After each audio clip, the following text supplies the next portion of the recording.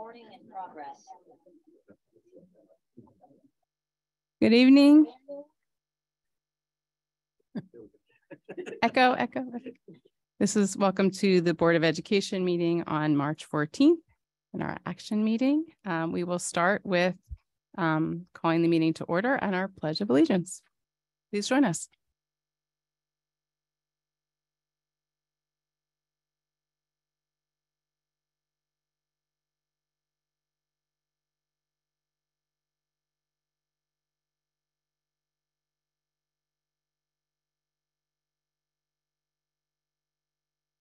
Okay, Mrs. Sugars, if you could please take the roll call.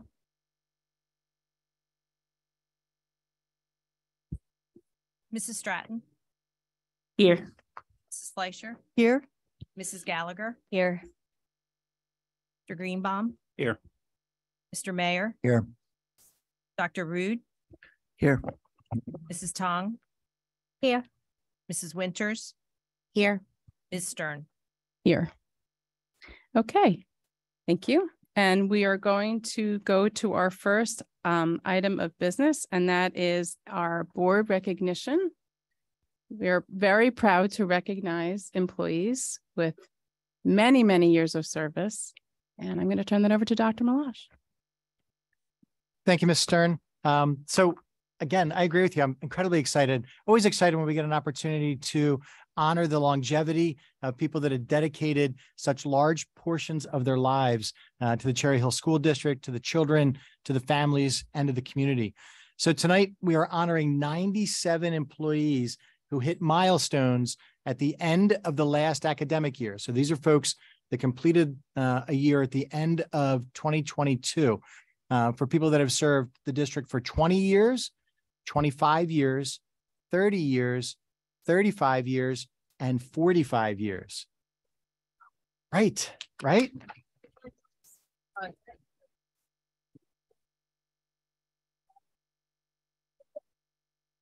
And Mrs. Wilson uh, gave me a note that she went through and totaled up the years of service that are being recognized tonight, and it's 2,230 years of service to Cherry Hill among these 97 folks, which is fantastic. Uh, there are folks from just about every job description in the district, uh, from our buildings and grounds folks to teachers, uh, to therapists, to administrators, secretaries, uh, all of the people that make Cherry Hill the wonderful place that it is uh, to work and to raise children and to send the children to school on a daily basis. So without further ado, because I know there are so many folks here, um, I'm going to ask Mrs. Wilson to join me up at the podium. Uh, we have certificates for everybody. We are going to announce everybody's name and ask you to come up at the podium to be recognized. We're going to do it in blocks, and we'll start with the people that are here for 20 years, and then 25 years, and, and go forward as such. Um, for each group, after the 20 year folks come up, we're going to ask you to go out into the lobby. Uh, and Miss Mallory, um, everybody knows Miss Mallory is our director special ed. She's going to take group photos of all of you as well. All right. All right, Mrs. Wilson, let's go.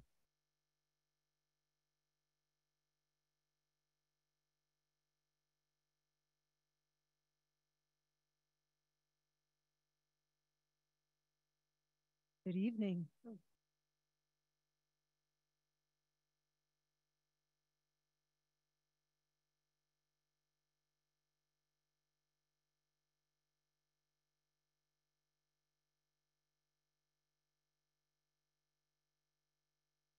Um, well, good evening. I'm going to start with our 20-year recognees. These may not be particularly in alphabetical order um, with pronunciation.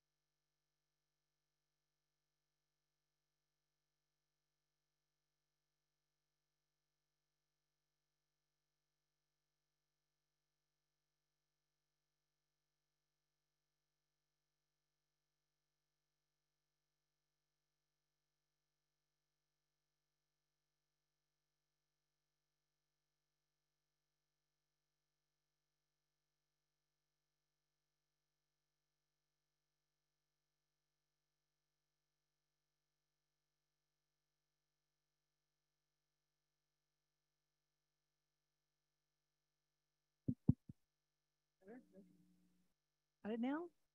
I don't know. We'll see. Oh, there we go. Okay. Uh, Maureen Carroza.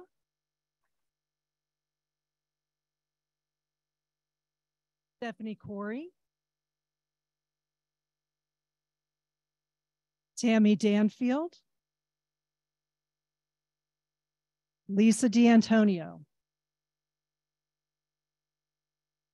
Shilpa Dave.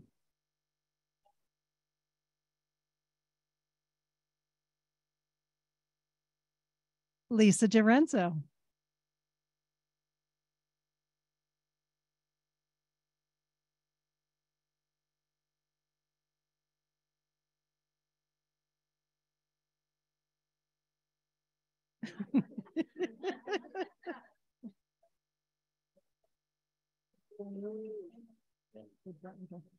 Diane Fidele.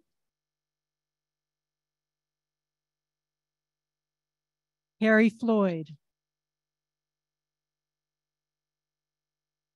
Susan Gorman. Maria Grillo. Daria Hall. George Hanna.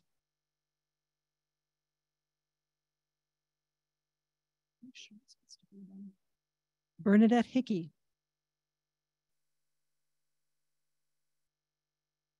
Nina Israel Zucker. Deborah Jacobs.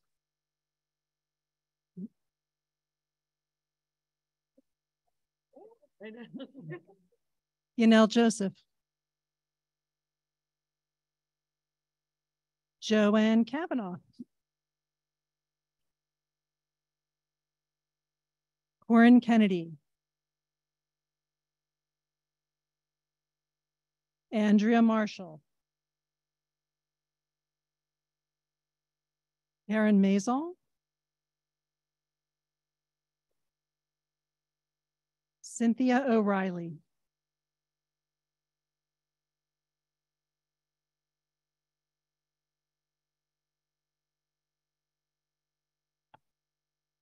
Joy Patterson.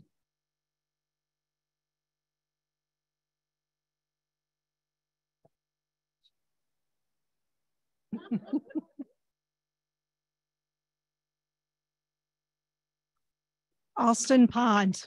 Mm.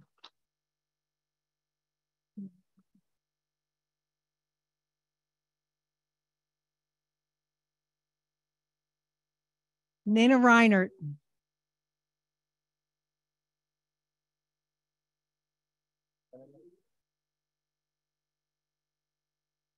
Maria, also known as Alejandra Rivas Mintz.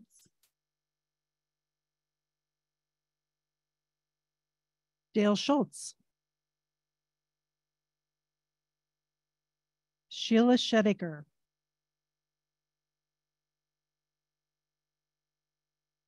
Kenneth Smith.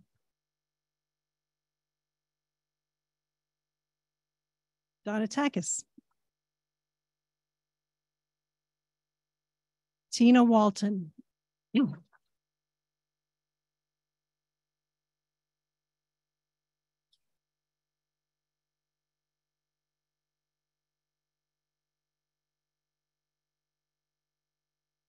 Christine Williamson.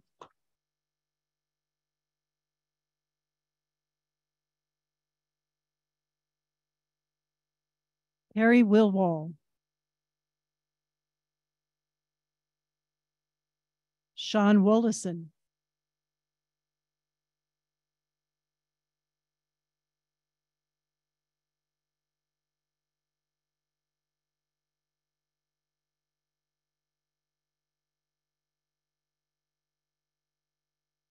Rick Mishiosha.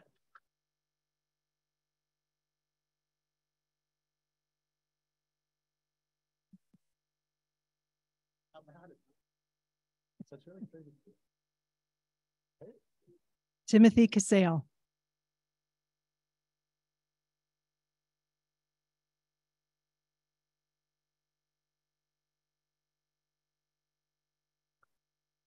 Amy Ettinger.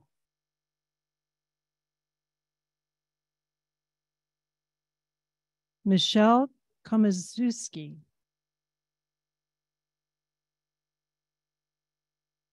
Jennifer Stever. Kimberly Redfern.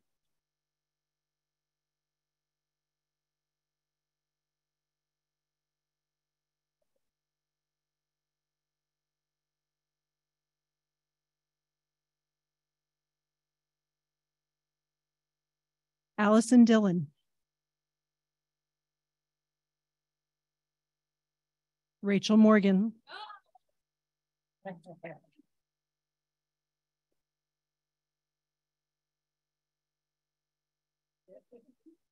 Karen Potter.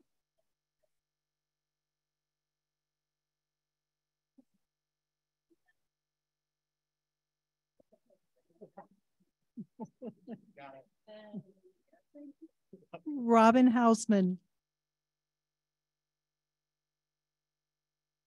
Lisa Feinstein.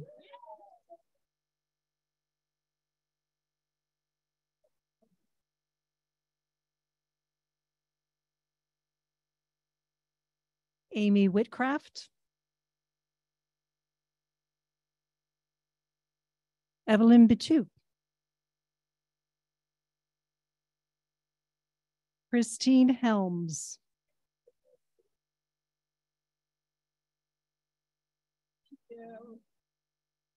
Violetta Katsikis.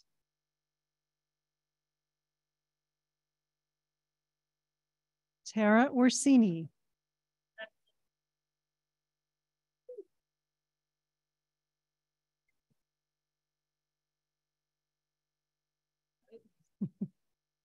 Lynn Brady. Janine Fior Malone. Nicole Gilbert. Robin Schrupp, oh, nope, that's twenty-five years. I think that's, there we go. Dan McMaster. Mm-hmm.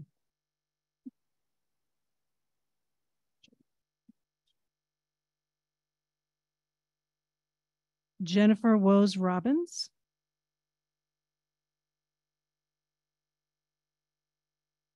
Opal Minio.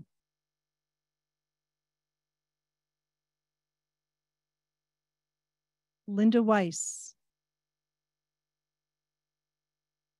Barbara Ross. Jennifer Taylor.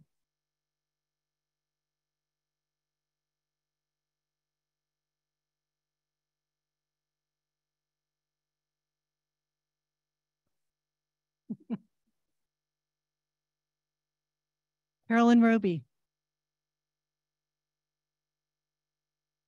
And Elizabeth Riley Stern. That's it for our 20 year anniversaries.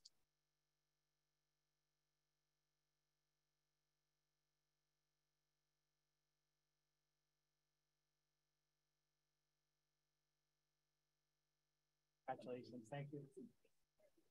That was a big year. Quite a class, right? All right, now we have our 25 year employees. Robin Schwartz. Sherry Latanzio. Jacqueline Altman.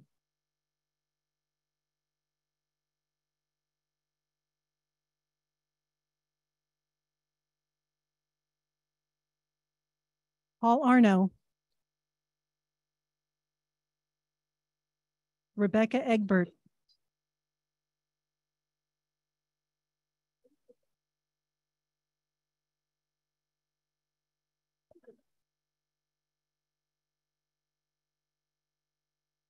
Rosemary Blumenstein.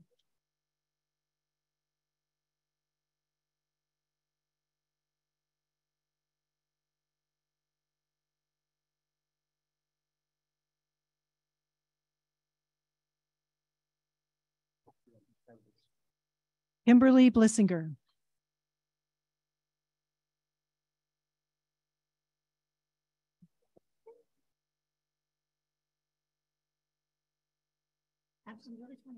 That's what it says. Teresa, I apologize for the pronunciation, Bassinate. Luis Barros.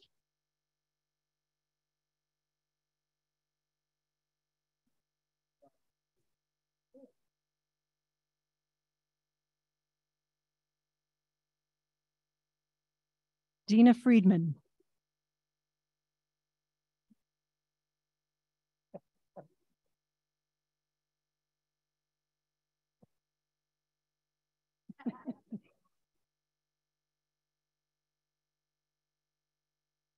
Bill Kovnat.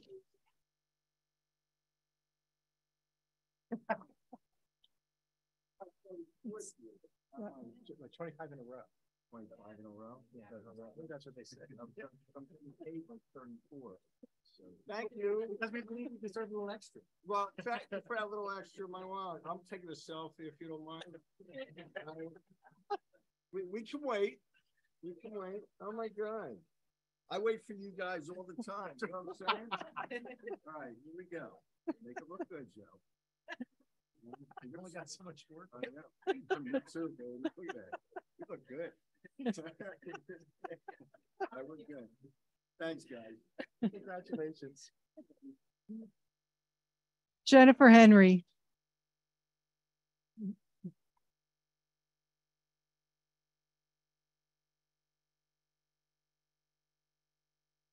Julia Hampshire.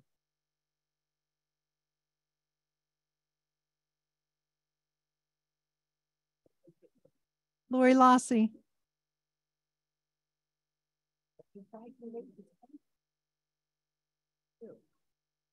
Kathleen McKell- McKellett, I'm sorry, I do this every time, McElhaney, I do it every time.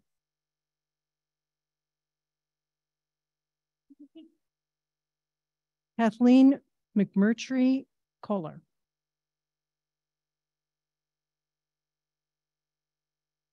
Ellie Miracola.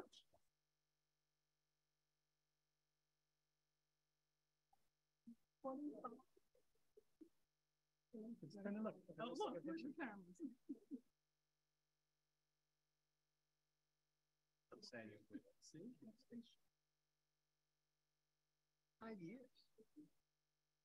Karen Morgan.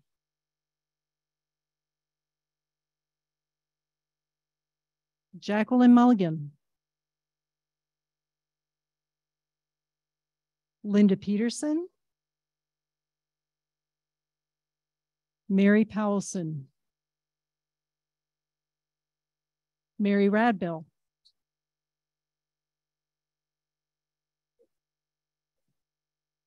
Bill Segrist. Hey, uh, yes, the twenty-five year, if you go get your picture with Ms. Mallory. Congratulations. Congratulations, you're the best on. You're the best entourage. That's awesome. Congratulations. You Guys are great for coming out. Thanks for coming out. You guys are very good at coming out. Congratulations. All right, now we have our thirty-year anniversary recipients, Christine Miller.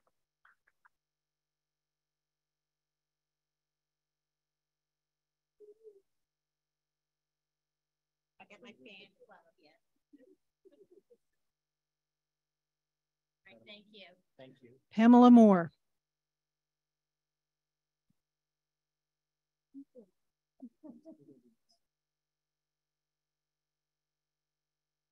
Nancy Paley.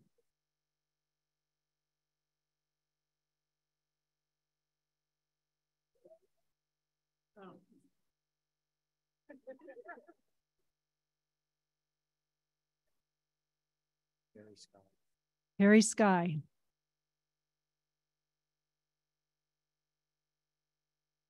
Allison Staffen.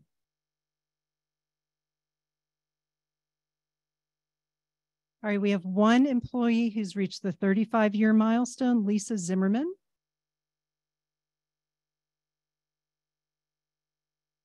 And our last two recipients at forty-five years, Lee Troutman and Lynn Kispolsky.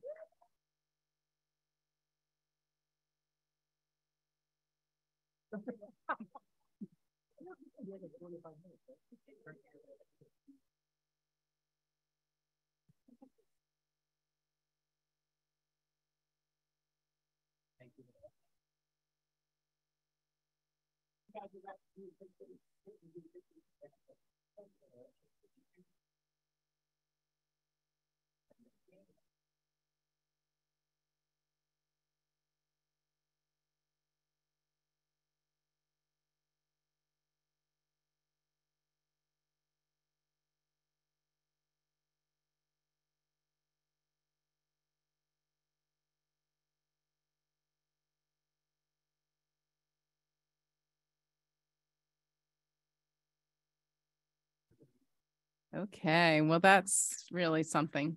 Um, really, really nice to recognize um, people who've spent a lot of their their their time with us and and contributing to uh, our kids, making the schools just as amazing places they are. Okay, so we will now go to um, uh, Mr. Holt of uh, McNally uh, uh, Mike Holt of Holt McNally Associates. I want to make sure I get it right. Uh, you're going to provide us a presentation on our audit. Yes, I am. Thank you so So much for thank you very having me much. here this evening. Welcome. Uh, I will give the uh, results of the June thirtieth, two thousand twenty-two audit. Uh, it's a large document. I know that you guys got. It's a couple hundred pages. I'm just going to hit upon the financial highlights. Uh, on pages thirteen through sixteen is the independent auditors report. This is a report given by our accounting firm on the financial statements of Cherry Hill Board of Education as of that snapshot in time, June 30, 2022. Um, SAS 134 came out this year, and there were changes to the layout and the content in that opinion. The one thing you'll really notice is the emphasis of the opinion paragraph right up front. So it cuts to the chase on the auditor's conclusion on the financial statements that are there. And I'm happy to report that the opinion is an unmodified opinion for June 30th, 2022. It's the best opinion that can be rendered.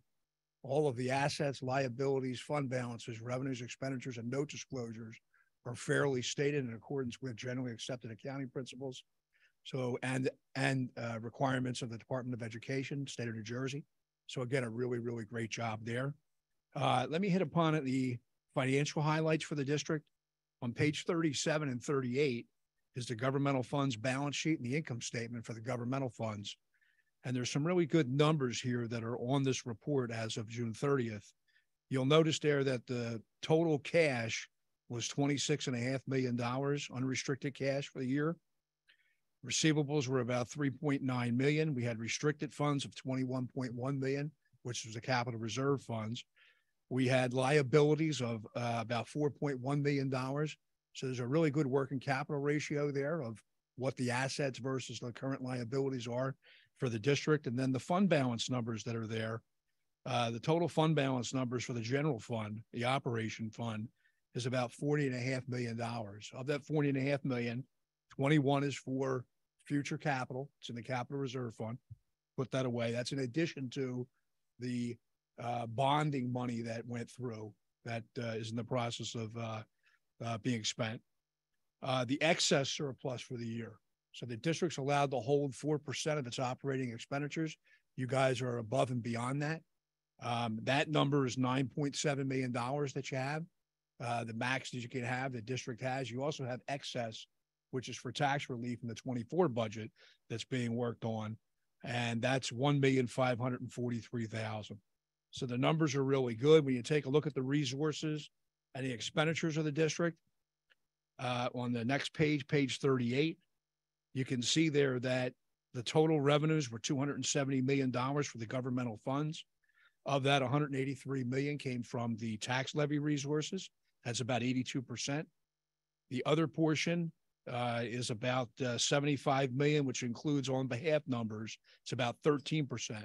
So only 13% of the revenue base comes from the state to fund, you know, a $270 million district. Um, yeah, not fair. Um, And then the federal portion is only three and a half percent, uh, seven point seven million dollars that you have there. Uh, in total expenditures, you had a total of two hundred and sixty-four thousand. Of that, ninety-six thousand, uh, ninety-six million, uh, were instructional expenses. Support services and undistributed expenses were seventy-two point four million dollars.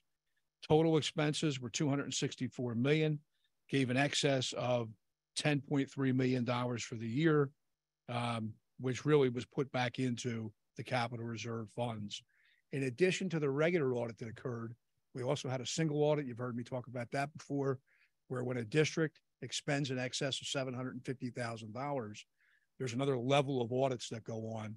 There's a review that needs to be done. We come in and we take a look at the internal control and compliance requirements set by Title II uh, of the federal government.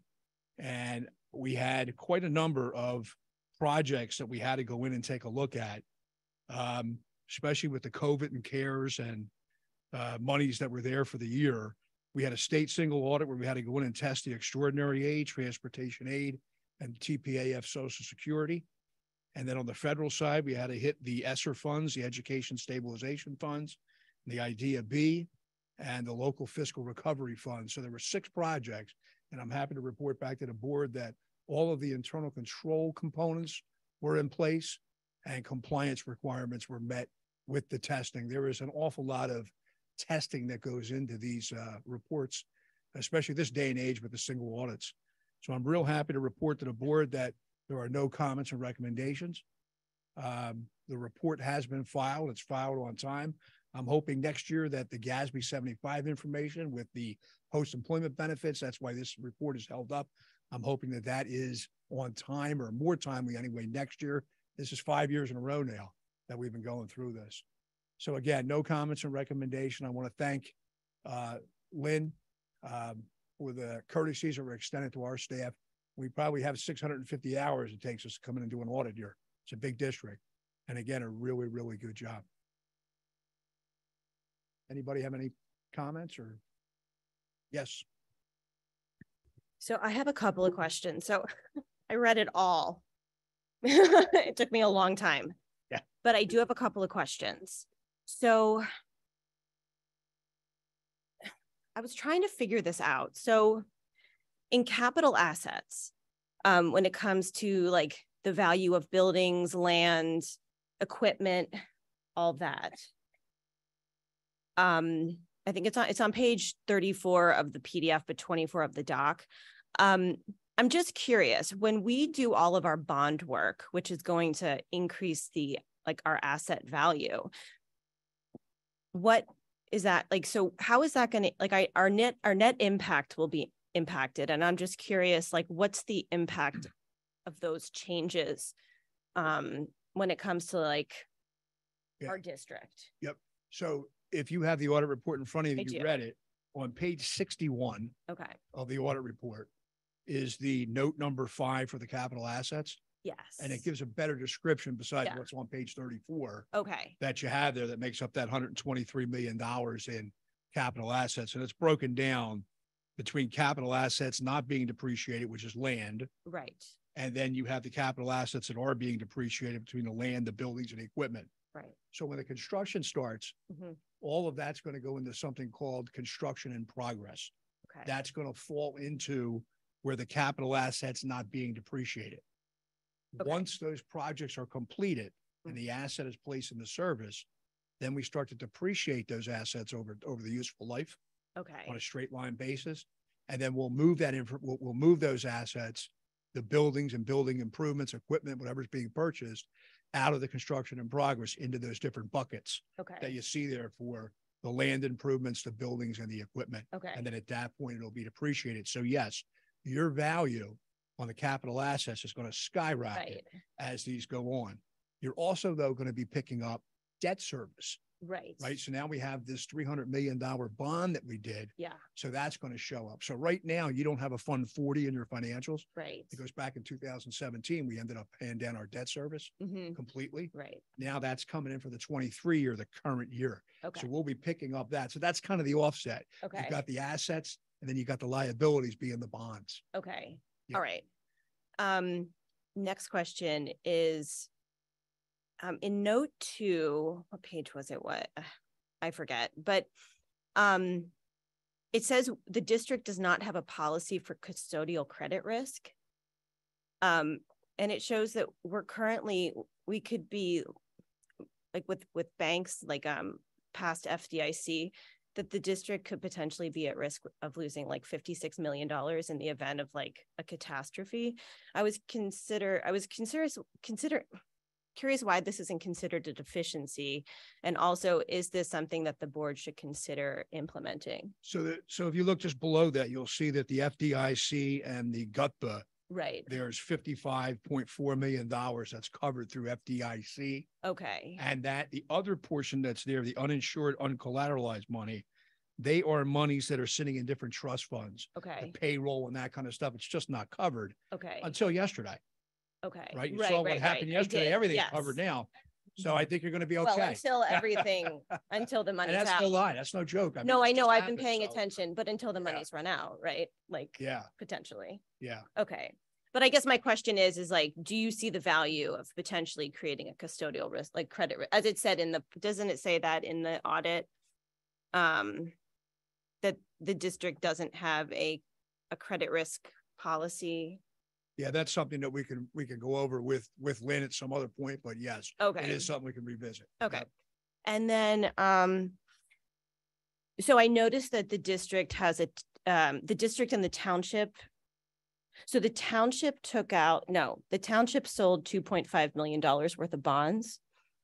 Um, to cover half of the turf for east and west.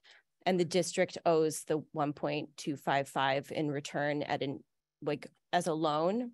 I was curious why that doesn't show under long-term debt. Uh, I think it does. So if you look at, It does? yeah, if you look at note number, if you look at page sixty-two, you'll see the shared service loan payable. Okay. Right- Right there, that's six hundred and sixty-five thousand. So it's part of Okay, long-term debt. There's a portion of it that is current, uh, within twelve months, still one hundred and twenty-five thousand. okay, There's an amortization on page sixty-three of that, right. where you'll see the principal and interest. So it is recorded. It's just lumped into one line I see. within the A one exhibit that, that, that has the debt. Okay, because I think at one point it says the district holds no long-term debt. That's why I was, I Bond, didn't know- bond, bonded debt, okay, bonded debt as of Okay. June thirtieth, two thousand twenty-two. I see. Okay. And then my last question is in the exhibit K two at the end, um, it has Cherry Hill as the header, but in the note, it states that the, it's for Clearview Regional High School.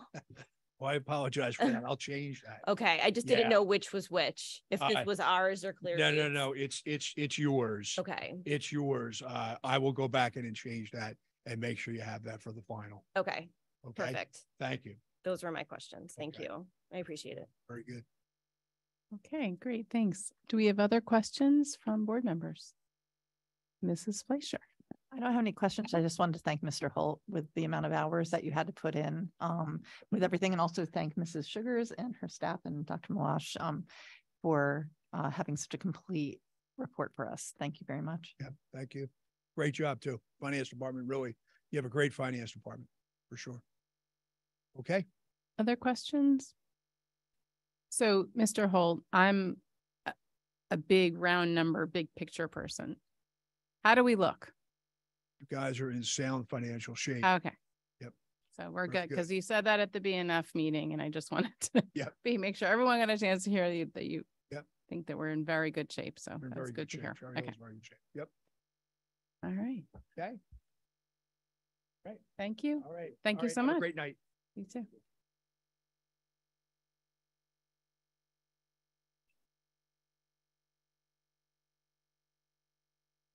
Oh, yeah, it's okay. Thank you. Okay, so now um, we move along to um, our goals update. So um, I think it's going to be Dr. Birdie, um, Ms. Giordano, and Mrs. Tiernan, who are going to um, present us with an update on our goals. Thank you. Hi. Thank you. Thank you to the board for having us here this evening. Uh, we are going to provide an update on um, some of our building goals, district goals, and I will be representing our elementary schools this evening. The last time around, the elementary schools presented on student wellness. So uh, tonight's presentation will be related to our purpose and passion goal. Um, at the elementary level, uh, obviously, we recognize that uh, there's a strong correlation between teacher effectiveness and student achievement. So when we're looking at the goals that we set in each of our buildings, we take a look first at professional development and the learning of the staff. This year, we have been able to dig into our new Marzano framework that we use for teacher evaluation. And within that framework, all of our schools are specifically focused on the elements of student engagement and identifying critical content from the standards. So staff have had training on these elements, have looked at what this looks like in a classroom. We also have utilized um, the amazing coaches that we have in the district, our math coaches, our literacy coaches, our technology coach, Ms. Esposito, our special education coaches. And these coaches have played an integral role in providing professional development to staff, in modeling strategies for our staff members, um, and then even going through coaching cycles with them, observing them teach, giving them feedback, looking at student data with them um, to decide uh, where the next targets should be. Um, we've also had an opportunity to train many of our educational assistants this year. Um, those who are providing either specified intervention programs for students. They've had training on those programs. Um, we've also had training on trauma informed teaching for educational assistants to give them some perspective um, in how they're connecting with our students. Uh, next slide, please. Thank you. So, um, a huge piece of this is certainly looking at student achievement data, looking at other data that we're able to gather in the elementary schools. Uh, we do these data review meetings as whole groups. We do them during faculty meetings, lunch and learns, um, PLC time as a whole group, as well as PLC time for individual grade levels or um, instructional groups. So when we when we have data review meetings at the elementary level, we're looking at data from NJSLA, uh, specifically in the beginning of the year to gauge um, the specific standards in which our students at a particular school were successful or standards that we want to address as a staff as a whole. We look at unit assessments, um, math modules related to Eureka Math. And then as we're looking at that data, we identify both content areas that we want to focus on. Maybe we're finding that a specific skill has just been challenging for a specific grade level. So then we look at that content piece and how do we deliver that in a different way. Um, and we also look for specific targeted intervention. So students, either groups of students or individual students who need specific interventions to help them to be successful in um, the standards that they're that they're showing they're struggling with. So uh, that might be different in uh, different schools and different grade levels. We use the intervention and enrichment period in all the elementary schools to provide intervention directly from the classroom teacher, either meeting with small groups or individuals.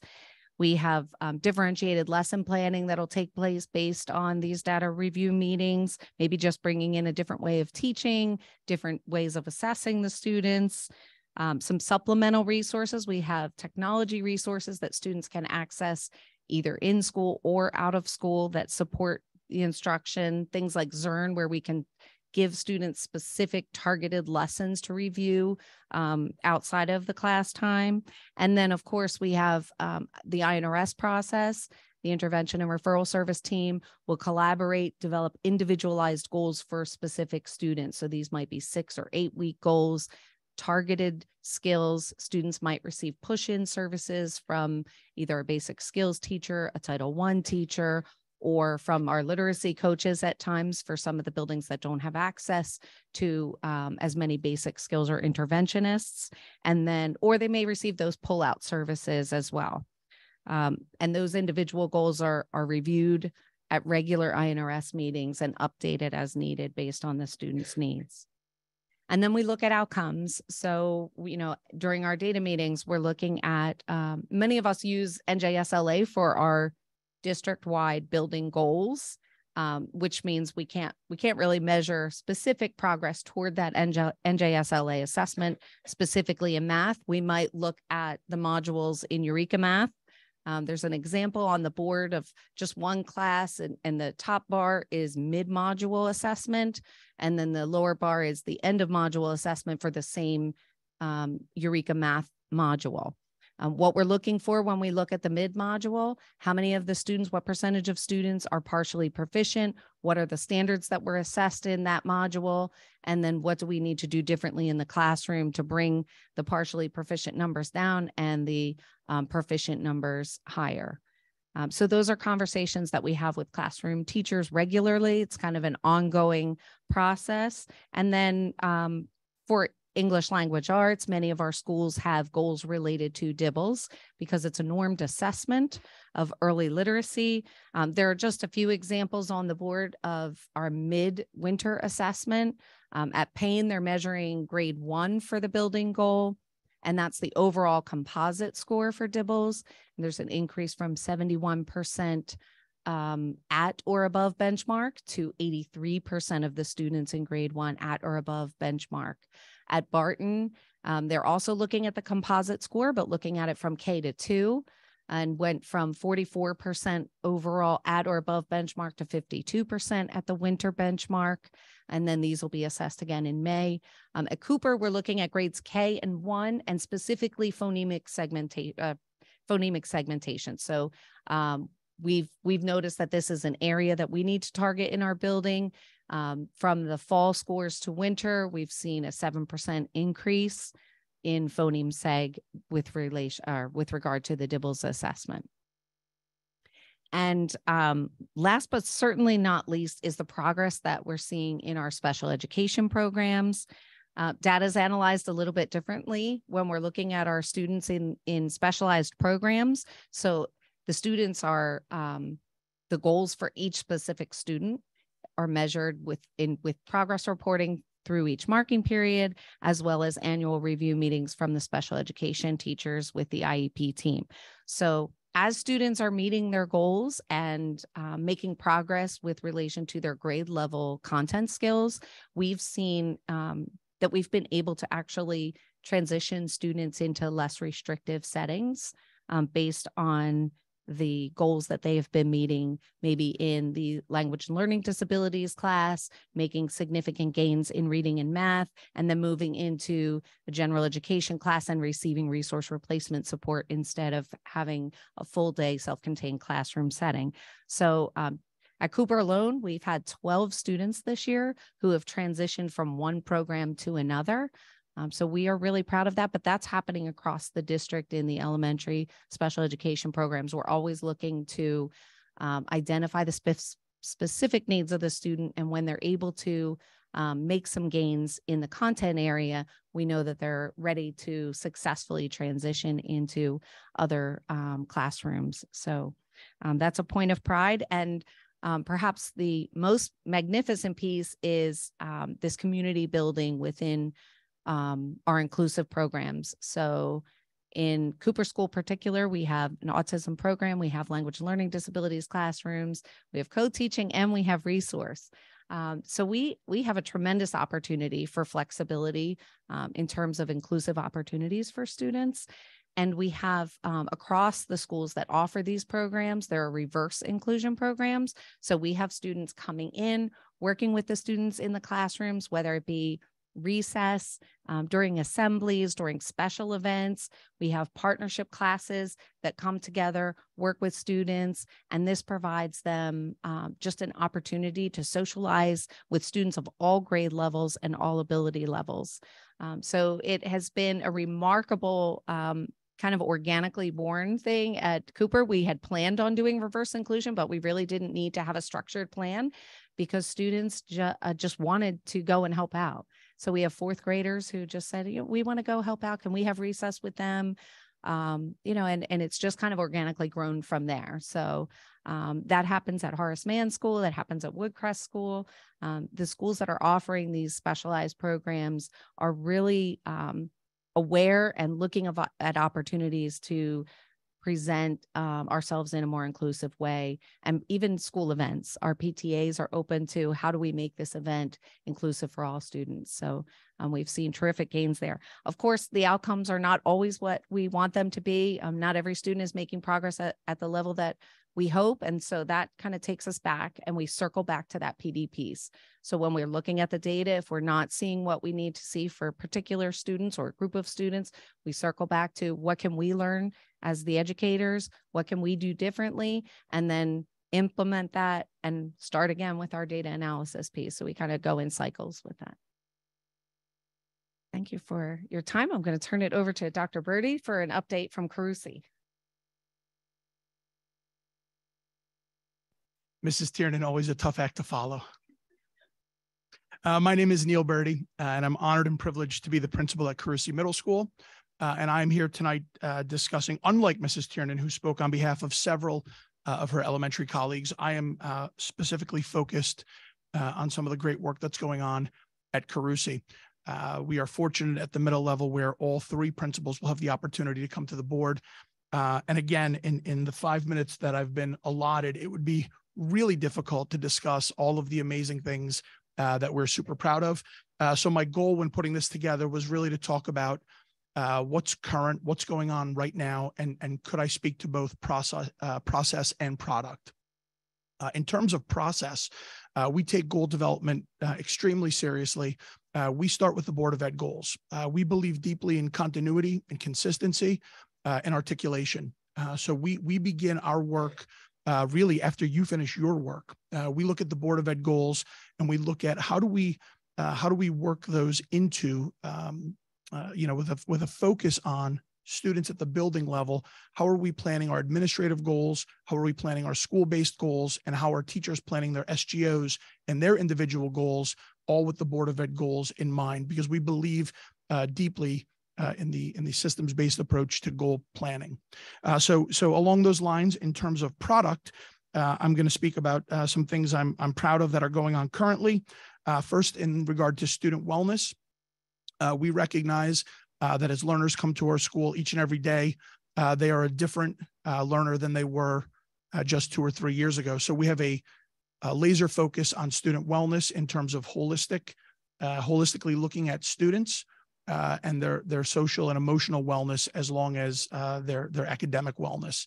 Uh, so so one of the things, in addition to the uh, hundreds of, of student athletes we have at Carusi, uh, and and in addition to many of the high interest clubs we have, uh, newspaper, cooking, art, etc.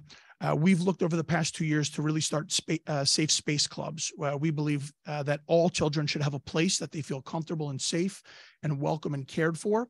Uh, and we also allow any club to exist as long as there's student interest and an adult uh, who will supervise the club.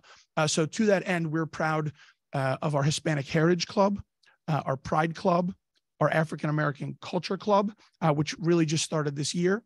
and and most recently, our We Society, which is that stands for Women Empowered, who just held their first event at the Kroc Center in Camden, which was amazing. They did a Women's History Month kickoff uh, last weekend. So again, uh, creating safe spaces for all kids where where they know they um, uh, they fit, they belong, and they feel welcomed.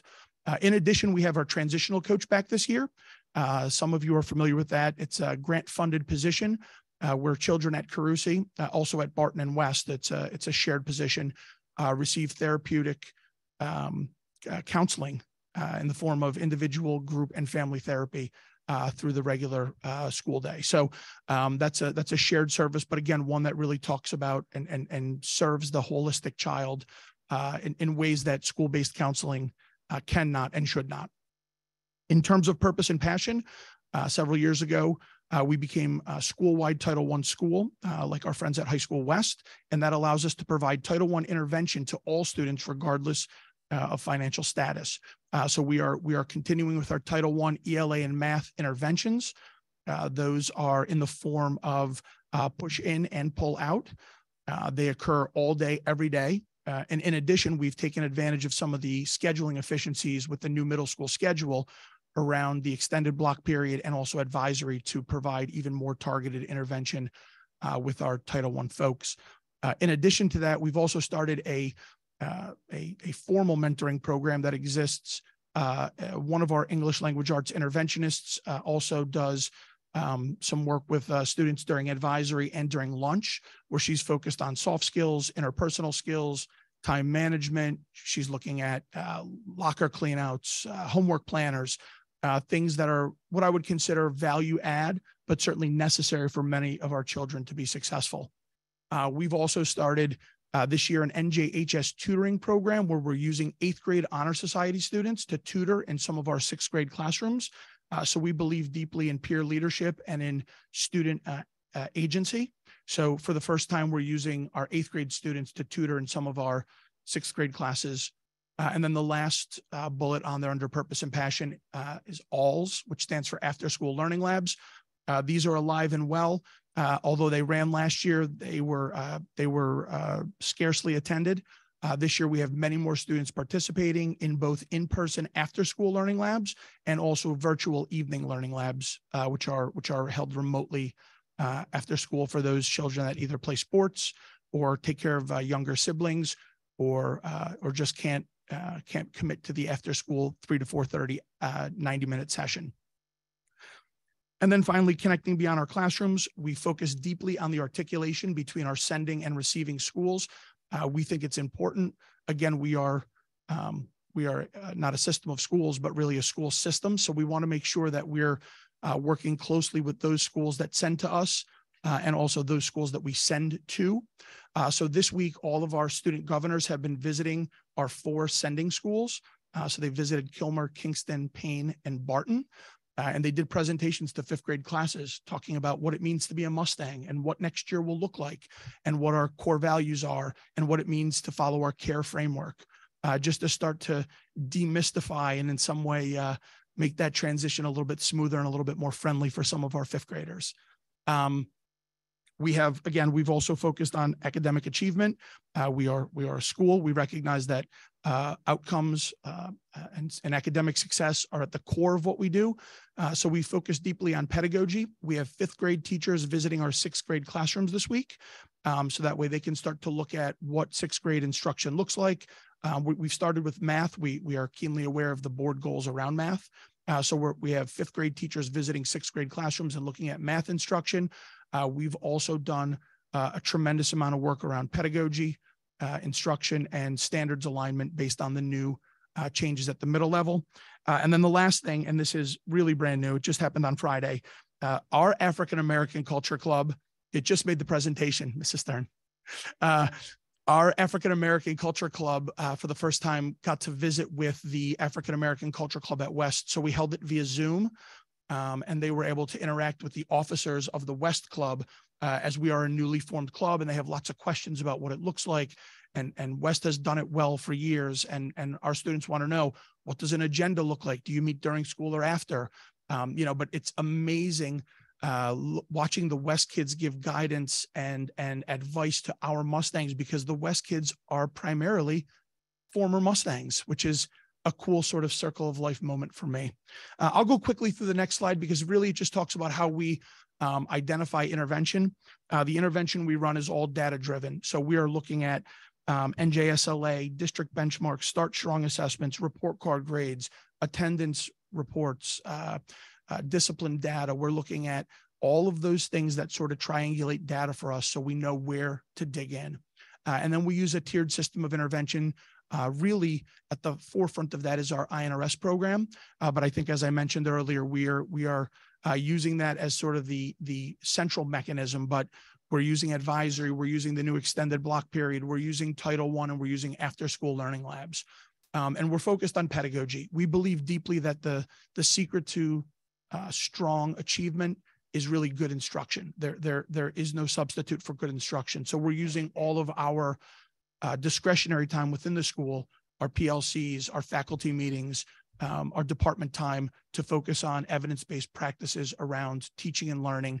Uh, and then finally, measurement. Uh, we want to make sure we're evaluating uh, as we plan, as we act. We want to make sure that we're evaluating and we know what the outcomes are. Uh, so again, we're using things like lesson plans, classroom observations, uh, walkthroughs with our CNI friends, um, teacher SGOs, annual performance reviews, and then some of the data management systems like Performance Matters uh, and Eureka to to really determine what was our goal, what was our intervention, and were we successful? And I'm going to turn it over to Mrs. Giordano. I had a feeling this it's gonna happen. I was like, at least I can see over it, right? Hi, everyone. I'm Lauren Giordano. I am the principal of the Alternative High School program. Um, thank you for the opportunity to come and talk a little bit about all the cool stuff my staff is doing. I mean, I can't even say enough about them in five minutes, like I'm also limited to.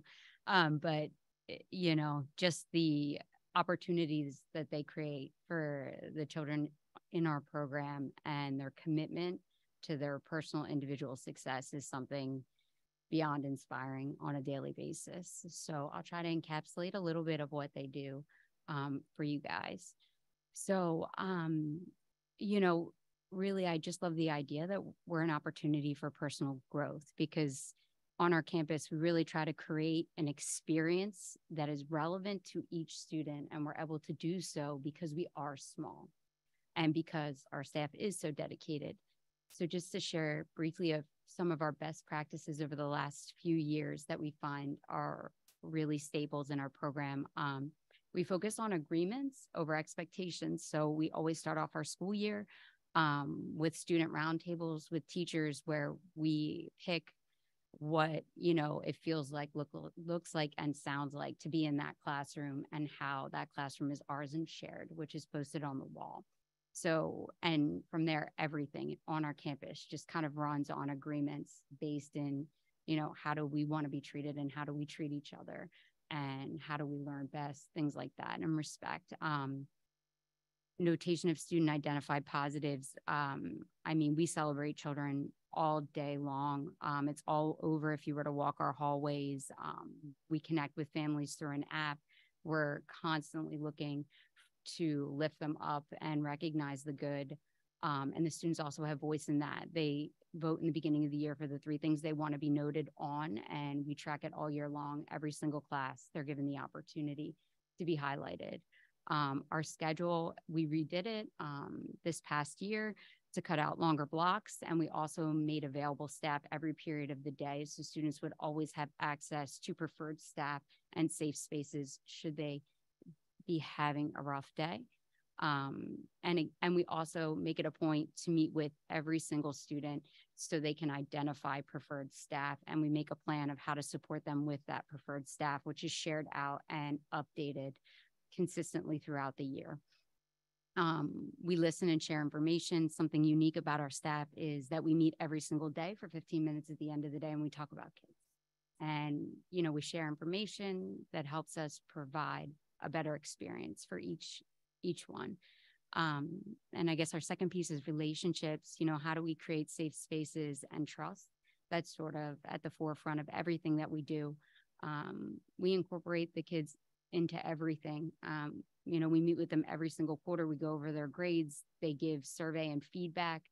Um, they choose our project-based learning and science. They choose where we go what we do and what they want to see and we constantly do that because we constantly want to be relevant to the kids that are sitting in front of us and make it meaningful to them.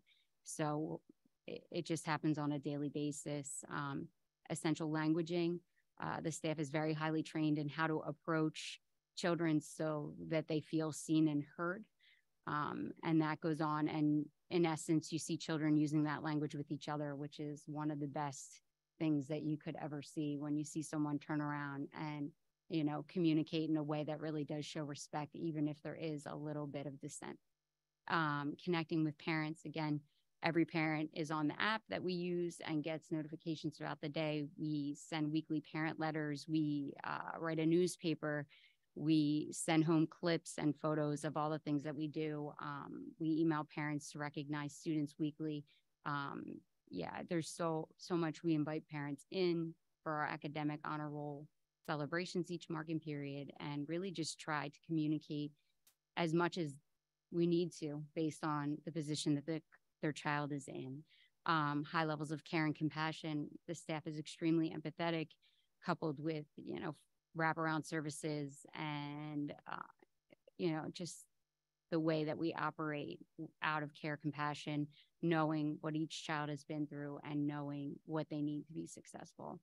Um, reset plans, that's something kind of mentioned above. After every student comes in, we meet with them, we do a reset plan where they have the opportunity to identify preferred staffs for potential triggers, needs, how do they calm down, what are they interested in learning to calm or cope with anxiety and where what are their goals? Where do they want to go? And how can we build a plan to get them to wherever they want to be whether it's back in a comprehensive setting staying with us going to college going to technical school um, building any type of skill uh, monthly connections every every student is chosen every month are in totality by our staff and we have different initiatives that we run every month. For example uh, this month each staff member will write a personalized note um, to the students talking about an anecdote of where they were in the beginning and how far they've come. We will mail them the day before spring break so the students receive them over spring break, just as an example of what will be coming for this month.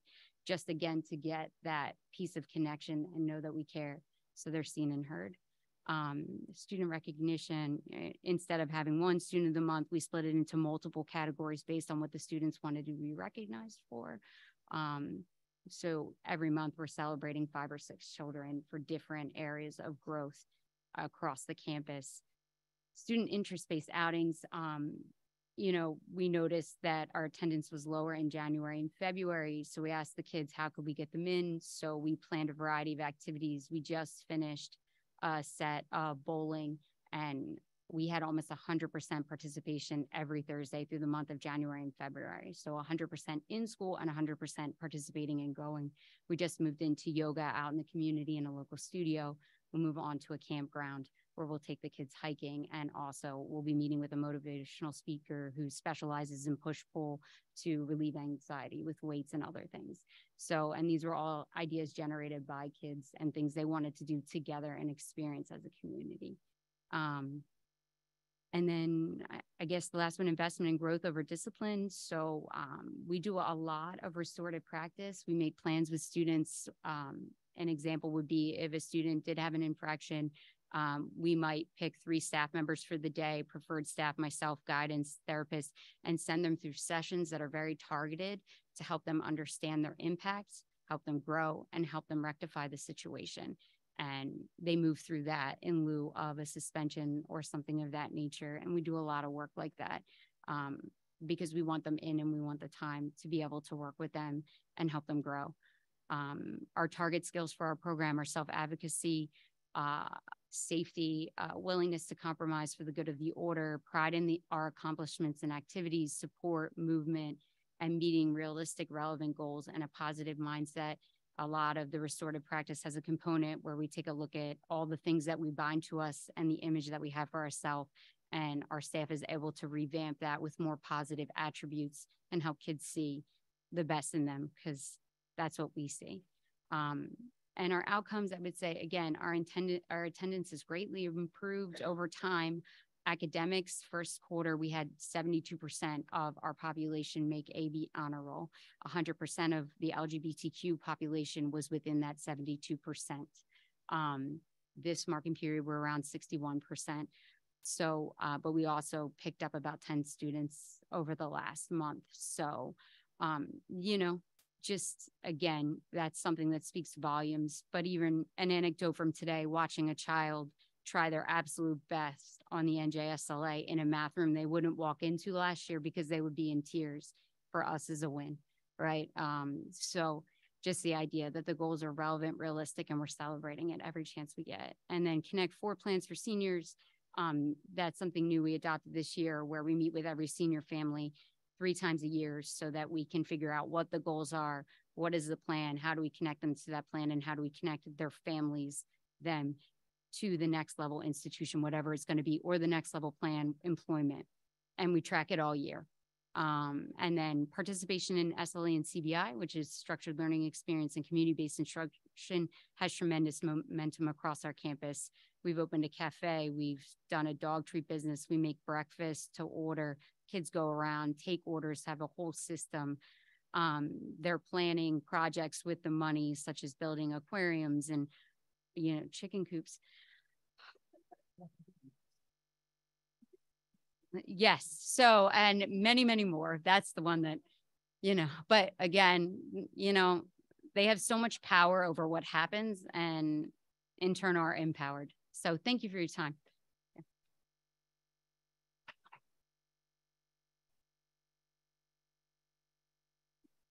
So, and I, I can attest to the fact that dogs do like the dog treats because my dog has enjoyed the dog treats that I purchased on Friday. So, um, okay, so um, questions from board members or comments? Uh, Mr. Mayor.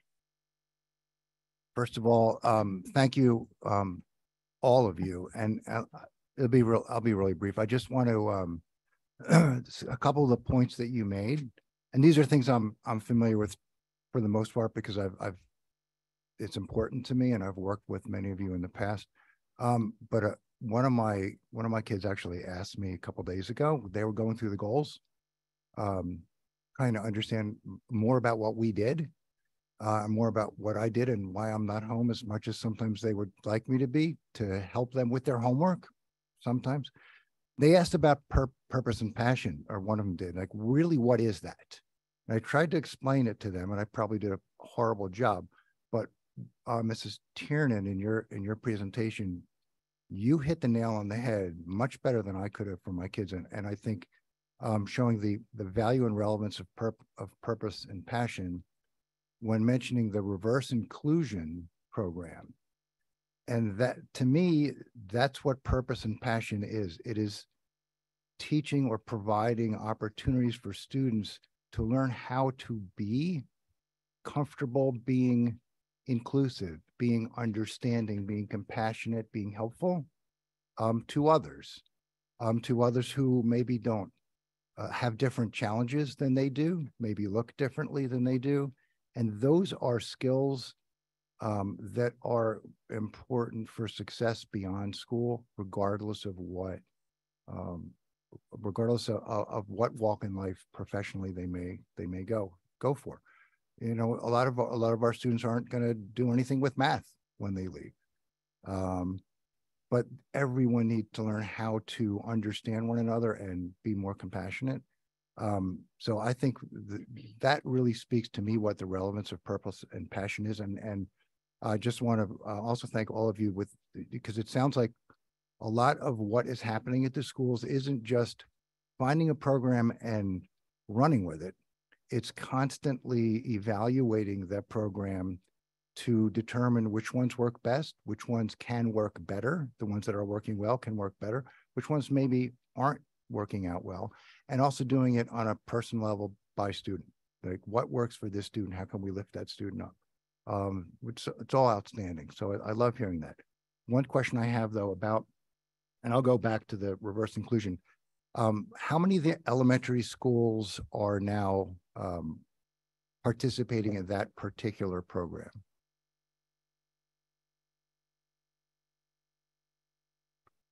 Um, so I, I know that uh, the, the schools that have the autism support programs do some sort of reverse inclusion. So it's not really a program as much as it is just an opportunity to bring students in.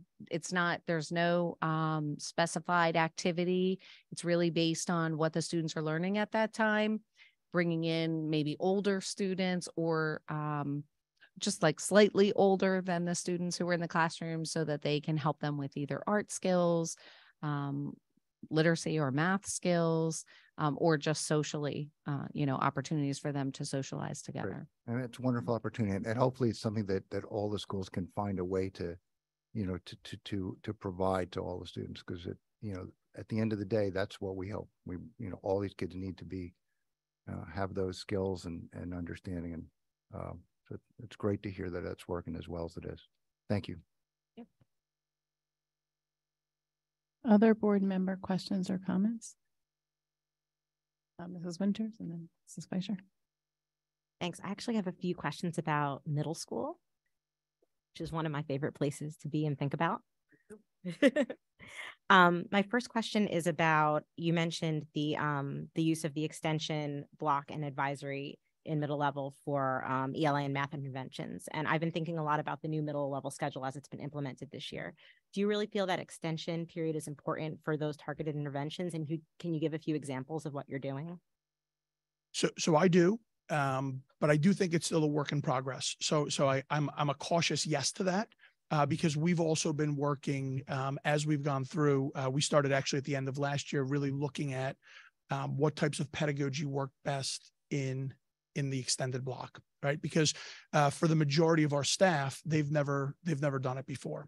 Uh, so some specific examples we've done a lot more small group uh, and a lot more uh, what i would consider almost like uh, evidence-based elementary pedagogy where we're really looking at uh, very specific skills teachers working in small groups at tables with a number of you know smaller number of kids while the other folks are working on maybe extension or enrichment activities. And there's some type of uh, very specific mini lesson targeted goal. Uh, maybe in math, uh, we've been looking a lot at multi-step equations. Um, students, we find that their fluency, their math fluency is uh, relatively strong, uh, but a lot of kids get lost a little bit in the sauce when you ask them to do multiple uh, steps in order to solve an equation.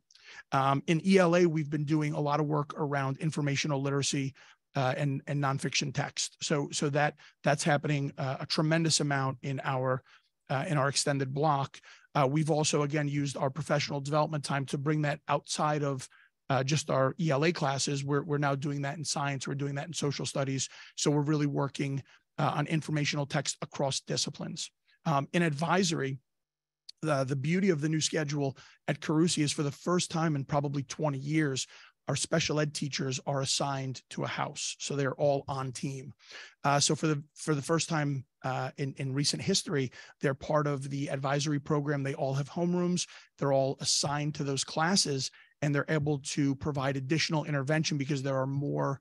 Uh, there are more staff assigned, uh, so they can do pull out. They can shuffle kids. Um, they can they can hold small groups. Tuesday and Thursday might be math intervention. Monday and Wednesday might be uh, ELA intervention. Uh, but it just gives us such a new level of flexibility. Uh, and it's all due to the middle school schedule because that's really how we've captured the efficiencies of being able to put our special educators back on team. That's really good to hear. Thank you. Um, my second question is about the after school learning labs. I'm not familiar with them. Can you just speak a little bit about what those are and sure. how they're used? Of course. So we we we jettison the notion of homework club and i think mr mayor's point was really spot on. We we are looking at what works and what doesn't um, and we want to make sure we're moving away from things that don't work. Uh, homework club was not working. Uh, homework club was more of an after school study hall uh, where kids could show up uh, with or without work um, and and and sort of hang out and uh, and and and get caught up or or or not in some cases uh, socialize. Uh, so what we we moved to is a more uh, targeted intervention after school. Uh, we put the bones of it together last year, and we've continued it this year, uh, where students need to sign up. they're they're driven by content. So again, Monday might be math, Tuesday might be world language, Wednesday might be science, and we ask students to sign up in the mornings through their guidance counselor, so they know and we know uh, that they are there for very specific instruction in a content area. Um, and that's been that's been well attended. We we we started slow. Uh, uh, we've we've gotten a lot more staff that are interested in staying after and working in the program. Uh, we've also had our counselors. Uh, you know, after we after we look at um, you know when report cards uh, are published, then we look at grades. we you know we we had a sort of an invitational session where we invited kids to come in uh, and then for those that were still reluctant, we we started to involve families and and just let them know, you know, hey, this is another service that we offer after school. Um, you know, based on a few factors, it might be it might be important to start to allow your child to attend these these sessions. And those are teacher led sessions. All teacher led, all by certified content area folks. So we have our math teachers running the math intervention, our science our science teachers, et cetera. Oh, that's really neat. I mean, one thing, and everybody knows I keep talking about this, I'm interested in as we move towards the three districted middle schools is thinking about what works really well at each middle school. And if it's working really well, how can we replicate that at the other middle school? So I'm sort of trying to like take pieces as I hear from you guys about what's working really well and think about how we can um, use that throughout the district. And my last kind of question is you talked about the articulation between fifth and sixth grade and transitions between levels is something I think about a lot. Um, so I'm really excited a lot. I think it's something that, you know, we could definitely improve on um, just as a whole. I mean, it's, it's a tough thing to do. There's a huge difference between I have a fifth grader right now. There's a huge difference between fifth and sixth, right? Between preschool and kindergarten, between eighth and ninth. So um, when the fifth grade teachers came and visited the sixth grade classrooms for math instruction, like, can you describe a little bit about how that went and, you know, what lessons you think that they were able to take back to their fifth graders as their fifth graders are preparing to move up next year? Because I know it looks very different between fifth and sixth. So those visits will happen this week. Uh, I believe they're set up for the end of this week or the beginning of next. Uh, the date, the, I'm, I'm not totally sure of the date. Uh, so those visits haven't happened yet. Uh, where we started with articulation um, was with ICR classes. So we started to have uh, manager, uh, case manager meetings between our fifth and sixth grade folks, and also included um, ICR teachers to take a look at what's the difference between inclusion in fifth grade and inclusion at the middle level. So th- those conversations have already started. Uh, in terms of the math meetings, uh, the the goal I think is really straightforward. I think we we don't do enough work around bringing our folks together, uh, especially those folks that hand us off kids every year. Uh, so getting an idea of where a sixth grader is in September, in January, in June probably will uh, my my hope is that my suspicion is that it will help those fifth grade teachers to really think about what a fifth grader looks like when they enter their class and where they need to be when they exit uh, on their way to sixth grade. That's awesome. So this is a pretty new process. This is the first time you're doing it. This is an exclusive. This is amazing. Yeah. I'm so excited. and I absolutely do. And it's the last thing. I really love the idea that your um your Carusi kids are going to the elementary schools that we'll be sending to you because I think forging those connections is really important. And a lot of times I think students hear and learn and listen and understand better from other students. Agreed. Especially older students. So that's a really neat connection you're making. Thank So you. thank you so much. I appreciate it. You're welcome. Okay, Mrs. Fleischer. Thank you. I think it's perfect order because we heard from Mrs. Tiernan and Dr. Birdie, and now I wanted to say something about Ms. Giordano. Um, so is perfect. But um, I think I, I hope um, I'm speaking for myself, but I think uh, all of us feel the same way. I just want to thank you so much for doing the reporting out from your kids and how they do the reporting um, for our meetings. It's really been insightful to for us to get sort of a glimpse into their day and also to see the competence that they exude and the different types of students and that you have actually reporting. It's been really wonderful. So I just wanted to take this time to to thank you because I haven't seen you in person since you really started doing everything. So we're lucky we have Aiden, we have Liz for East and West. So we really feel great that we have the alternative high school now. So thank you very much. They really do enjoy doing it. They love going around interviewing other, they write the script themselves and then they put the slides together and then we, you know, one student volunteers to do the whisper. Oh, sorry. No, sorry, sorry, you had to you had to go after Dr. Birdie. Anyway, sorry. Um, thank you so much for saying that. The kids really do enjoy doing it and they they actually rotate and all kind of participate. So different kids want to interview about different things that go on. They put the slides together. Most of the pictures are taken by them. Um, and even the Lewis Ledger, you know, that's kind of all them under the guidance of what they want to do. So it is really, really nice to, you know, have them have the opportunity and thank you for being interested. Of course, and tell them we can't wait for the next uh set. Okay, other board member questions or comments? Um, Mrs. Ms. Alma Stratton. Thank you. Um, I just had two questions just because I don't know what they mean and I'm trying to get back to my notes. Out. I think it was in uh middle school. What is I and RS stand for? So INRS is a, an acronym for Intervention and Referral Services. And I think Mrs. Tiernan also um, spoke to INRS as well. It's really a team-based approach to making sure all learners have all of the supports that schools offer. Uh, so for instance, a student might be referred to INRS uh, for an academic difficulty. It could potentially be uh, an emotional difficulty or behavioral difficulty. Uh, but it's really a team-based approach to making sure that um, students have specific individualized goals.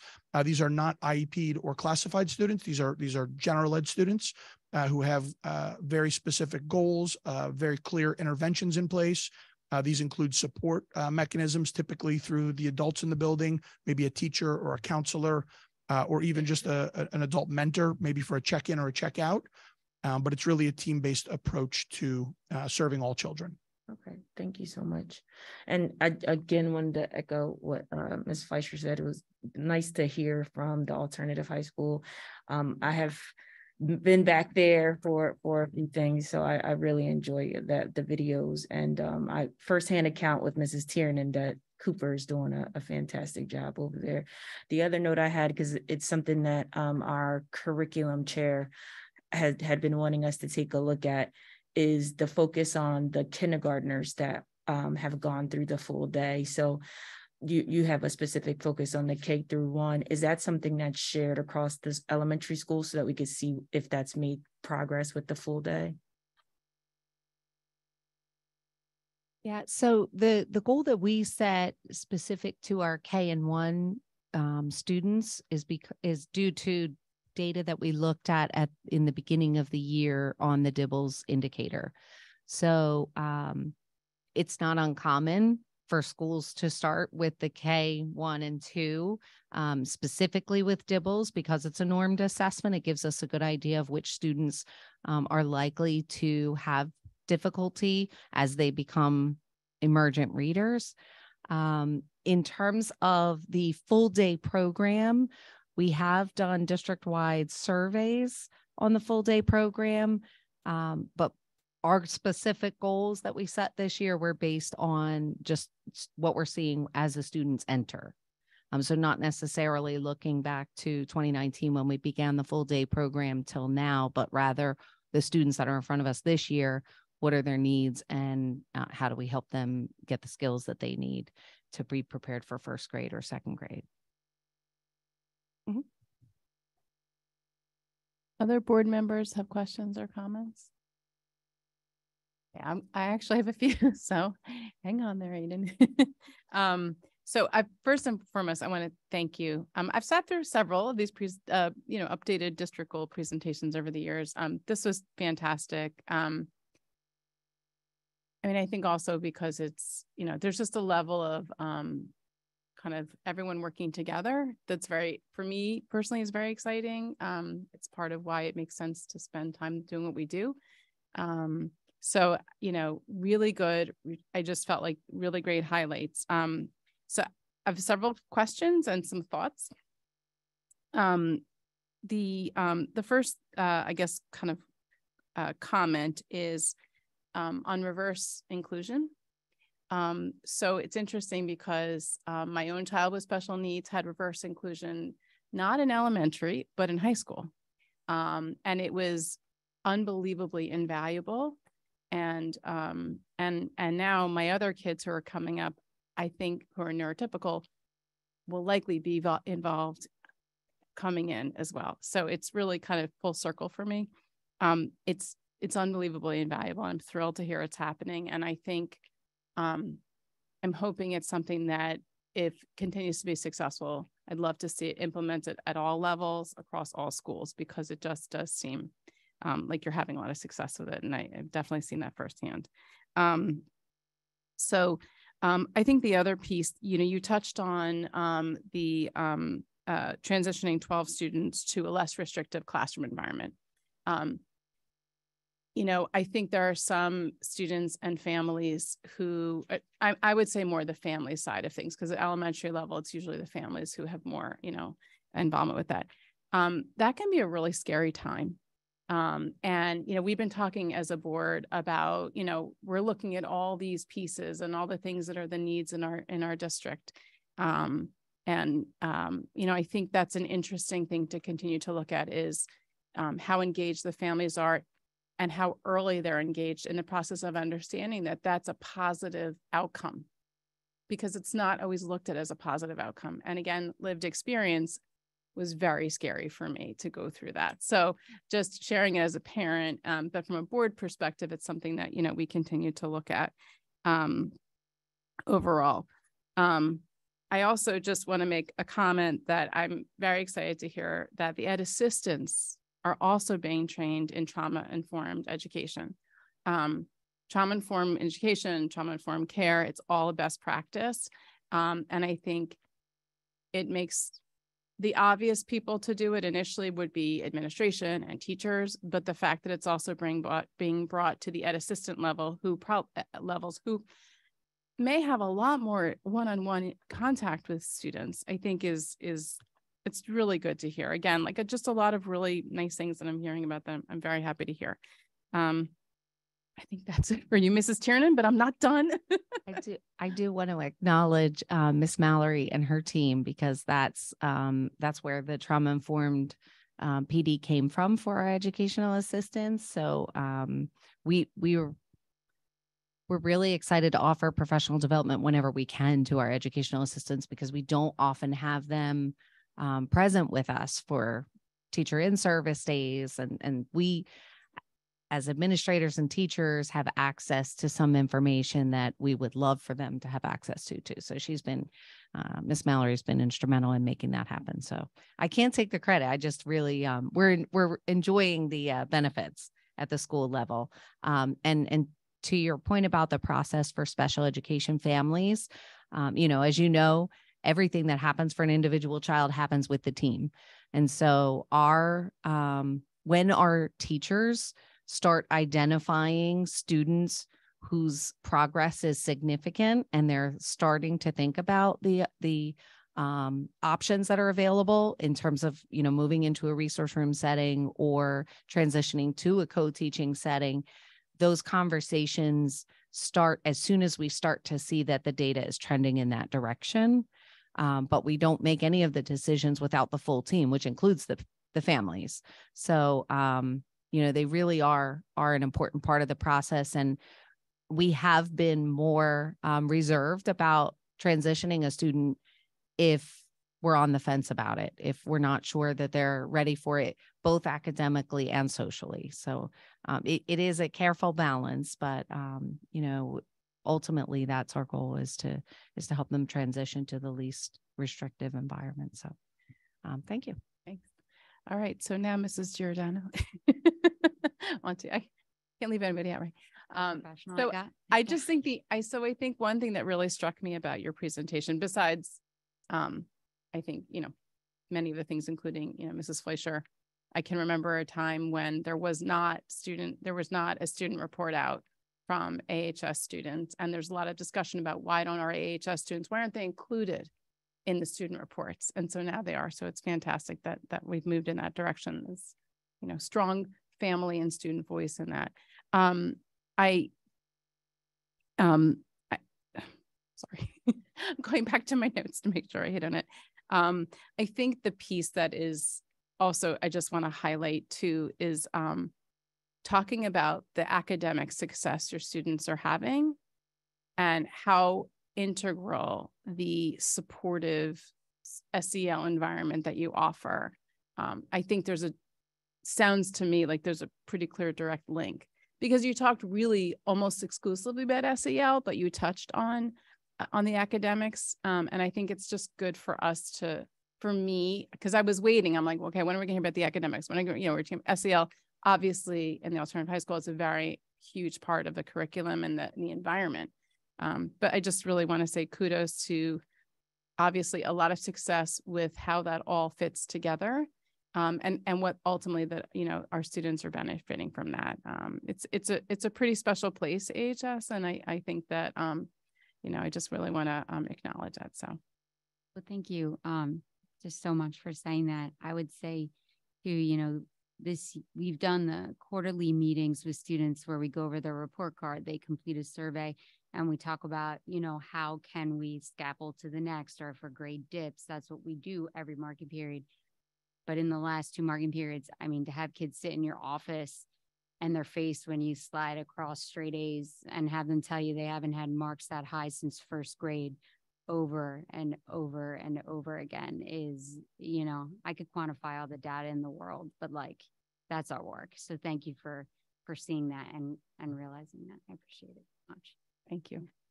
All right. Last but not least, Dr. Birdie. Some middle school things to say. Um, sorry, I know I'm taking a lot of time. This is, you know, the goals and and and the the the connection. It's it's it's I think worth spending some time on. So, um, I was I mean a lot of pieces that you reported. I was very excited to hear, and I think um, just to kind of circle back a little bit to what Mrs. Winters talked about, which is um, you know, the transitional grades. Um, you know, I I hear a lot and I see a lot about sometimes it feels like different worlds, right? Um, and I think, um, again, it's, you know, transitions for all of us bring a lot of uncertainty. So, you know, I think having, um, you know, hearing about having numerous different staff visit um, and and observe um, you know at the next at the next transitional level whether it's going into ninth grade and visiting there and seeing how things are there and what the needs are or fifth grade um, i think that's i'd love i'd love for that to continue and to grow. I do think that fits very well into how do we you know continue to improve what we're doing.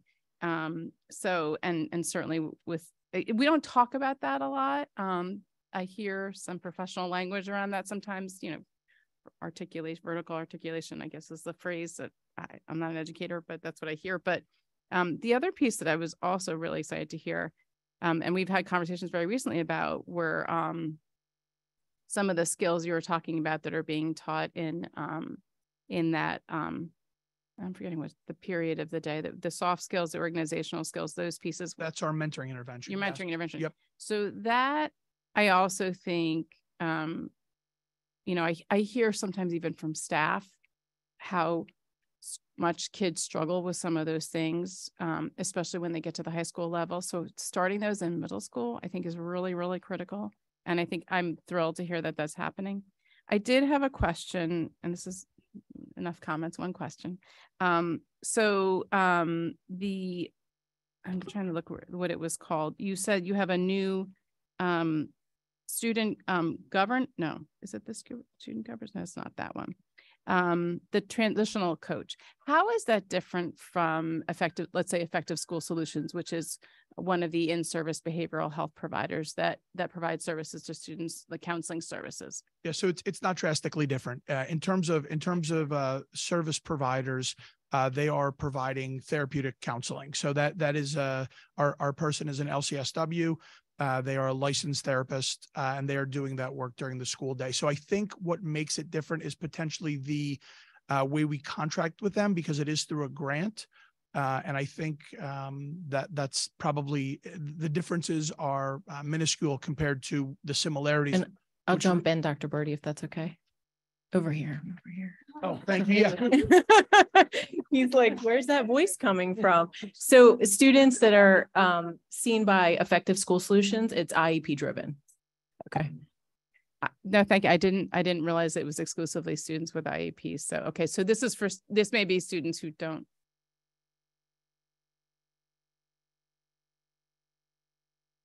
Yeah, so Effective School Solutions is and recommended by counselors in certain uh school school-based, depending on the recommendations by the counselor. Um, but Dr. Birdie can speak to the transitional coach's role. So I was gonna actually ask Miss uh, Miss Mallory to jump in, but I don't call on anybody at that table without them knowing I'm gonna call on them. So I, I thought like I should try to muscle through it. Um, ours is done through our INRS team. Again, uh, I think, uh, Mrs. Elmore Stratton asked about that. The INRS team, uh, you know, looks, uh, it- you know, with counselors at what are the needs of the children. And for those students who are in need of emotional and, and, and social support, um, or even behavioral goals, they recommend to our, uh, uh, our transitional coach. Uh, and, and they create goals together and they do therapeutic work, again, individual and group therapy at school, uh, Mondays and Tuesdays at Carusi. And then they work with the families uh, and in many cases with the outside providers that the, the families already have working in the home. Is this the first year we've had that So this is our second year. second year grant? And th- this is not the one, the, that service that's through the county, is it? Because I know we, we looked into, maybe it My people are it is telling me, yes, it county. is. Okay, okay, so now I know, I, it is. th- at Services Yes, it's the Okay, service of the Camden County Ed Services Commission and the students are free and reduced lunch eligible. Gotcha. Okay, so now I, I, it clicked. Thank you. Okay, very good. Well, thank you so much. That, um, very helpful. Um, great updates. I'm, I'm, I'm pretty pumped, so. Thank you. Thank you. Um, any other board members have any comments, questions before we move on to our student rep who would like to make a comment or question or both? Yes, thank you. So it sounds like there are a lot of great things going on that impact students, and I just had a couple quick comments and a question. Um, first to echo what Ms. Stern said, uh, as a student rep, I have been very happy to see the alternative high school representation uh, with the updates. Uh, and I think I see Liz nodding her head. I'm sure she agrees. Um, you know, I certainly felt like um, it, it was kind of completing uh, the puzzle of student voice and student representation. Um, where when I got up here, I felt like um, you know, we were representing two of the high schools, but now I think we have every high school represented. So it's great, great to see um, as like a student voice advocate. Um, and then at the middle school level, I had one comment and one question. So um, first, just a comment. Um, I, I thought it was really great to hear about all the culture clubs and um, the Pride Club and the Women Empowerment Club. All these are great things to see um, that I feel like I didn't have in my middle school experience. I think some of them were there, but I just didn't um, participate in them. But you know, personally, as an LGBT plus person and um, as someone who just cares about those issues um, of representation and inclusion, um, I mean, we're in a time where I unfortunately looked up practically every day, including today. There's a new news story about um, schools across our country in some some forms uh, taking away those opportunities taking away inclusion trying to not represent lgbtq students make them feel included. So the fact that that is happening not just in our high schools where i know at east and west that is very strongly represented but in the middle schools i think is very important. Um, and then i did have a question just about the um, for dr birdie about the uh, therapy and counseling services.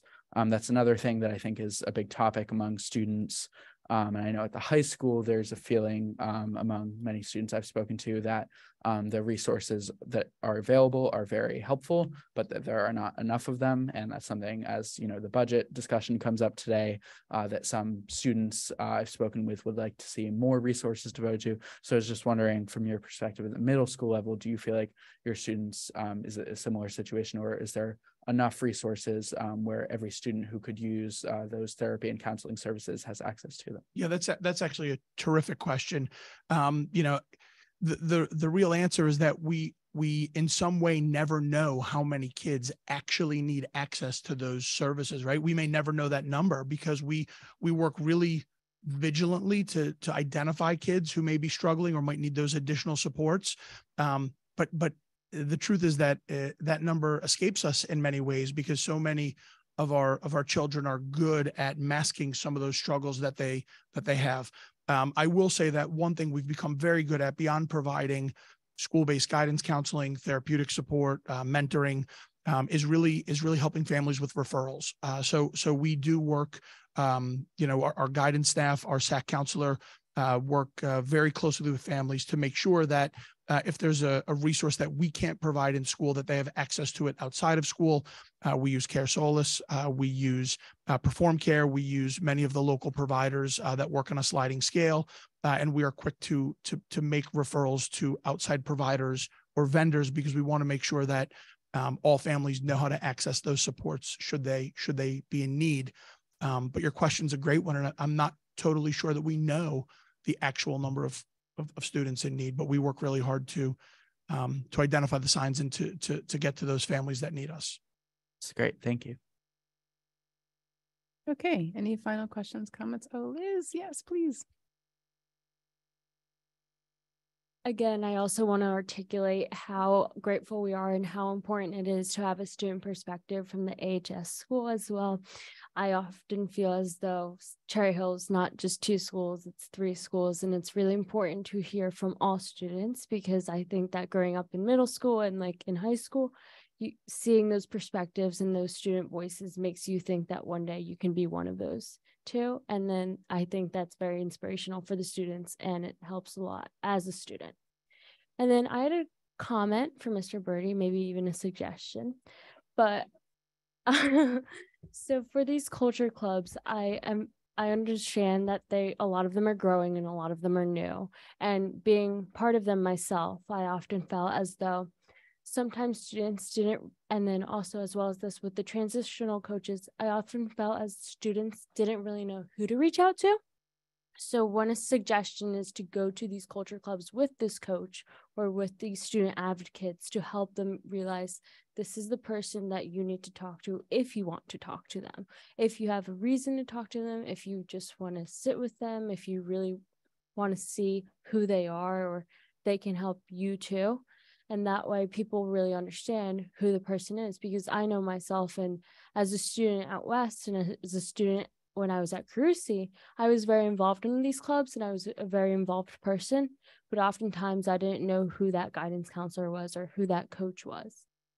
Great, great suggestion. And we're always vulnerable to good ideas. So thank you for that, Elizabeth. Thank you, Liz. That's really, it's nice to hear from both Liz and from Aiden. Um, okay, I think, I think that's it. Thank you so much. Great reports. Look forward to the next one. May not be you, but okay. All right, thanks. Okay. And now we move on to correspondence. Do any board members have correspondence? I know some of you do. Mrs. Tom. Yeah, I was at the East. Um, I went to see the um, Into the Woods. They the kids did a fantastic job. Um, I was amazed, and I went for the second round. Uh, the two different ca- casts. Apparently, I didn't know until I found out. Wow! Even the second cast, they went on and did the. If, I guess they all very equal to each other. Excellent, excellent job. So, next time I will continue going for more shows. That's great. Okay. Other correspondence from board members? Um, Ms. Elmer Stratton, and then we'll go to Mrs. Fleischer. Sure. So first, uh, happy Women's History Month to all the ladies, uh, those that identify as female. Um, I uh, was able to participate in the Sharp School STEM Night uh, prior to me going away last week, and um, just wanted to give a special shout out to those uh, families. Uh, it's an event that's really, really put on by the PTA and a lot of volunteers, and then the staff volunteers. And it was really exciting to see all of the families uh, really enjoying looking at STEM. They also had some students from East Robotics there uh, sharing with the young people and showing them uh, that that what can happen once you get over to high school. So I thought that was really critical and, and very nice. So it was a really well done event. Um, so kudos to the Sharp School. Uh, and then also uh, for the Camden County uh, Educational Service Commission had their meeting on the March the 1st. So I, of course, attended for us. Um, nothing really new moving there. They also are finalizing budget. So uh, I will send you my few notes, but very little to that affects anything of what we're doing right now. Um, and I think that is it for me. Thanks.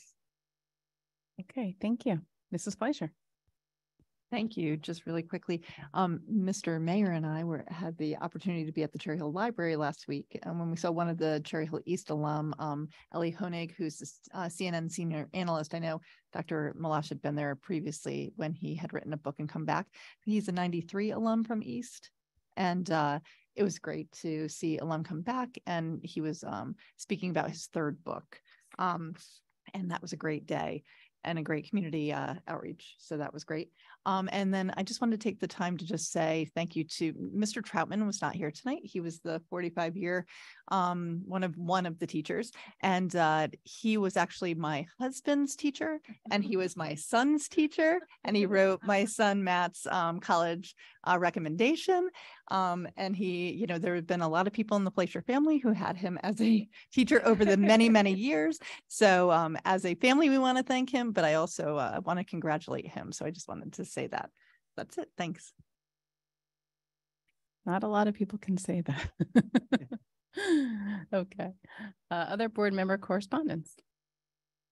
Mrs. Winters. I also went to Into the Woods at East. I saw the final performance on Sunday, which was really neat because all the seniors went up on stage. Um, I got a little teary eyed. So I just want to say congratulations to all the seniors, um, well, to all the students in the performance because the whole thing was phenomenal. Cast, crew, hit. Everybody was great. But to the seniors who um, it was it was pointed out, they really started high school and everything was virtual. Um, they didn't have the opportunity to do live performance and to see them really just shine. And their final performance as seniors was incredible. So congratulations to the East seniors in that show. Thank you. Okay. Other board member correspondence? Okay. Um, none others, I'll, I'll, I'll go ahead. Just have a few. Um, I got a chance to go to Rosa on March 4th and saw Seussical. I mean, there must have been 80 or more kids in that show. It was unbelievable. Um, the excitement, the energy, um, the, the set that was there.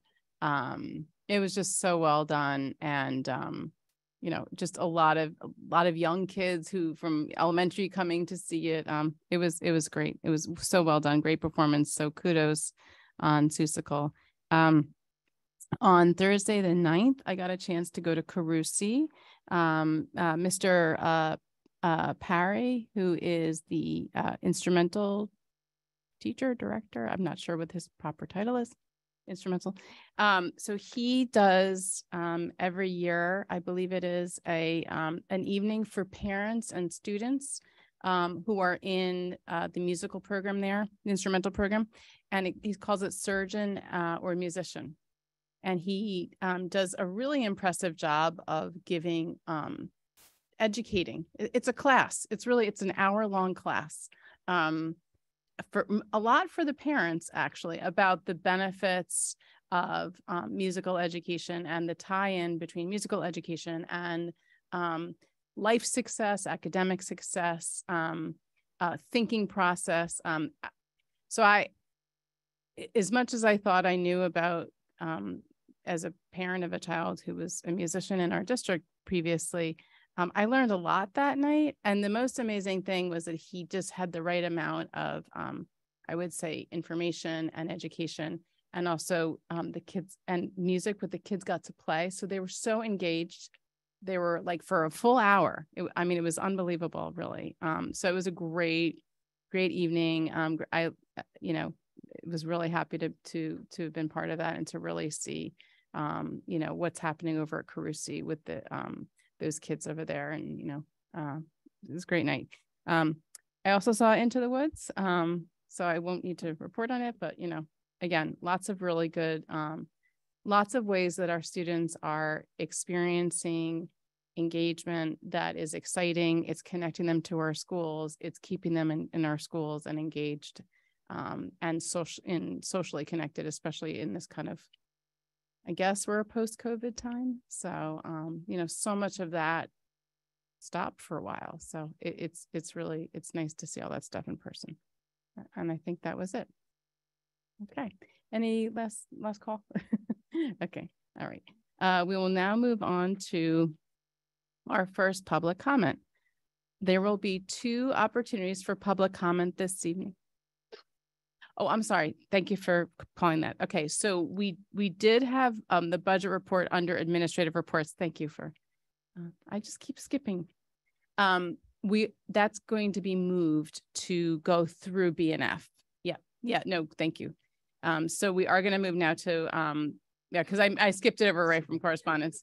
Skipping the budget. No, that's definitely going to happen. That is, we are definitely talking about the budget. It's just going to be on, in our in our work session. So sorry. Thank you. Keeping me on track. Thank you. yeah, no, I appreciate it. Keep keep it up. okay, back to first public comment. So there will be two opportunities for public comment this evening. The first public comment sec- session is for any board action items only, so items 17 through 20. Um, there will be another public comment um, section on on um, other topics, so not specifically board action topics.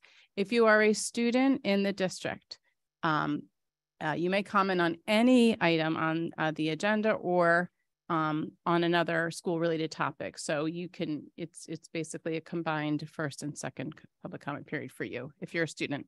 And and if you are a student, I will ask that you please put an S by your name if you're online so that we know that you're a student and you identify yourself that way or um, come up to the podium and, and please um, identify as a student.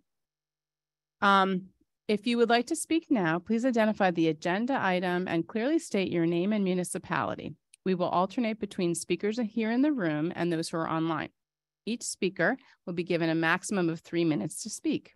The timer on the screen will indicate the amount of time you have remaining. Public comment is an opportunity for members of the community to comment on matters relevant to the operations of Cherry Hill Public School District or within the authority of the Cherry Hill Board of Education. The board welcomes diverse opinions on relevant matters. Under established federal law governing reasonable restrictions on speech in public forums, statements which demean individual community members or groups or which are irrelevant to the operations of the school district or repetitious will not be permitted. Community members who would like to present information not relevant to the school district are al- always welcome to communicate directly to the district superintendent, the board president, that's me, and all board members via email or other alternative means. Thank you for waiting patiently. Please state your name and municipality, and you have three minutes. Aiden Longo, Cherry Hill. These two girls, Judith and Leah, sit across the aisle from me on the bus. They've been busting my balls since the beginning of the school year. Sometimes I've tried to let it to not let it bother me, but it does. I would tell my parents and then they would send an email to the school. The girls would be good for a couple of weeks and start back up. So my parents told me to record them. So I did. Cause no one would believe that girls would were are being this mean to me. On January 9th this year, it just happened to be my 12th birthday. As soon as I got on the bus and went to my assigned seat, Judith started off by asking everyone if they think I'm sorry, I just have to ask you, um, for privacy reasons, not to use other students' names in here. Thank Right. you. Please continue. if they think I'm retarded. If they didn't answer her, they would just keep asking them till they did. Then the bus ride got worse and worse from there. She said the following things to me Aiden, do you have a tiny dick? Aiden, are you a lesbian? If I were your mom, I would disown you. Judith repeats this. I mean, she repeats this a couple of times. Aiden, how do you identify? Are you a male? Aiden, can I have a hug? Aiden, will you marry me? All the while, other kids on the bus are chiming in and following her lead. At the end of the bus ride, out of nowhere, she is, she lunges at me and assaults me. My parents filled a HIB report. The vice principal and the guidance counselor were appalled by the video and told my father that with the video that it was cut and dry. Today I stand here with the HIB report that says no evidence found of a violation. Not every kid is as strong as me or have parents that are involved as mine are.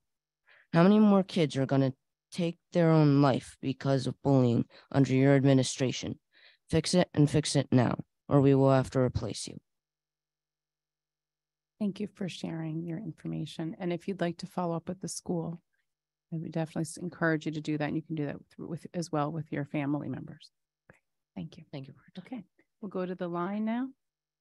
And sorry, sorry, I'm a little getting, getting to the hands here. Okay.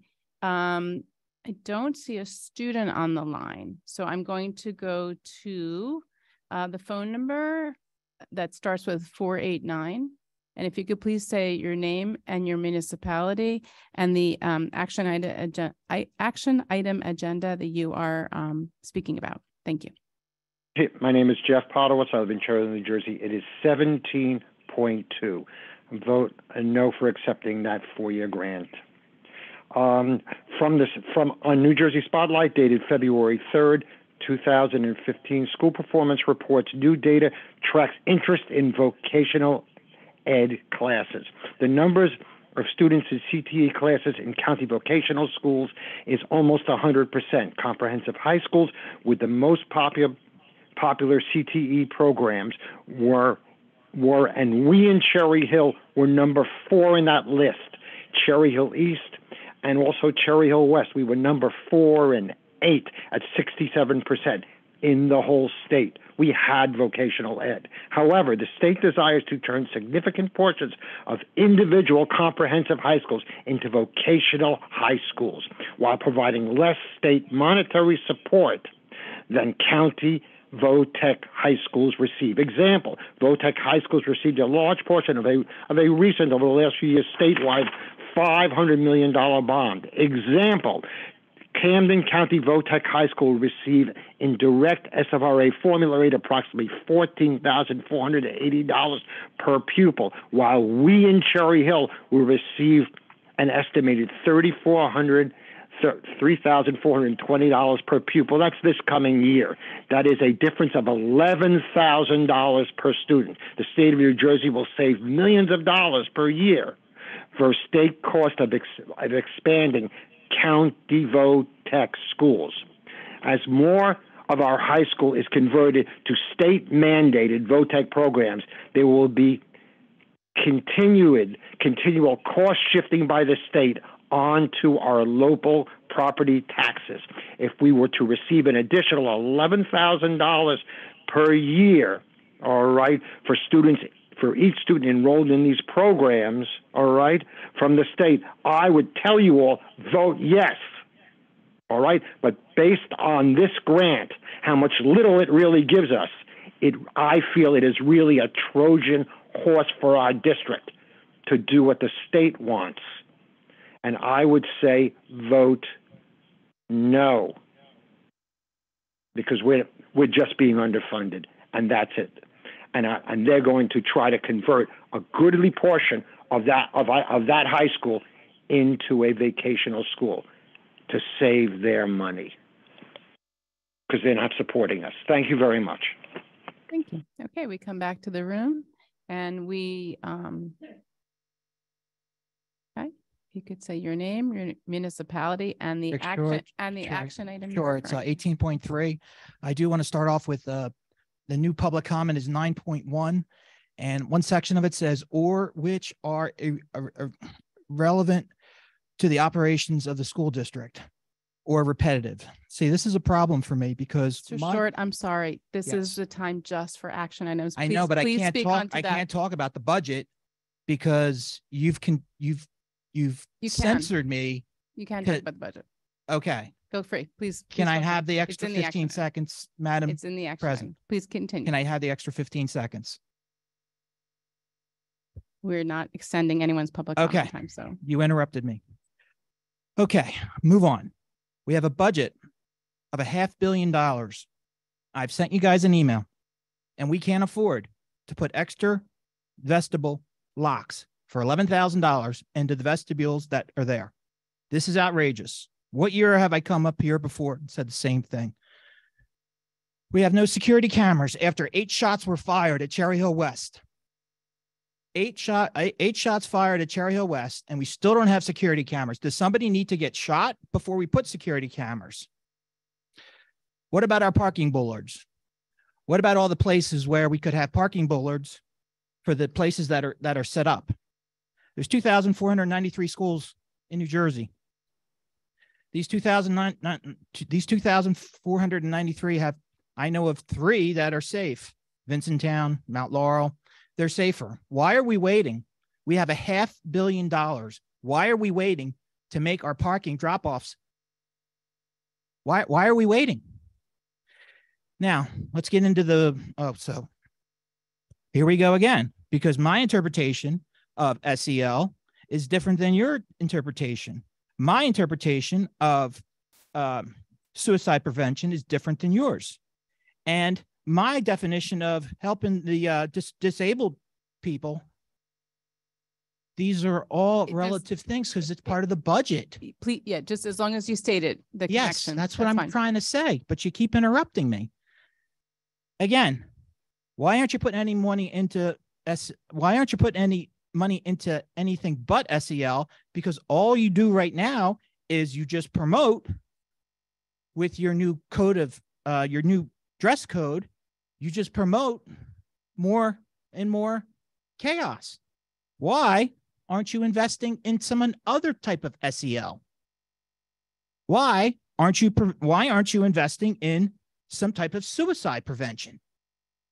You're, you're not doing anything.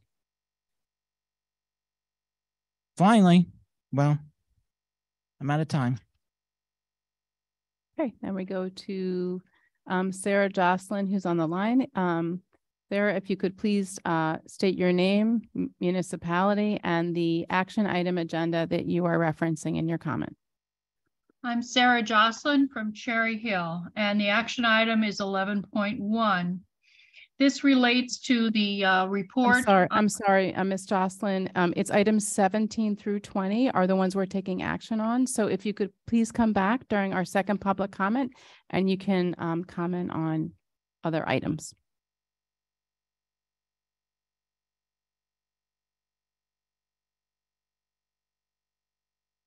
Okay, back to the room. If There's anyone for action item agenda, uh, public comment?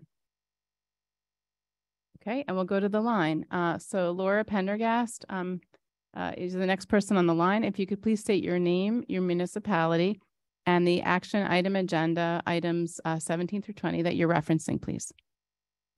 Sure. Um, my name is Dr. Laura Pendergast. I'm in Cherry Hill, um, and I am calling about item 18.3. Um, so I wanted to say that there's a point that I've heard Dr. Meloche say many times related to student achievement, and it's really resonated with me. So, on many occasions, um, I've heard him say in regard to our students and student achievement that the longer our students are with us, the better they do. I cannot think of a better possible argument in support of making sure that expanding preschool is included in our budget. I'm absolute. Um, I'll be absolutely thrilled if this is um, prioritized in our budget. Um, let's get more kids in um, to the district earlier. If we know, based on our experience and our data, that the longer they're with us, the better they do. Um, right now in our community, there's a significant lack of access to affordable early child early childhood education and childcare. Right now, I have a two-year-old at St. Andrews and a four-year-old at Malberg. And as a working mom, they're both amazing schools that are giving each one of my kids exactly what they need.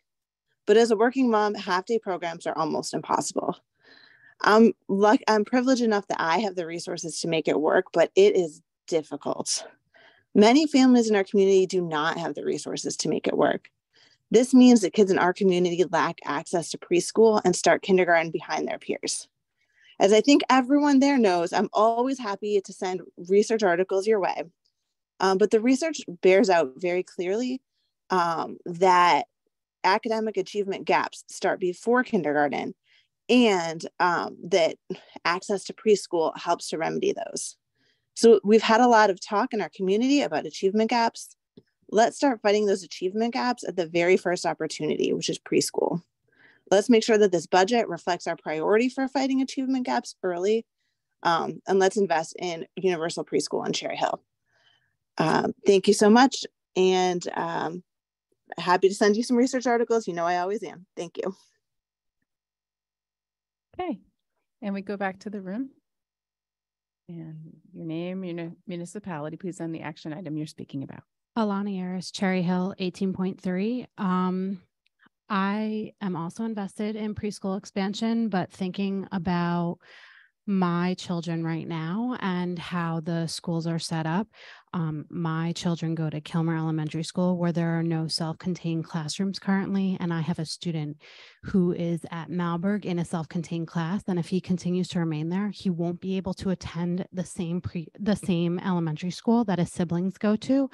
Um, so I would like for you to look at in the budget to be able to include um, self-contained classrooms at all of the elementary schools. I understand that all special needs programs can't be offered at all elementary schools, but um, I don't think right now he needs a specialized program. He just needs a self-contained classroom that are offered at 10 other elementary schools in the district. Thank you. Okay, we go back to the line. Uh, Ann Einhorn, uh, name and municipality, please, in the action item. Thank you. And Cherry Hill, New Jersey. I'm also speaking on eighteen point three. I was a little confused by your opening remarks, Mrs. Stern. So um, I, I see that it's the submission budget. Um, and I know you're discussing it later, but I just want to know currently, is it being submitted with a 2% increase or what type of increase um, is factored into this uh, budget submission? Um, as much as I support all day preschool, I, I, I, hope your discussion night considers the fact that do we truly have the space? Um, does the submitted budget include the fact that we will have to hire more teachers, potentially assistants? Um, so I have real concerns because I'm really in the dark as to how this plays out into the 23 um, 24 budget.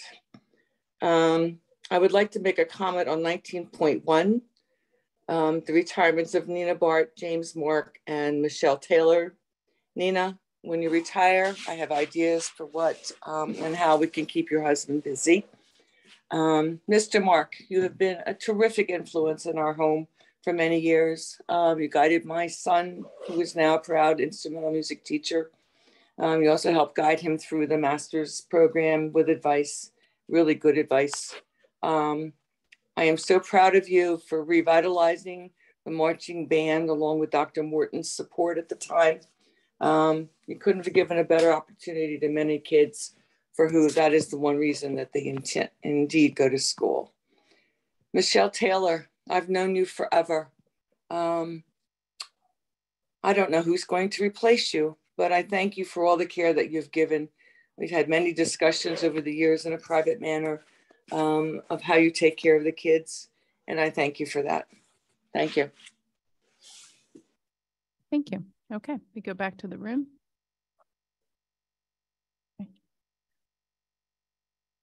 All right, if you could state your name, your municipality, and the action item you're speaking about. Thank you. Uh, Dr. Yoni Yaris, Cherry Hill. Uh, I'm going to go with the ever popular 18.3 and also reiterate what Ms. Einhorn said is I hope that we go to the 2%. I will be here probably far longer than most people around this table. And I don't want to be back here looking that we dug a hole. Um, yes, things are challenging, but as costs go up, it's the responsibility of people around this table to fund them. Um, and for us to keep the typical challenges as much as they're financial right now, every student is facing challenges and we need to fund as much money as we can put it there as possible. And for me, I would go into the bank cap if we had to that we have to make sure that we're funding everything. I don't want to hear the word cut. I want to hear they were constantly looking at extending funding options. Um, along that same line, moving over to 17.2, we need to do more. We need to do more to educate families that CTE is a fantastic way for students to enter careers. is One of the areas of my research, we need to do more these opportunities need to be expanded also at East. There needs to be, I don't know what has to happen, but there's a side of this town that does not seem to respect career and technical education. And we must do more around this table to get parents educated to know that there is not every student has to go to college to be successful. And in fact, by us pushing students into that, we are potentially putting them terrible risk for massive debt. Um, so seeing what's going on at West um, through that tremendous leadership, uh, we need to do more of that. And also one last agenda item, um, 18.5, thank you to the board and to the administration for keeping the commitment to use capital reserve to fund down the debt from the bond. There was a philosophy in this town that people didn't believe that would actually happen. And thank you for doing it for the first year. I look forward to this being part of the budget for the next 19 years as we pay down that debt and possibly doing this can pay it down a little bit faster. Thank you. Thank you. Okay, we go back to the line. And we have um, Megan Ahrens. If you could please state your name, your municipality, and the action item agenda you're speaking to. Hi, Megan Ahrens, uh, Cherry Hill, New Jersey, and 18.3. Um, I just wanted to say that I fully support the concept of the full day uh, preschool. Um, I do have some questions about it. I just think that to make it accessible for most parents. I know a lot of people with children in preschool will also have a child in an elementary school in the neighborhood.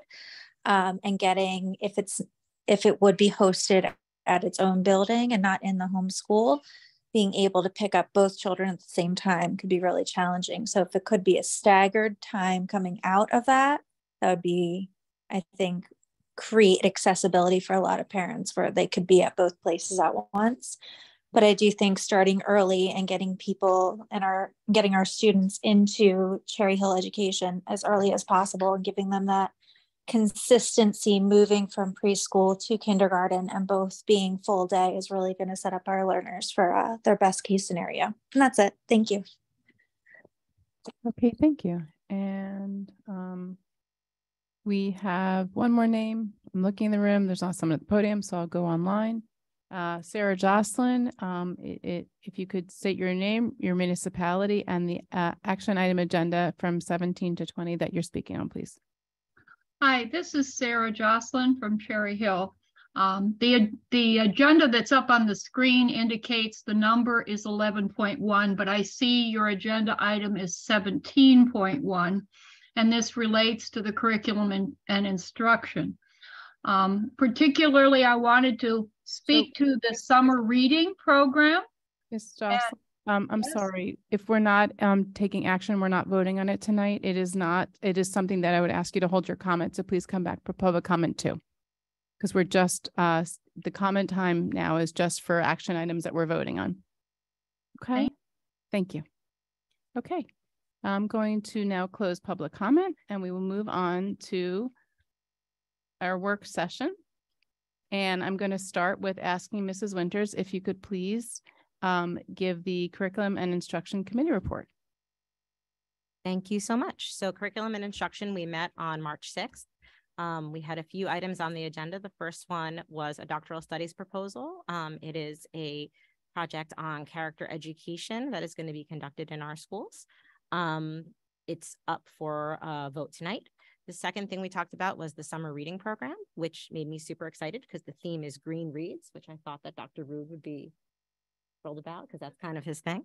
Um, couple highlights. I was really thrilled to see that there's variety in the genres of books that are being offered to our kids. There's a new graphic novel for our sixth graders, which I think is going to make it more accessible to them as they make that jump we talked about from fifth to sixth. Um, there's incorporation of a book of shorter essays um, on our middle level as well, which I think is really nice because as we know in the summer, sometimes it's hard to get through a longer book. So I think having variety of reading modes there is good for kids um, and helps them to sort of get through it. I also wanted to talk a little bit about book accessibility, which is something that we spoke about a lot. Um, students in Cherry Hill don't need to worry that they won't be able to access or afford these books because the books will be available both in ebook format and audiobook format through Sora, as well as hard copies through the individual schools. And I just want to give a plug to our fabulous Cherry Hill Public Library, which always has a huge display of summer reading books available. Any Cherry Hill student who wants to go over there and grab a library card um, can borrow the summer reading books. They always do a great job at making sure those are stocked and ready to go.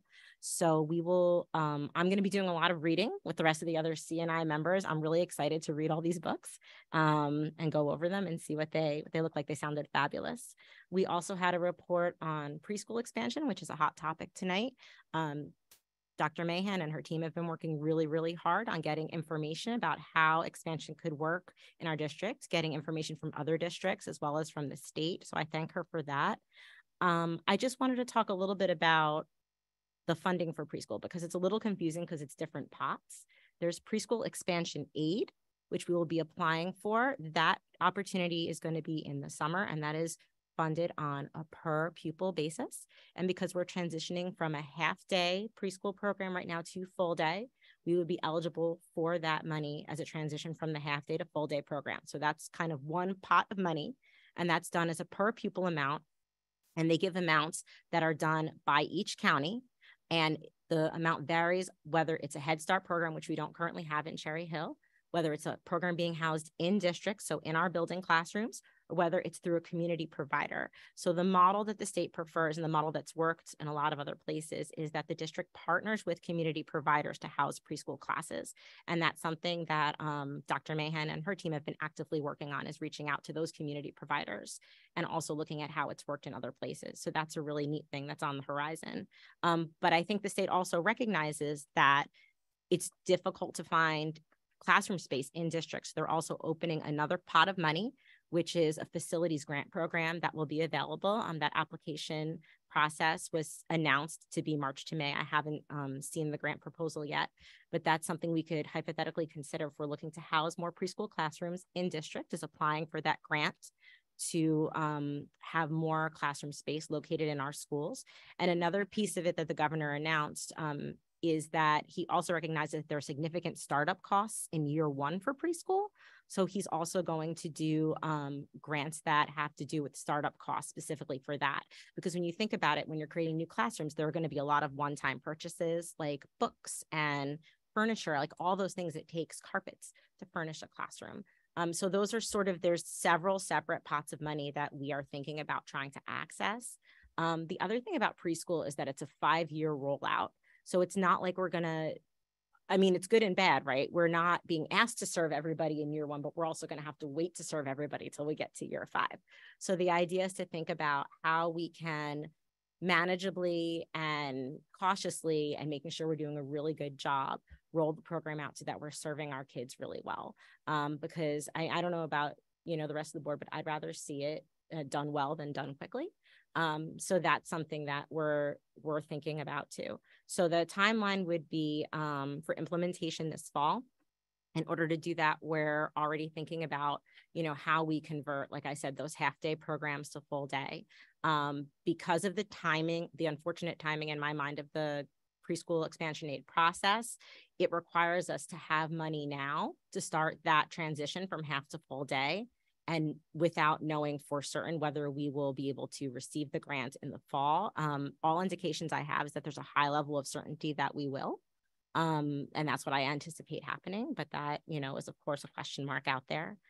And the last thing that I wanted to talk about is that our committee continues to um, discuss issues around student achievement and try to get a better idea of how the very many things that are going on in this district work to support that. So um, Dr. Mahan and Dr. Morton and Ms. Mallory have been doing a great job educating the committee and last month's um, presentation had to do with implementation processes for content areas um, and the cycle of implementation, which was really neat because we actually have different content areas in different stages of implementation right now. So to sort of get an idea of how that works on a timeline and all the different pieces that are in place, it's kind of mind boggling to see all the work that goes on. Um, and it was really informative for the committee and expanded our knowledge and understanding as we move forward. So that is CNI. Does anybody have any questions? Any other committee members? For anybody? Committee members first, maybe Ms. Elmore Stratton. Thank you, Ms. Winters, for uh, the, the thorough report and the notes as well. Um, my question, you referred to the other um, RFP opportunities that are associated with preschool. So is it an assumption that we would go for those as well, or that we would be eligible for those additional awards? I mean, I think, you know, from what I understand, what I have so far right now is the governor's announcement and the press release that he did on it. I haven't seen um, the particular qualifications. Dr. Mahan, do you have more information than I do on that? I haven't seen anything official yet. Now, he of course announced that the application period would start March 1st, and I'm looking at my calendar and it's March 14th. So here we are. So, you know, hopefully sooner rather than later. Um, but I'm I'm op- I'm optimistic about it. I think, you know, Cherry Hill is a bellwether district in the state. No other large suburban district as large as ours and suburban has done preschool expansion. They're looking for districts to model it. So I'm extremely optimistic on our chances um, to access that because they will, from everything I have heard from the state, from Rutgers, who we work with, there's an opportunity here for us to be a showcase really for what this program can be. And the benefits are huge. So if we're able to act, we've been complaining for years and rightfully so that we do not get our fair share of state funding. In my mind, this is a way that we can get some money back from the state and do something really wonderful for our kids and set the foundation so that as they come into our awesome full day K program, they're as prepared as they can be. As we, if we can recoup and and grab some of that state money and make this happen, I think it would be really cool for our district. I like that, and I, I like that if if if we are doing it as the first, then we can create some best practices, then possibly that can access some more dollars as well. So I really enjoy that piece of it. Uh, my other question was around, hold on. On the achievement discussion, um, is and I and I missed curriculum and instruction. I was out last week um, for the blueprint and how we talked about the implementation, does that mean that we also got presented with like I- I know we had discussed last month, like seeing how we can look at achievement as a whole and not just in those specific areas, or are we still working on trying to put together something like that? we're building towards that, I think. I think after the discussion that we had in February, what came out of that conversation um, that Ms. Staffen did was uh, questions about understanding where we were in the implementation timeline for different subject areas.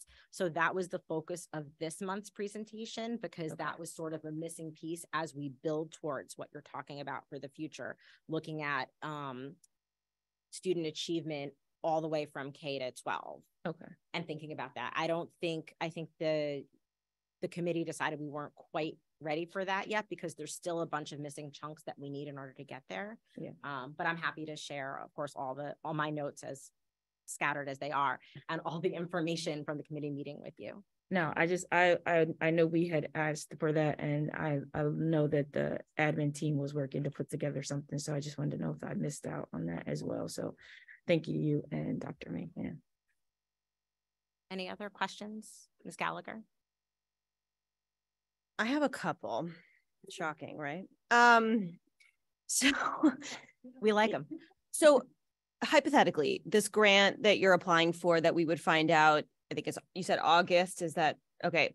How long is that grant going to be available? So this is the neat thing. It's not really a grant, it's a funding stream. Okay. So pre, the way preschool expansion aid works is that you're, think about it like you're applying for it as if it's a grant, right? There's a grant application. But then once you're in the program, it becomes a funding stream. Okay. The way that we have already have funding streams from the state. So we could assume that that funding stream will go on forever. I mean, Trenton can do whatever it wants, having worked there. I can tell you that. So that's more my, so that's more my, like, have, has the, I assume Mrs. Shugars has run the numbers. Um, all of you have, but my, my, my one, like, my question is, is that exact concern is that, you know, the government giveth and the government can taketh away, right? And so what I'm a little concerned about is if for some reason the funding either dried, because I mean, hypothetically, if a ton of districts in the state get the funding and they start to provide full preschool to theirs, that like the money, like the the amount of money is going to get smaller and smaller as it's divvied up among. But my question is, is have have we um have we sat down and said, okay, at full capacity, this is how much it will cost us in the event that the the state funding does stop or it's or it's limited So I'll say this, I mean, I think I have two sort of pieces to answer that question. First of all, while this program is new for us, it's not new for New Jersey. Mhm. So it's based on the Abbott preschool program that's been running in the state for the last 20 years. And preschool has been expanded in a lot of different ways through the years. There were things called ELLI grants, like there were different ways that the state tried to do it. But now the model is this preschool expansion. Um, and the way that they're doing it is by having districts apply it. There was actually different thresholds based on free and reduced lunch for who could apply first. So I think they're rolling it out thoughtfully. So I don't think it's not a never ending no application where everybody can be all in this year and suck up all the money. Actually, last year they couldn't get enough districts to apply to give the money away. They actually had money available at the end of the application process and did a second round in January. So I, I understand your concern, but right now I think really they're looking for people to buy into this program and expand it. Um, not that they're pushing people away because they don't have the money. And my understanding is that it's going to be a continuing funding stream the way that they continually fund K-12 education. Um, I like I said, I I can't guarantee that forever and ever it will be what it is, but I can tell you that the per pupil amount that we would be getting based on the numbers looks really good mm-hmm. and is sufficient to meet the needs of the program. Oh, Sure, Ms. Elmore. Just to add context to it as well for Mrs. Gallagher, I, I, you know, obviously we can, none of us can predict. We're all familiar with state RFPs and grants and all that stuff, and you can never predict as soon as the politics change or the governor changes. But I think it's important to note that this is something that's going to be mandatory Right. for districts eventually. So we do have to take a look at it, and and I like that you're thinking without the money being there, what are we, are we focusing in on that too? But I think that the budget proposed for this RFP is a, a good baseline for us to look at in terms of implementation. Um, and then in future conversations, we should always keep that number as our, as our baseline to have in the budget uh lines or whatnot for as we're going, moving forward. But just wanted to be clear that it's pretty soon this, we won't have a ch- uh, a uh, what do you call? A, a, a- Choice. A choice in um in doing this. I'm sorry, my brain is still in Disney. It should be. And I mean, Miss Gallagher, to just to echo what Miss and amplify what Miss Elmore Stratton said, I think the reason why I I feel fairly strongly the time is now is because the money is here now. This is gonna, full day pre-K in New Jersey is gonna happen. Whether, you know, we're ready or not, here it comes. And I would rather, if the governor, this current governor is so invested in this opportunity and is giving money away to make the implementation easier, I think it's to our advantage to access that money now because especially something like the the grants to build classrooms, that's something that I don't think that opportunity is going to be something that's there forever. I think that's an incentive right now that I'd like to take advantage of because as we all saw through the bonds, construction is expensive. Well, and that, oh, yeah, and that was gonna be my next question is like, is the plan to create a preschool building? Or is the plan to like expand elementaries? Because the question, like, so talking about the bond is we have created a, we have set plans to maintain, update, reconfigure buildings without preschool, right? And so like if now all of a sudden we're like, no, now we're go- we need to add, do you know what I mean? So it's like we've already invested 360 million dollars in these updated projects.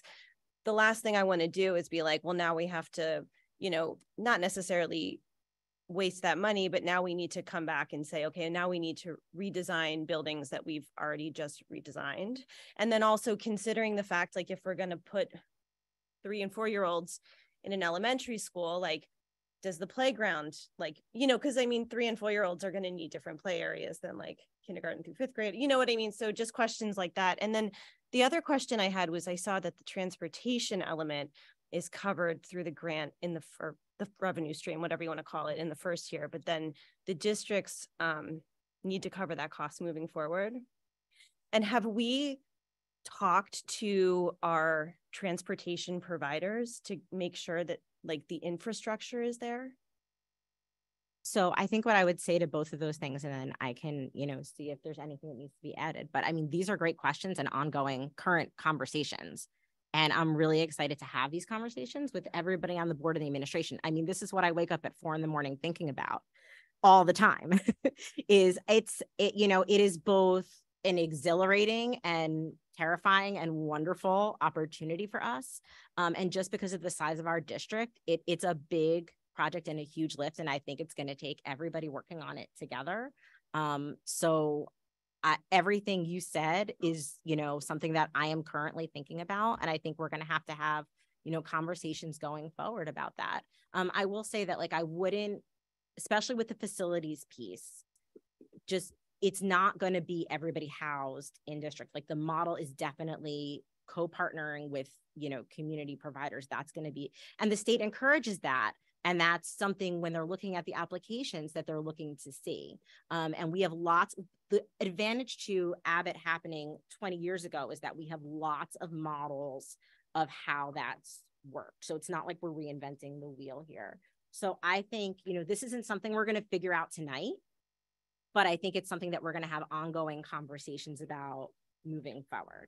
And you know, just so regarding um the providers, um how how will we determine who will go to a district? I know these are probably, but but we but like we are going to have some providers for next year as well, correct?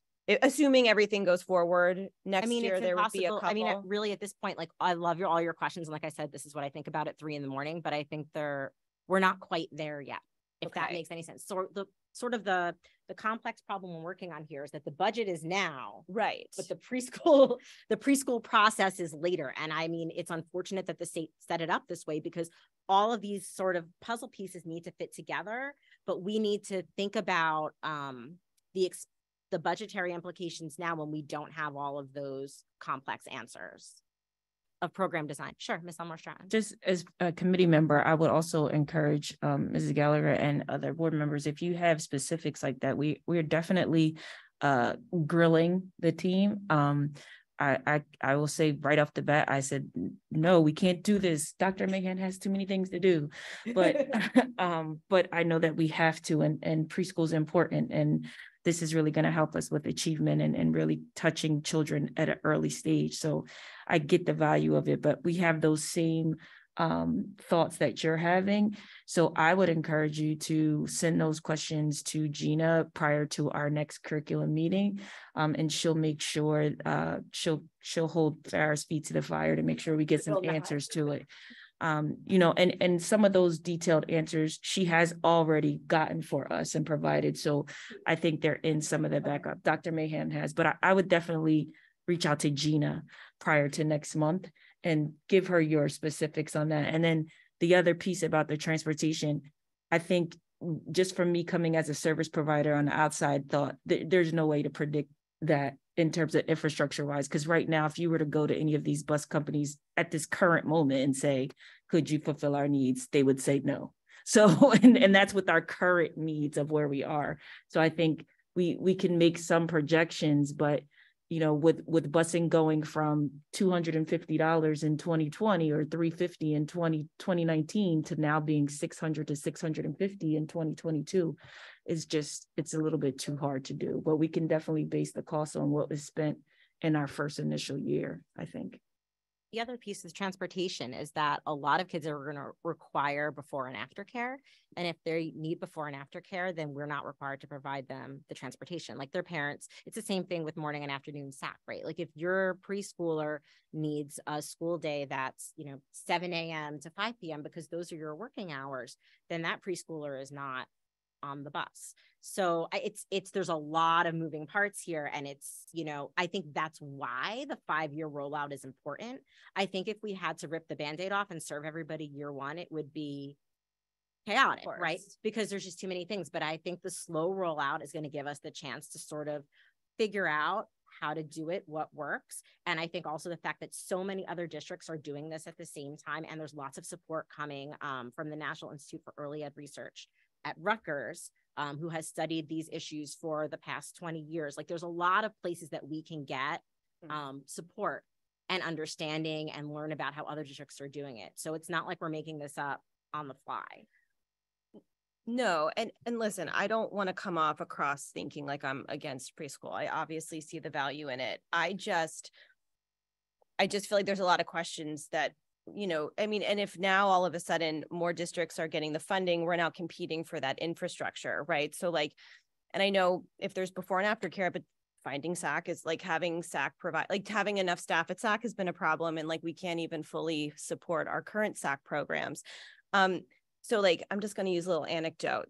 So like my husband and I just needed to go buy a car. My stepson has his driver's test tomorrow, as Mrs. Webbington knows. Hopefully he passes. Um, and the the the salesperson was saying oh there's like no inventory out there. There's no inventory out there. And so my husband and i felt like we made a quick decision. We bought a car and as we're driving home i'm like that car was way more expensive than we needed. It didn't have the the things that we wanted. There's called the scarcity of choice in economics.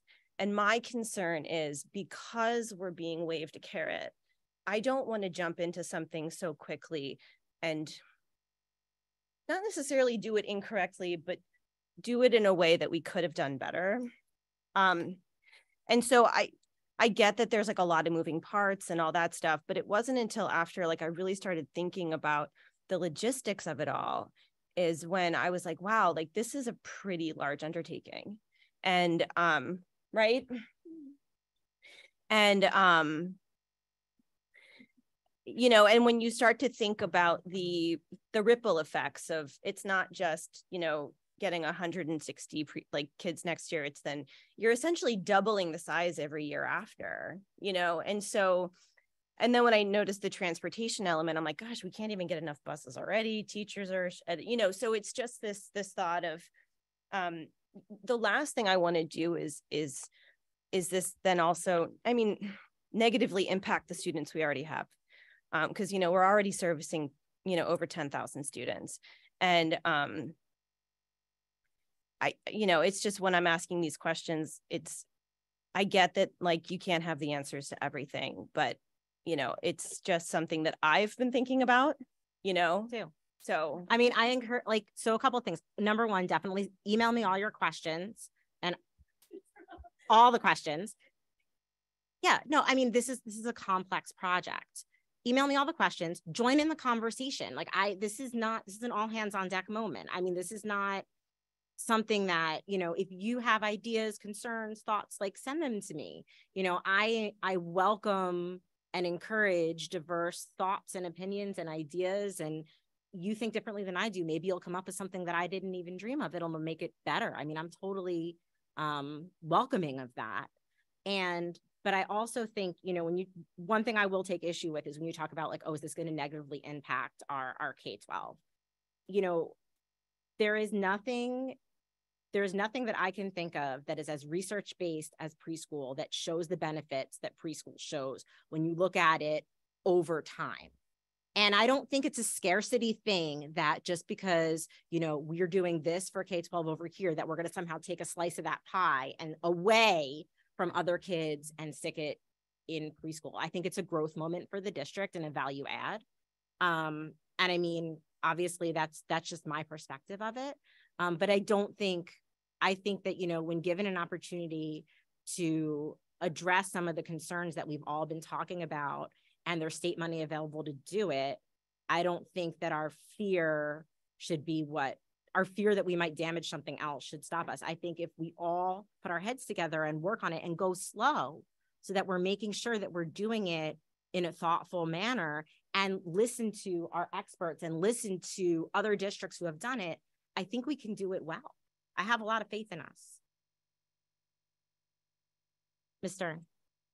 So yeah, it's, it's a couple thoughts and great discussion, and and I mean, it's you know, it's generating more, right? And and I think you know the committee members probably have had more engagement in the conversation, or the most engagement, um, uh, aside from the the administration, who's done the most work and had the most just conversations. So, um, but um, you know, I, a few I think about a few things. Um, one, um, I think about how pieces all tie together. So you, you're, you know, I, I think it's a very important question about how sustainable is this, right? The sustainability aspect of it. Um, and I think the, the truth of the matter is that, you know, in 2008, that's the year that the SS, SFRA formula was passed, was, um, and then a new governor came in and then funding was slashed. Um, so you know, it, it, it is hard to say what is going to happen. And the truth is, whether we like it or not, we are at the mercy of what happens in Trenton to a, to a point that we're impacted by what happens at Trenton. You know, right now we're in a moment where year over year, Trenton and this leadership that's in in, in Trenton right now is in ex- high support of funding education. End of story. Hard stop. We've seen it year over year re- in recent years and not just funding education, but expanding funding for education in ways that when I sat in budget hearings in Trenton, I never dreamed of what happened because we were, you know, we were we were trying to fight for more than 49% of what we were supposed to get per student. The piece that was helpful for me to hear that I just want to share is that when it becomes a funding stream, what that means is the SFRA formula that we're getting that we is supposed to be what we're getting per student, the new per student amount will then flow into that will also start to be, if I'm if I'm not mistaken, applied to preschool students. So it's going to expand the overall budget and the overall um, uh, you know per student um, amount that we get per funding we get per from Trenton. So that was helpful for me to to understand that piece. Um, I would agree, and I I would looking at someone who who's on our board who works in higher education was nodding, you know, nodding his head like that that the, you know, this is a window of opportunity for funding for facilities. And actually that just came about recently. That was a new add-on. And and what I keep seeing is I keep seeing Trenton adding and adding and adding, trying to push districts to be willing to take this enormous lift, this big leap Um, and I think, you know, uh, you know, Ms. Ms. Elmore Stratton has talked about that. I just, it's going to become mandatory. So we can, the way I see it is we can wait for it to become mandatory and, and kind of, kind of observe, which is not a bad, sometimes it's not a bad move to wait and see where, where it goes. But I am very concerned that this window of opportunity for funding for our facilities, which is a rare, I mean, you know, they just, the state just brought back ROD grants. I don't know, Lynn, what was, it? how long, Mrs. Shugars, how long was that? 20, 15 years, 10 years, 20 years? I don't know how long it's been since ROD grants have even been available. Sorry, okay. I'll scale it down, seven or eight years. But I mean, you know, in, you know, in my length of engagement with, with funding stuff, which is only, which is only about that long, um, there haven't been ROD grants. So like there's, there's, there's things that are becoming available and and the preschool piece seems to be a, a larger and larger carrot that i'm i'm just in this year i'm seeing. Um and it's and this is year two right? That is year two.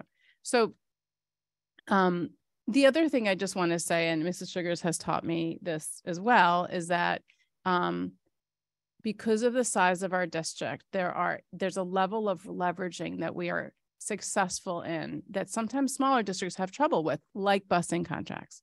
Um, because if we have a busing company um, that we award contracts to, it's lots of contracts and it's lots of it's lots of work. So the ones and, and so it, it is an advantage for us. It's not easy and we've struggled. We I mean, I can I can remember sitting in zone PTA meetings and hear Dr. Meloche trying to convince zone PTA presidents to open bus companies. So that for years because you've seen this coming for years and you've talked about it for years. Um, so just in terms of a long long term perspective a longevity look i think um, you know just sharing from where i sit it makes a lot of sense. Not to mention the impact on families and access for our families to affordable or perhaps even it will be for them free right? Because it's part of their public education. Uh, you know, preschool, which is a huge win for our families and the students. The piece about the undeniable link to achievement. Um, it just the the the hardest piece of this is that it's coming. The information is coming piecemeal. It's it's slow to come, and it and and most importantly, it's an enormous lift for our for our administration and our staff. I mean, that I think is honestly when I look at it, that's the biggest piece, you know. Um, I don't know if you're the only one being kept up at night thinking about it. Um, so that's going to be tough. And the timelines are strange and tight. Like there's just a lot of pieces that are tough. But um, and I don't mean to keep looking at you, Mrs. Gallagher, but you brought up these questions. So I just kind of wanted to share with you as a committee member um, and and to other board members, like that's just kind of like, you know, those are the pieces where I think it it ultimately I think if we don't go for this window of opportunity, then we're leaving money on the table. We're leaving, more importantly, we're leaving a very important academic opportunity for our students on the table and also for our families. And this is our fair share. And, and by the way, a little plug for fair funding, you know, um, it's all the more reason why it makes a huge difference when our families and our community members call in and tweet and whatever to support fair funding. is why we have to keep pushing that topic. Okay. just two things and then I'm done. First of all, I just I get I get a little it's not free, it's taxpayer paid, right? So like whether it's our local taxes or our state taxes, the, the taxes are what's going to be funding. Yes, of course I I may not have to pay a fee to send my child there like in addition to my taxes, but I think it's it's erroneous to necessarily call it a free program. And then secondly, I guess I was under the assumption that the busing for three and four year olds is actually a different type of bus. So for so yes, I understand we can leverage, but like if it's just not like a big yellow bus, you know, if I guess my question is is more with the infrastructure. It's like have you talked to like Hillman, TNL, all those busing companies to to see if they like is the state gonna gonna fund their expansion as well? Like that's the question. So like it's it's I understand that it's all a lot of moving pieces, but and I get that we have leverage to our size, but it's not like it's just a regular bus that we would need to use. It would be those companies also investing in the preschool programs that the state's providing. So that was all I was trying to. So thank you. I mean, Ms. Gallagher, join the conversation. There's plenty of things to think about and worry about and get up at four in the morning and a sweat about. So you can join me.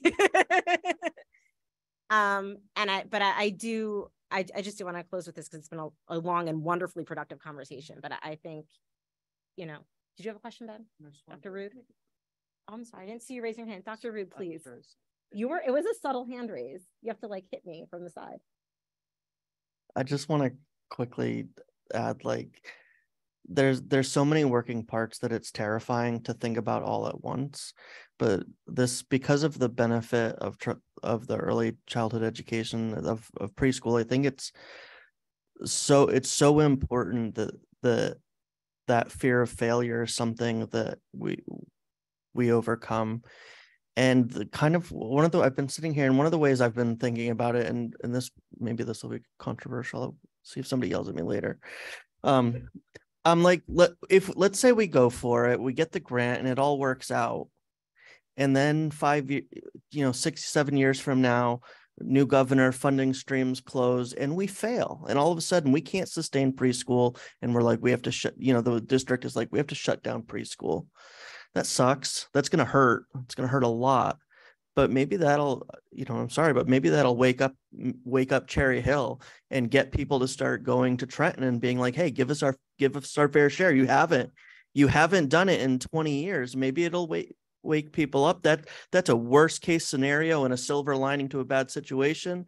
But uh, i'm definitely this is a situation where i think you know like i i think the benefit if it works is so much so much bigger than you know than not doing it or the feel fear of of failure. And and i i think that you're bringing up incredible points and at each committee meeting and at each meeting we should be asking those hard questions of okay like if we want to do this how are we going to do it like tell me how we're going to do it i think i think that's really important I, appreciate your questions but i just wanted to to you know don't be let's not be afraid know Are there any more questions? Ms. Tong? Did you have a question?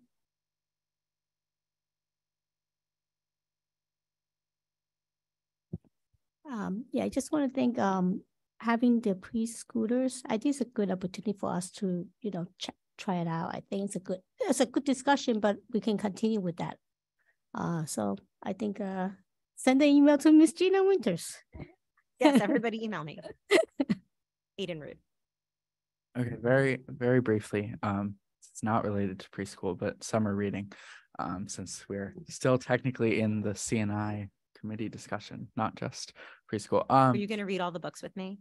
I I would love to. I actually The Martian is The Martian is my favorite book, so um yes. But um speaking of which, I love all the books. I think these are all great selections. I think um I love seeing diverse female authors written on uh an official document. I love all of this. Um with that said, summer reading has definitely been a student voice topic that I've heard a lot about and um for the board, I would say um in your piece just approve this. I think it's great. Um, in terms of more the administrative element and uh, curriculum and instruction administration, especially, um, I do want to just bring up what I've heard from students, and this is something that um, East Side is coming out next week, and there will be a editorial about this. It's been discussed a lot at East. Um, I definitely think that this great list of five books for students to choose from uh, and uh, really focus on this great sustainability topic. It's amazing about um, well i was going to say half probably not half but a significant portion of students in my experience will read those books and then barely touch on them because the way summer reading has functioned at east in my experience and in the experience of many of my peers is that if you're in an honors or ap class um, the list of books that is under the uh, books for this year the choice books will be the focus um, because those are part of the AP curriculum. AP classes have limited time frames. Teachers want to um, quickly get to those AP texts um, or honors texts. And so I have definitely read some amazing choice books and then talked about them for one class period at most and moved on.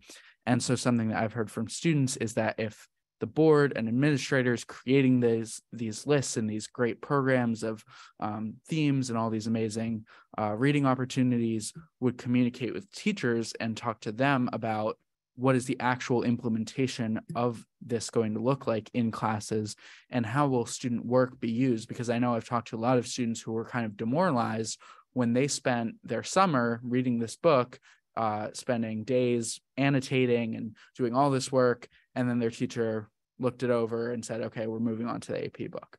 Um, i don't fault teachers for that but i think that um, i'm so excited to see this list of books but i hope that um, the steps that need to be taken will be taken so that um, that excitement can translate into the classroom and into productive um, student experiences because I know I've heard from some students at East that that has not always been the case just due to the structure of the courses. So I hope that these books will go into effect. Students will read them. They'll have a great experience with them. I just think that communication about like um, how that's going to be implemented is important. And, you know, even if it stays that way, if uh, AP books have to be the focus, students would like to know that because then maybe they spend more of their time focusing on those books. And then maybe um, the committee can focus on that. So I think it's just an important piece so that everyone is on the same page because I think that some students don't know that that's how it works and they get excited about these books and then they're surprised when they come into the classroom. So if there's more understanding of that, I think that helps everyone. Thank you. Anybody else for CNI? All right, wonderful. Thanks so much, everybody. Okay, great. Thank you. And we move on to the business and facilities. Mr. Mayor, if you could please um, give the committee report. I will. And um, thanks to uh, tonight's agenda, it's going to be a brief report, at least for me, um, because uh, two of the two of the big uh, components were well. First was um, the audit report out. We had an opportunity tonight to hear from uh, Mike Holt, who gave um, summary of of the audit. Uh, he did a, a, slightly shorter version of that for us last week.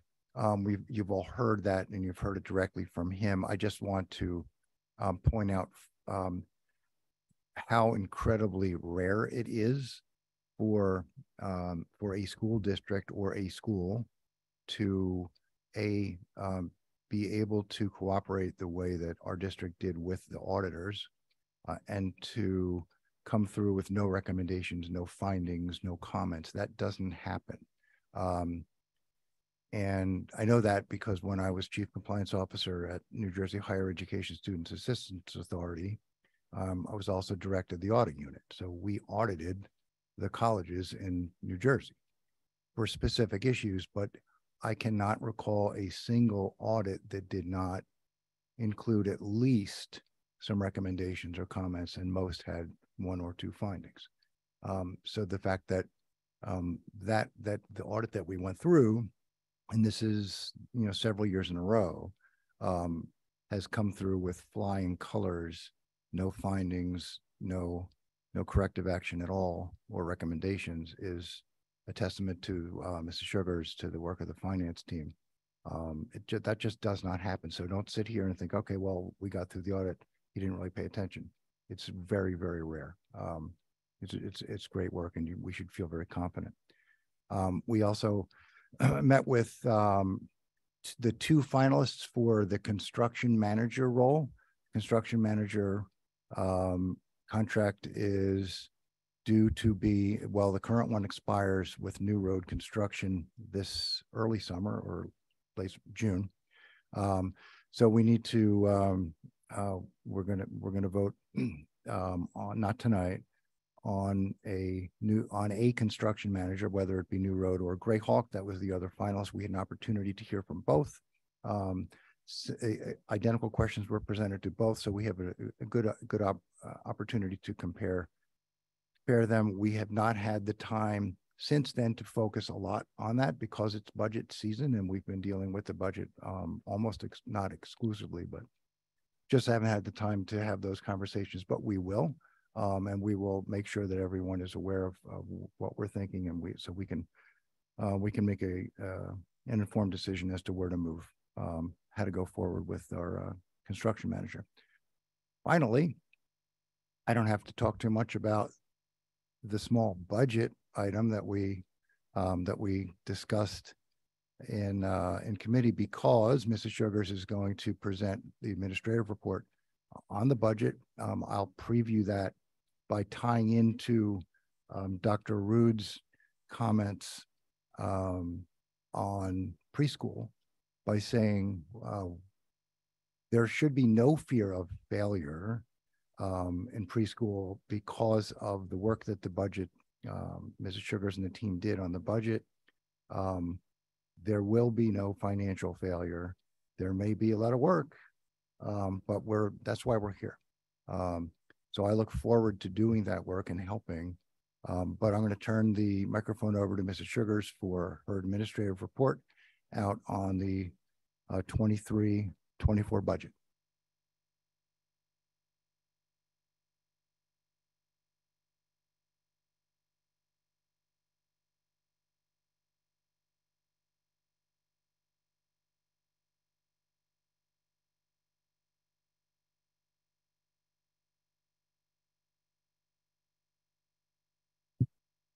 Right, tonight we are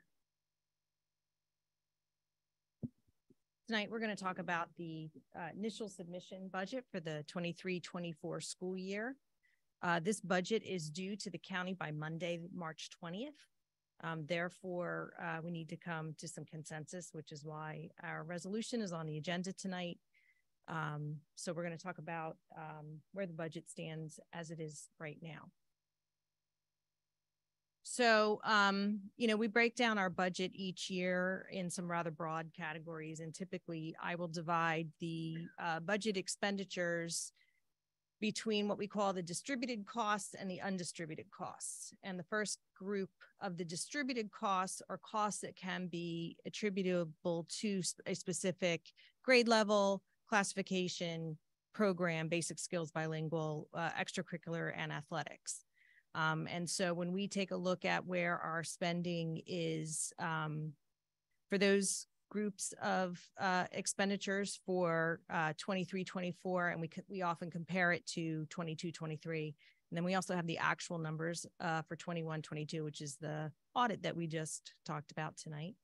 Um, 22, 23 is the year that we're in right now. And then we compare that to 23, 24. And we can see here that um, we will see an increase in uh, our costs um, of um, about 4.5 million or 4.6% uh, in those categories. Uh, bulk of that difference in those categories is uh, salary increases, um, increases in services, um, in addition, uh, increases in uh, the preschool program that would fall under the regular education budget line item. So that would have supplies and salaries uh, that would be attributable to the preschool program. So overall, we can see there that that first group of costs, our education costs, our distributed costs are going to increase uh, 4.5 uh, million, about 4.6 percent. And then if we look at our next category of costs, um, these are our undistributed costs. So these are not directly attributable to a grade level or a classification. These are more costs um, that service the district. And so out of this category of costs, we have our out of district tuition, student services would include things such as the guidance office, the child study team office, uh, extraordinary services, speech services, uh, the nurse's office, those kinds of things that serve student needs. Uh, so we have student services, then we have curriculum, media, and instruction. Um, that would include um, our curriculum office, our media, our media would be our libraries, and instruction would be improvement of instruction.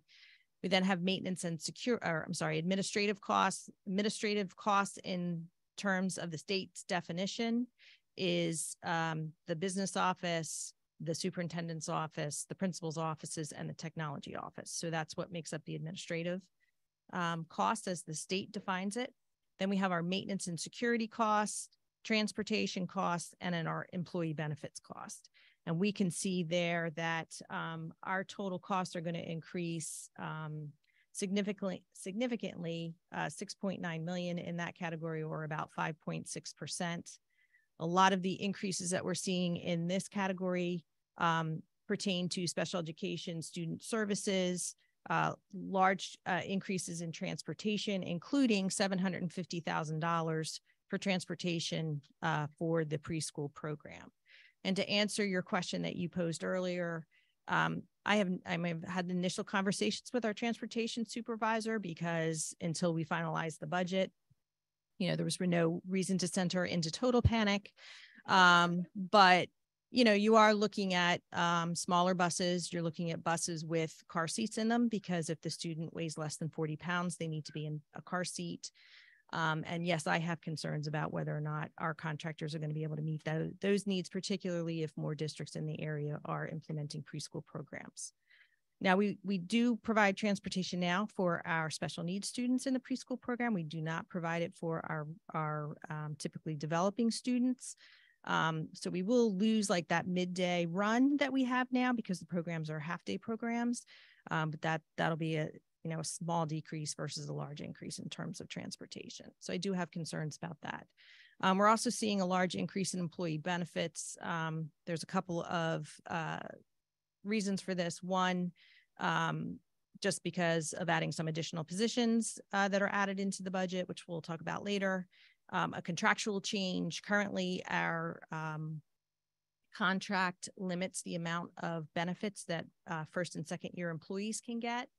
So this would um, allow us to eliminate that restriction.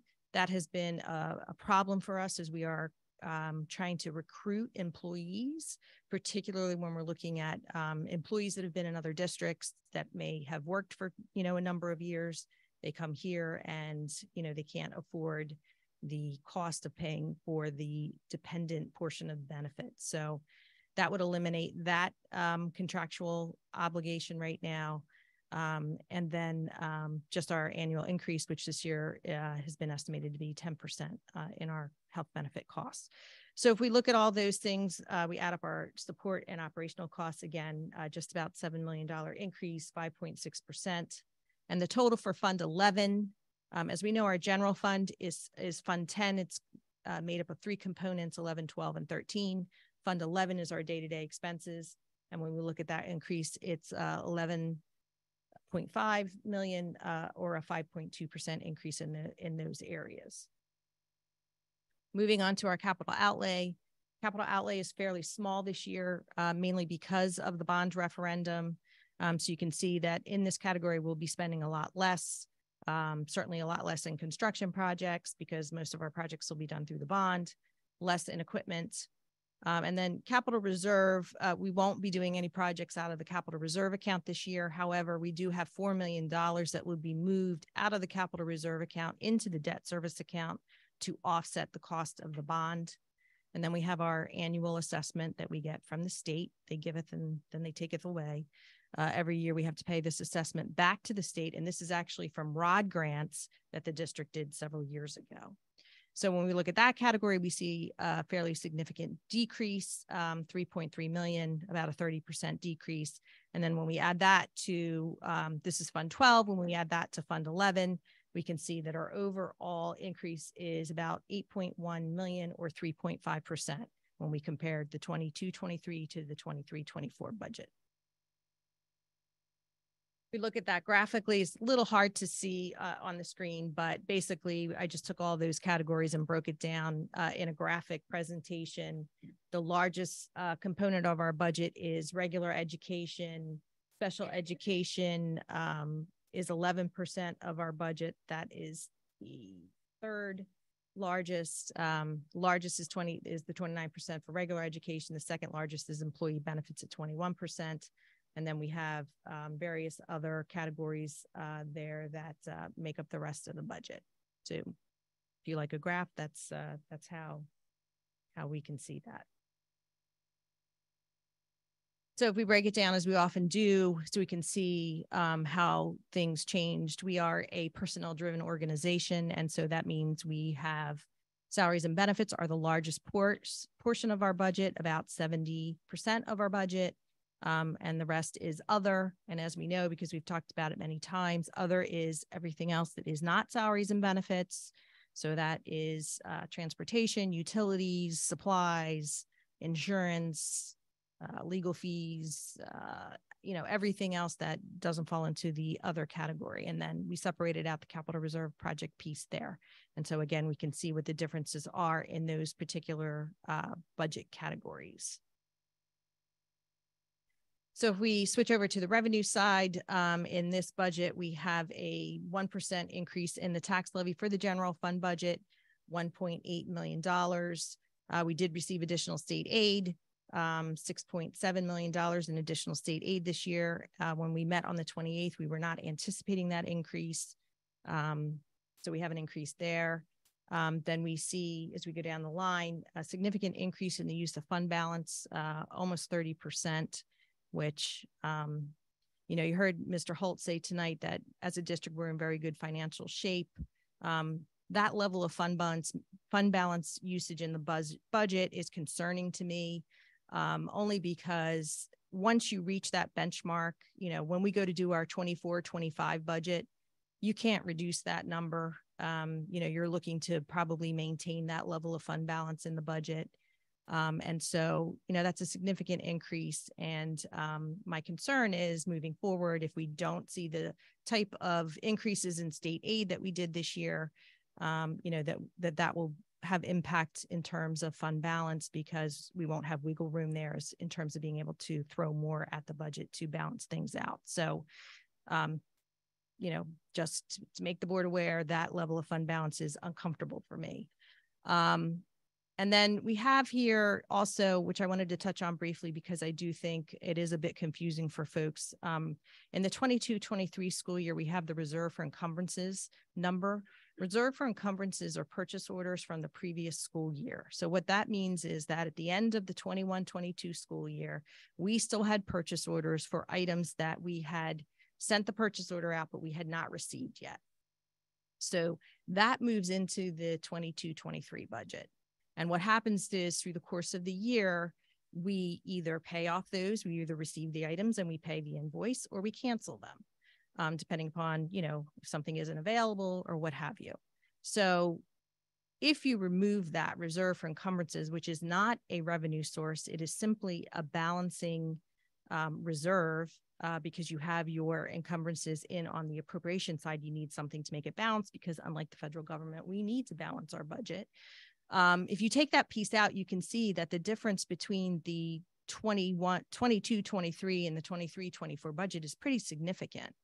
And I think there was some uh, question from the board about how could we receive, you know, $7 million in additional state aid and still need to, you know, consider a tax levy and still use all this fund balance. Well, if you take that number out and you compare the two years, just our increases um, in the budget, just with even before we added any positions, were significant. You know, it was $7 million increase between our salaries and benefits. So that's why, you know, a significant amount of that uh, additional state aid really just went to maintain the status quo budget. And then anything additional that we want to add, uh, the preschool program or some of the positions that we're adding really have to come from other revenue sources. So in this budget, um, that's coming out of uh, the tax uh, increase of 1% and the use of the fund balance. So then again, graphically, if we look at this, we can see that really um, 16% of our budget is coming from state aid, and that a significant amount of our budget is coming out of what we call Cherry Hill funds, right? So that's the 77% in the taxes, it's the um, 1% in the miscellaneous revenues, and then the use of the fund balance and the capital reserve money is all really Cherry Hill money that's that's going into our budget. So fairly insignificant portion um, in terms of state aid and federal aid that funds our budget.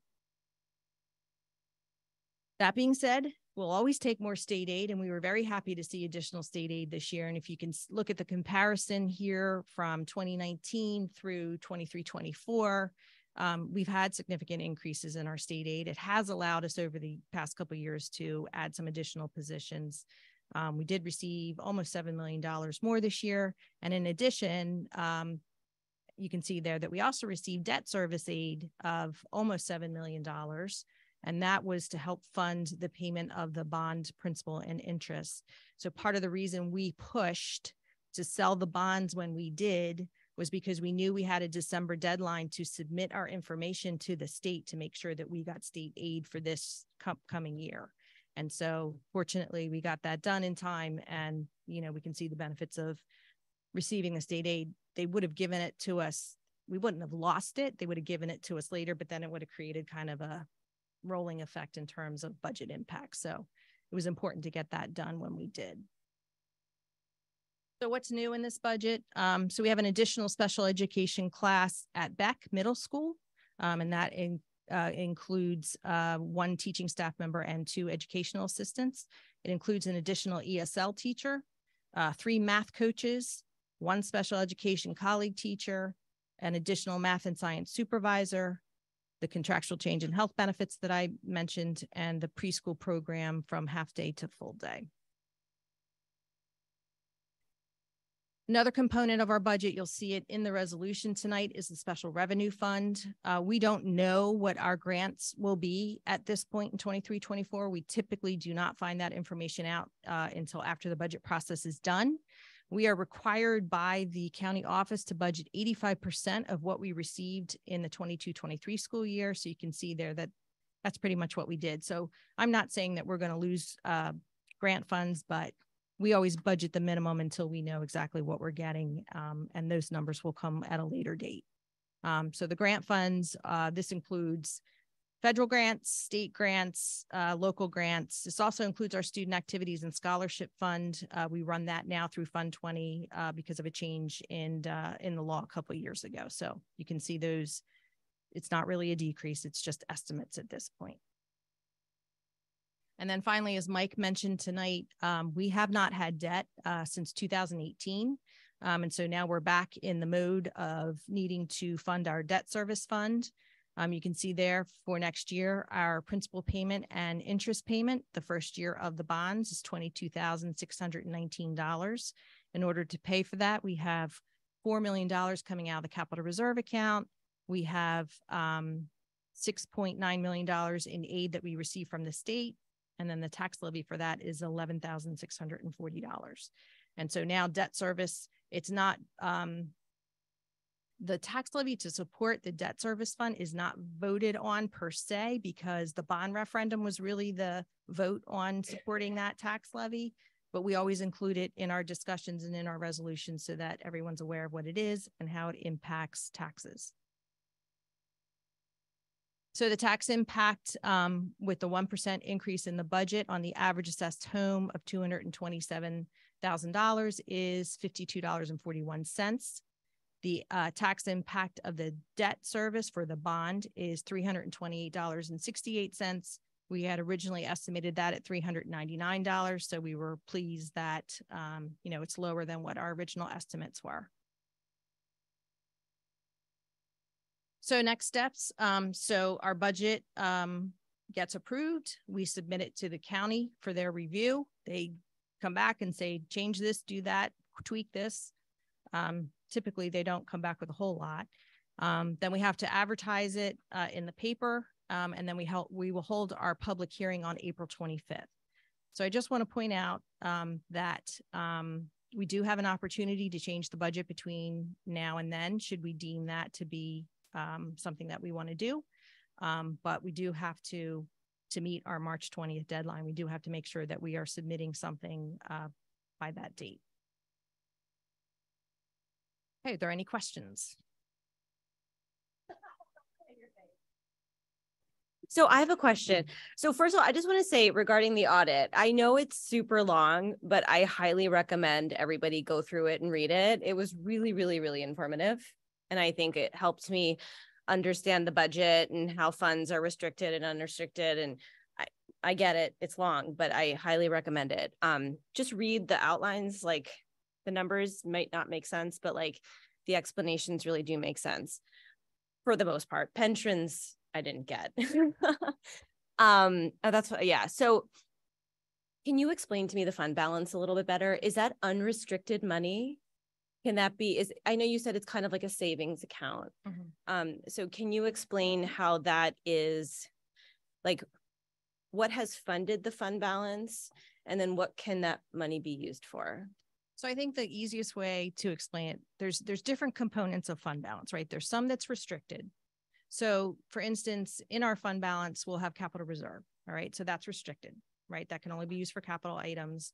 We will have excess surplus, which is what Mike talked about tonight, where they do the calculation at the end of the year and they look at what our expenditures were and they and we're allowed to maintain a percentage of the prior year expenditures. If we're over that, that's called excess surplus, and that has to be used in the following budget year. So that would be restricted. You can have other restrictions. We don't have them for tuition, for maintenance, for those kinds of things. So you have um, free fund balance that you can use. And what that basically means is that at the end of our fiscal year, they close out the revenues and they close out the expenditures and they see what's left. So if you think of your personal budget, you may come to the end of the year and you may say, you know, we had um, $50,000 come in and we spent 48,000. So we have $2,000 left over and that can go into your savings or what have you. So it really is just a closing out at the end of the year. Um, and then we have funds left over. Um, you know, sometimes it's because, I mean, typically we do not spend 100% of our budget. We know we'll spend a lot of it, but we don't spend a 100%.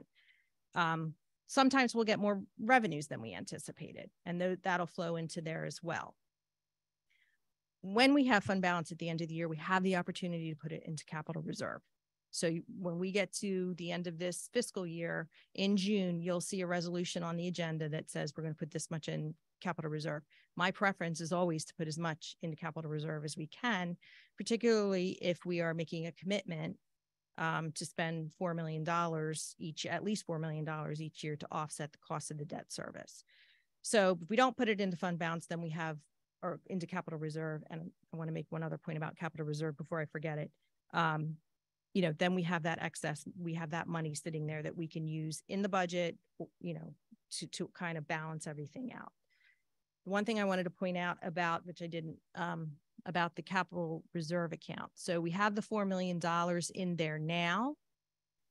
Um, that does not include anything for ROD grant applications. So we're still working on those. I anticipate that for the public hearing, we'll have number, that number will get adjusted. Now that's not going to affect the overall budget, won't affect the tax levy because it comes out of the capital reserve account. So it's an in and out in the budget. Um, but I just want to point out that, you know, once we come to some consensus about what we're doing with ROD grant applications, our 60% of the ROD grant application has to come out of capital reserve.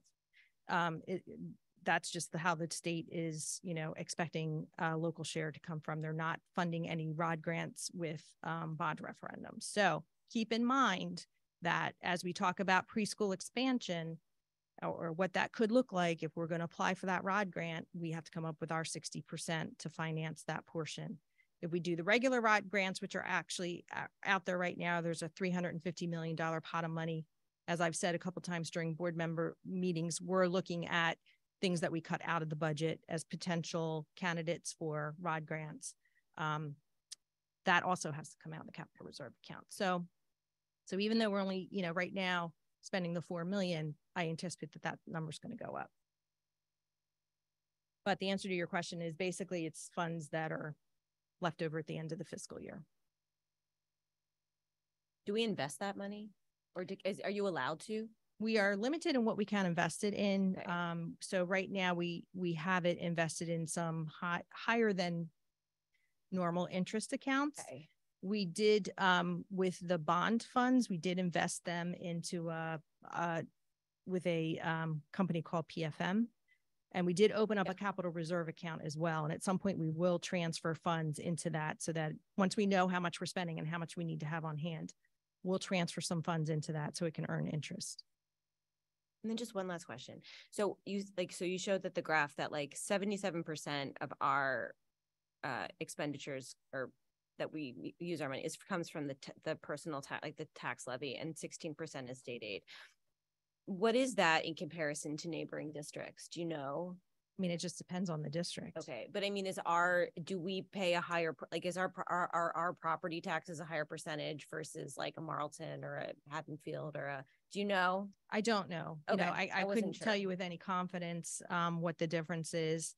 Um, I think taxes are high in New Jersey, They are. you know, Yeah. um, relatively speaking. Uh-huh. Um, so I think that each dis, each town, each district, Okay. it's, it's going to be different. Okay. It's just going to depend on what their budgets are. Right. You know, and like That's for, true. so Marlton is going to have their local school district and then they're going to have Lenape Regional. So they're going to have two school taxes. So it's just different every place. Mrs. Fleischer.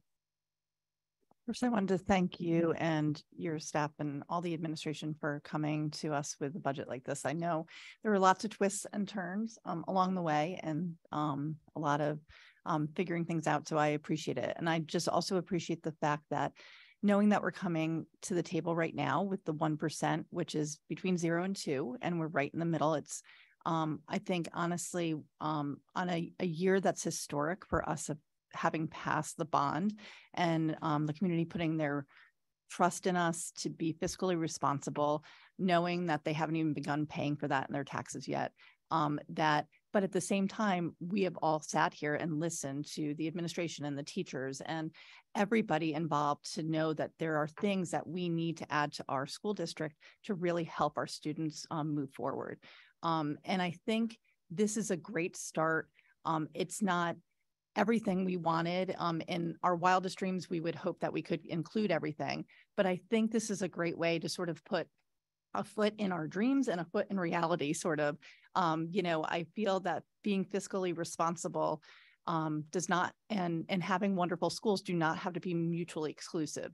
And for me, I think this is a really great start for this to include preschool, to include math coaches, to include you know, we really are excited. I think I've, I've talked to people about, you know, the math and science um, supervisor that we're able to, to get somebody back in amongst other things. Um, so I really wanted to thank you for coming to this. I know there were lots of, like I said, twists and turns coming to this, um, but I appreciate all the hard work from Dr. Meloche and, and Mrs. Shugars and your team and the whole administrative team for bringing this to the table.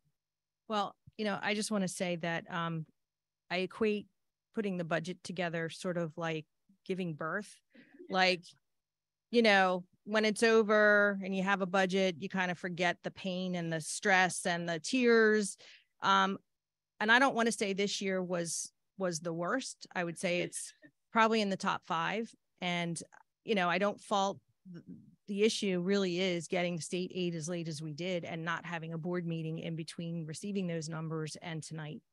So, um, you know, I already am strategizing next year. Like we're going to have to look at that calendar and we're going to have to build something into it because, you know, trying to get feedback, trying to, you know, work this out um, and put together a budget that that works for everybody was extremely difficult this year. So I, you know, I appreciate your patience as well. Mr. Mayor. I'm going to start by just saying that um, you get the you get the quote of the night with with the birth comment. It, it felt sometimes like it was a, almost like a, a breech birth in the last few days. But um, all kidding aside, um, it wasn't it wasn't easy. Um, a few of us at the table know that um, more specifically. But um, at the end of the day, I, I look at I look at the budget that you put together as as really an achievement budget. Um, it it it prioritizes these positions to to jumpstart achievement at every level. Um, pre-K, in particular, does that, and also um, the the the ability now to attract and retain talented teachers, which I mean, we we've that's been a struggle for too long, not just here but everywhere.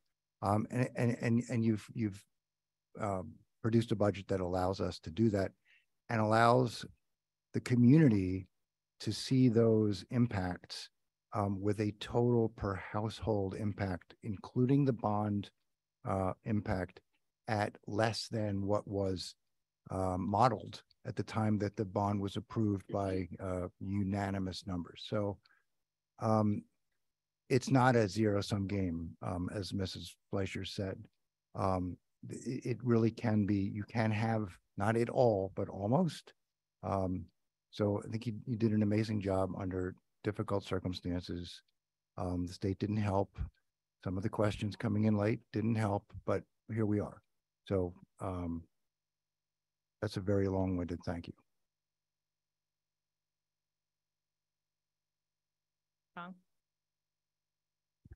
Um, I know the budget thing, you did an excellent job, even though I couldn't comprehend all of them. I went through a lot of time. I still couldn't get all many years. Uh, Kim, thanks for that. I'm like, okay, I did try read most of it. Um, I just want to find out uh, on the budget, right? Is the um, does it include any security cameras in our school district to keep the school safe, or any of this thing that we? Well, we have um, we have security cameras throughout the district. Um, that's one of the things that um, you know will be added as we add additional spaces um, through the bond. So adding additional security cameras will come through the bond, not through the budget. Oh, that's okay. And that's it. Uh, also the stadium, I assume, that's the putting security cam to the stadium as well. Um, at West Stadium, I'm not sure. I'll But have to. I, I guess confirm whatever stadium that doesn't have cameras. Neither of them do it right now. then we need, yeah, I assume we would like to have school safety, so I think that would be a great idea to put it in if we have the budget, or even if we don't have the budget, we have to find a way how to do that. Well, I'll check, I'll, you know, I know that there's improvements that are being done at East and I know that there will be um lights put in and speakers put in. Uh, I'm not sure that cameras are on that list. Um, but we can certainly take a look at that. But no, there's no money in the budget for that right now. Oh, thank you for that. And I, I think this, um, I could talk about the other thing later, but thank you. Mrs. Stratton? Thank you so much. Um, I hope you get some sleep and your whole team gets to rest now. Take a little breath. Um, just because I, I know this is stressful, but I, you know, as as us as a team, this is I love this presentation because to go back to when I'm sitting here screaming, we operating like a five million dollar organization, but we're not. We this is the proof of it. And you know, I I can't say enough how like I'm I'm worried that we we we I know we don't want to put too much on our residents, obviously, me being one of them, right? Um, Lord knows I can't afford it, but it's at the cost or I don't want it to be at the detriment of our students because you know it makes these conversations null and void when we don't want to put our money where our mouth is. So I appreciate you um, at least getting us halfway there. My question is kind of really for Mrs. Adrian. Um, because I know I see it, but I'm like, I'm, I'm, you know, I want to make sure I'm not dreaming this. We're really getting this budget puts in what we need. We discussed in HR about the benefit side of it. We we'd be good to go. Okay. And not that I didn't trust you, but I needed to make sure. I needed to make sure. Um, so that really sets up the next HR director as well in terms of recruitment. Um, so uh, thank you to Ms. Adrian for for being very vocal about what we need there, so we can get some new talent here. But um, but yeah, other than that, I I don't have any other questions. I just wanted to make sure we were good for HR. Dr. Rude? Um, first of all, I think the the Oscar should really go to Lynn Shugars. but thank you very much. Um, and congrats on the awesome, like the with the auditor, giving kudos. Way to go. Um, so my fund balance or savings account is like $25. So I love seeing $10 million, but you didn't seem happy with that number. What's a good number? Um, I would, I would be more comfortable if it was in the eight, eight and a half range. Okay. And why does why does that make a difference? I don't really understand that. Because my concern is um, that you set once you set the benchmark. So if you took um, ten dollars out of your personal budget every year to balance your budget, you have to eh, use at least ten dollars every year. So by setting the number at that threshold, right. we're at that threshold now, okay. moving forward, because we're not going to find three million dollars or two million dollars someplace else to gotcha. reduce that number. Okay, thanks, Mrs. Winters. Thank you. I just want to thank you for the clarity of your explanation tonight. Suddenly it all made sense. Um, as many of the board members know, I put in probably too many hours more than I would like to admit this weekend trying to understand everything. And I just really appreciate you for the um the way that you methodically went through and clearly explained it all because now I understand so much more than I did before. So thank you for that.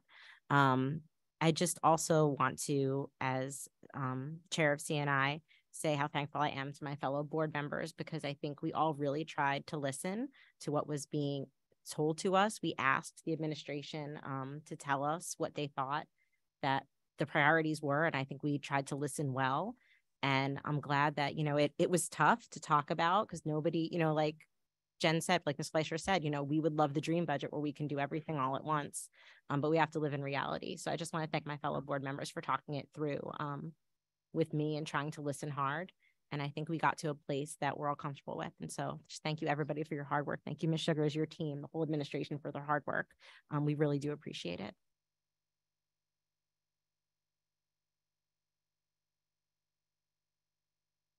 Hi. So um, I'm I'm a big proponent of of school funding, and I'm I'm glad I got to be a part of this process. It's been a, a very long couple days, and I, I, appreciate your responses to my many many questions. Um, the increased state funding really helped meet a lot of our needs. That was a pleasant surprise. Um, and like many of us, I, I thought we still needed to take that into consideration before asking for additional funding for the community. Um, you know, going down to 0%, we don't get anything on our wish list. And there, there are a lot of very important things here. Uh, I think reducing this to 1% was a great compromise. We're able to save uh, our residents some money, still being able to do great things with it. Uh, I'm really excited for uh, a lot of the things in this. Uh, you know, Jen went through most of the list, but uh, a math and science coordinator, math coaches, additional special education teachers and assistants. I'm, I'm excited about preschool expansion. I think we're going to do big things with that um, and and so much more. Uh, but I, I definitely want to thank you, Ms. Uh, Ms. Shugars and, and Dr. Uh, and fellow board members for all the hours that uh, that went into this.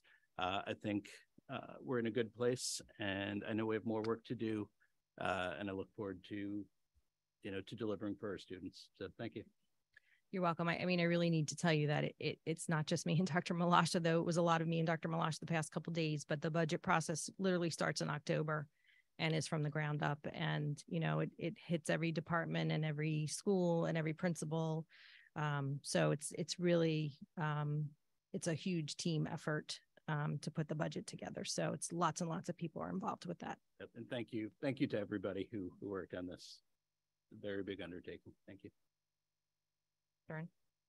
Um, so I, I definitely want to echo what a lot of people have been saying. Um, you know, I think we can all calmly talk and politely together about this budget. Um, but that really doesn't reflect the the this the real intense conversations that happened um, in in a lot of directions um, about how do we balance the different pieces that that we all have to think about that the board specifically has to think about right? Um and it was hard. It was really tough. Um and you know mrs Shugars um you know you're always extremely composed you know? And i think there was this little moment of like the other day so i just really um you know i really want to acknowledge the real piece of this which is just this is really tough um, and and you saying this is one of your hardest, you know, in, in, your top number of difficult times. I mean, I, I can appreciate that. And, um, and I know Dr. Meloche, you know, same thing, you know, yeah, um, you're smiling and we will smile together, but it was tough. Um, and, and, you know, and I, I, I mean, I definitely appreciate, um, the willingness to have those difficult, you know, challenging conversations back and forth about how do we figure this all out and, and kind of sometimes be on different sides of, you know, what are the right priorities you know with you as the educational experts and us as the board with you know sometimes different charges in some ways. And i think that um i also just acknowledge i think that's a pretty i mean i've been on this is my in my third year on the come into my third part of my term of the board third year i mean it's a different i was never involved to this degree in those conversations so it's uh it's definitely i rec i just have to continue to acknowledge how different the experience has got to be for you all and for your team team over there, um, and all the people who are standing behind you who are not actually here tonight. So, um, so just a, a- true thank you, you know, genuine appreciation for the ability to sort this out, um, and, um, and to support the commitment. And this is current board and to you guys, the previous board, which I was also on from last year, wanted to maintain the commitment of putting capital reserves to pay down the bond debt. But we also knew you can't promise what the next board's going to do. And it's such a, a great relief to me that we have been able to fulfill that commitment this year. Um, so that, that feels great. I think, um, you know, I think when the state aid numbers came out, it was like, wow, it's a whole lot of money. And it really is. But like, we have a whole lot of increased costs too. And, you know, we're kind of getting our feet under us as a district after, you know, years and years of underfunding and years and years and years of like having to do without, having to do without. I mean, you know, you, we've got a comparison. I, I think it was Dr. Mahan sent it to us of like, you know, other districts, how many math and science supervisors they have compared to, you know, we have one. And we have 19 schools. And we're the 12th largest, I think currently the 12th largest district in the state. I mean, it doesn't, you know, trying to get us back on track on every area, our buildings, our, our curriculum, um, you know, and not curriculum, but our staffing to support the curriculum. It just, there's just, it's a lot that goes into it. So, so there's just acknowledgement of the difficulty of, of the, you know, the different challenges. Um, you know, I, I really uh, just fundamentally also want to say, I feel a great sense of relief of all the things, specifically including preschool, specifically including meeting the special ed needs that are that do in budget wise do increase the services do we're putting more classrooms in. That's it's also commitment from the you know commitment that the community has asked that we you know we're trying to meet these commitments or at least these asks. Um, and ultimately we're still below are, our the ultimate we're, we're the total amount of tax increase that our taxpayers will feel is still overall less than the original amount that we that we that was calculated that was part of the bond vote. The bond vote said there was going to be $399 a year to the average assessed home. We're closer to 380, which it's not a huge amount of money, but for all that we're getting, preschool included, that's just that's just mind blowing to me. And I mean, thank goodness we got the state aid. It's a huge kudos to being, you know, recognized that we needed it. So all that to say, thank you. I'm very, I feel very strongly that this is a really good step. We, this is the right budget. And I definitely feel good about supporting it. So that's it. I have a question just for the um, BNF committee. Um, so now that we're, uh, Ms. Shugars presented this and she gave us a timeline and the next steps and all, I just, are, are we having any conversations in that committee about, um, I'm sure Ms. Shugars forecasts all the time, but forecasting, you know, where we're gonna have to go because just having sat on this board for a few years, we've been staying at zero, staying at a half, staying at one, you know, which is amazing to do. But you know, at some point we're gonna we're gonna feel it and we're gonna need to to get up there. And I don't want people to to to think that we're not prepared for that or or to think that we'll never go to that 2% because it it might be necessary in a in one year or two years or three years and everybody should like get comfortable being uncomfortable because it's just going to happen.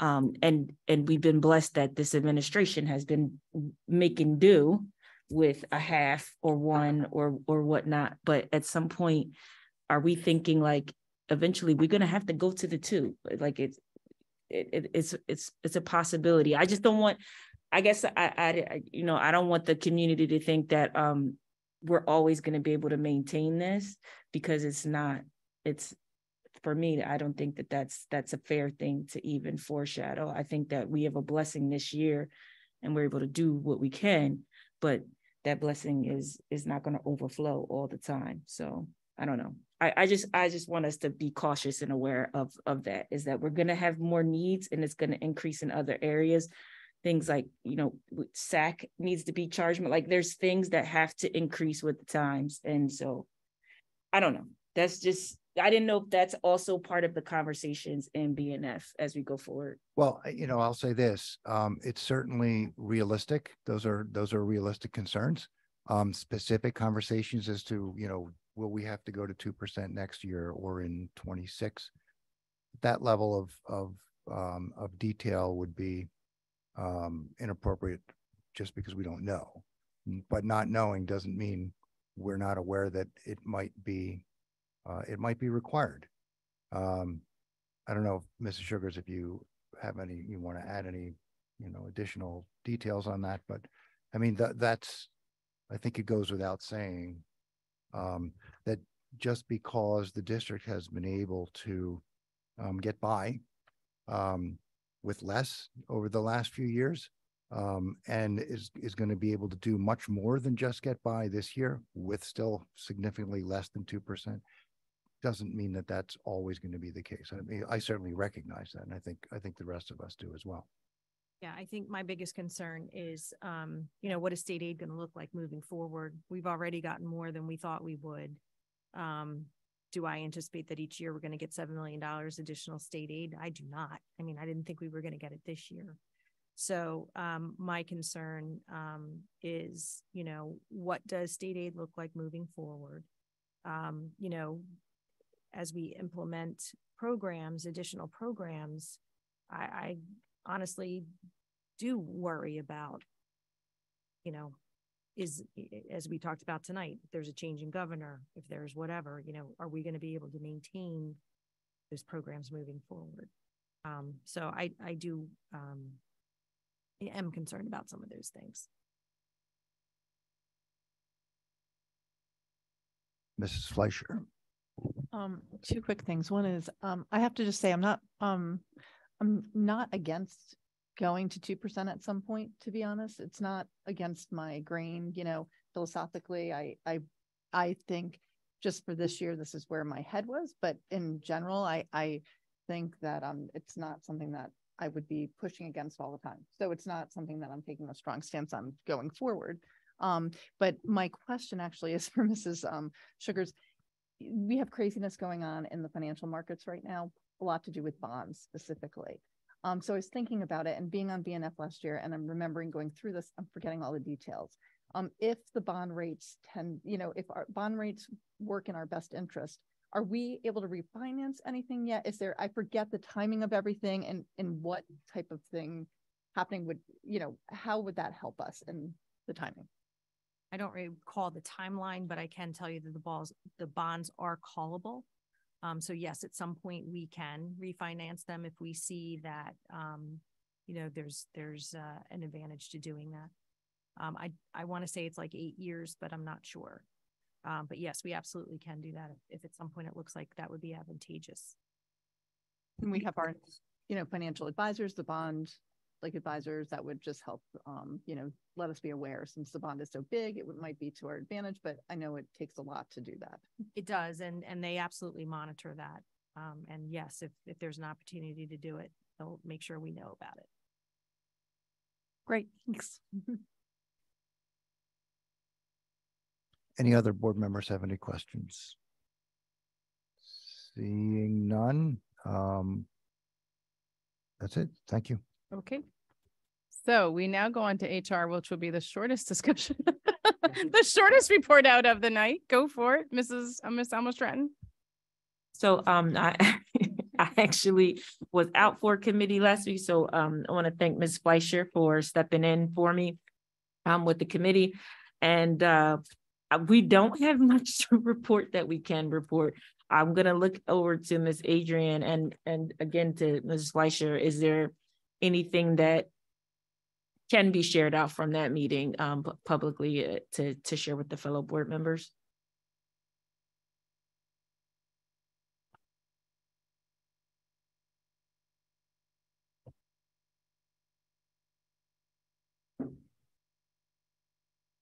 Um, job descriptions for the administrative positions in the district are being run through the um, March agenda cycle just for equity and ADA compliance language. It's the only changes. Okay, great, thank you. Um, and we consistently get to see that when in the HR committee go through. Did you want to any This is weird. Any committee member want to say anything else? Um, I think also they were talking about, um, teacher transfer timeline is coming up. Um, that, and that- that's about it. Awesome. Okay, so that is pretty much our committee report out. Thank you so much, Mr. Mayor, Ms. Stern. Okay, so now we move on to policy and legislation and Mrs. Fleischer, if you could please give us a report out. Great, thank you. Um, we had our meeting and, um, I thank Mrs. Wethington for all the work that she's done and our committee members for all the insightful, um, discussion that we had. A lot of it was discussion. We have no first policy readings, um, this month. Um, so a lot of the discussion is something that will be ongoing. Um, our next committee meetings are actually the committee of the whole in April. So all of you will be part of, you know, our committee meetings. Um, and the first, one of the, uh, well, the first thing that Mrs. Wethington did was she gave us a legislative update, which she has been doing that our legislative, um, possible legislative updates that could affect our district. So we appreciate the fact that she does the research to bring that to us each month. Um, and, um, the second one was policy five seven seven zero, the student right of privacy update. Um, this is something that we're going to be discussing, um, more in depth at the, um, at the next committee meeting on April eleventh. Um, and this is something that actually Mr. Green had brought up, wanting to um, change the wording in the policy. Um, it's a proposed revision to the policy, and we had a discussion, and it has to do with um, Mrs. Wethington. Do you mind giving us a, like a little bit of update about how you're passing one the one microphone back and forth? Um, how um, and or you know, Mr. Green is going to be part of our discussion for next time, uh, and but can you give some background to why it was brought to our committee? Five seven seven zero. Yes, five seven zero. So we were having a conversation about the policy not related to um changes and Mr. Green made an observation about the language. Dr. Meloche and I talked to uh the high school principals just to get a background on how frequently that provision had been used. It had not been used in any of their tenure in the role. And uh Mr. Green suggested that we eliminate that language. Modify, he's saying, I'm hearing. I'm sorry, modify. I misquoted. To modify it, it has to do um with some of the parent, the parent involvement um with with um with that policy. Um, so what we will do is I'll send it out because if anyone has any questions about this policy and has any questions to uh for Mr. Green, we're actually taking it from the committee members. Um, any specific questions that we want him to discuss at the next meeting. But like I said, it's committee of the whole, so it's going to be with all of us having that um the questions, but we'll um forward the questions to you through Mrs. Wethington um specifically if there's any other questions. Um, the next one on the agenda is regulation five three five zero, which was formerly the S twelve. Um, and that was also brought up um for the S twelve is actually a regulation. It is not um a policy. So it's something that eventually, if there's any changes to it, um, it, well, there are going to be some changes to it. They don't have to be actually brought through the policy procedure of the first reading, second reading, et cetera. Um, but something that we would want um, our committee and the board to understand and be in favor of. Um, Mrs. Wethington, can you give the brief update on what the changes we talked about? We're going to add a provision to include the waiver going up to grades five. We've already added the provision of insight, which if you remember, you approved that in January. That's the ability to clear students while they're in school, if the parents opt for that choice, or to provide virtual clearance in their home. Uh, so we've added that as a provision and we've cleaned up some of the language and we've updated the forms. Great, thank you. Um, so just to give a little bit more clarity, even to what Mrs. Wethington was saying, because I think this is great when it comes to this. Um, something that was brought up, I want to say it was last year, um, Mrs. Stern had brought this up about the waiver.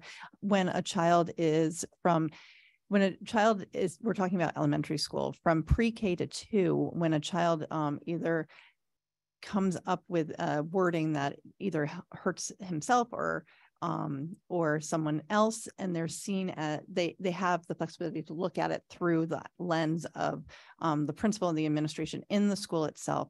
Um, seeing that they are able to deem one waiver one time for that child, um, so that the child does not have to be per se sent out um, even though younger kids aren't, you know, sent out, but um, they have the one waiver and it goes from kindergarten to um, third grade. They have the one waiver. Um, now what we're proposing is to extend it um, to fourth and fifth grade so that you have the one waiver before needing to be sent out or needing actually to be seen um, as an intervention to um, and being okay to be let back in school.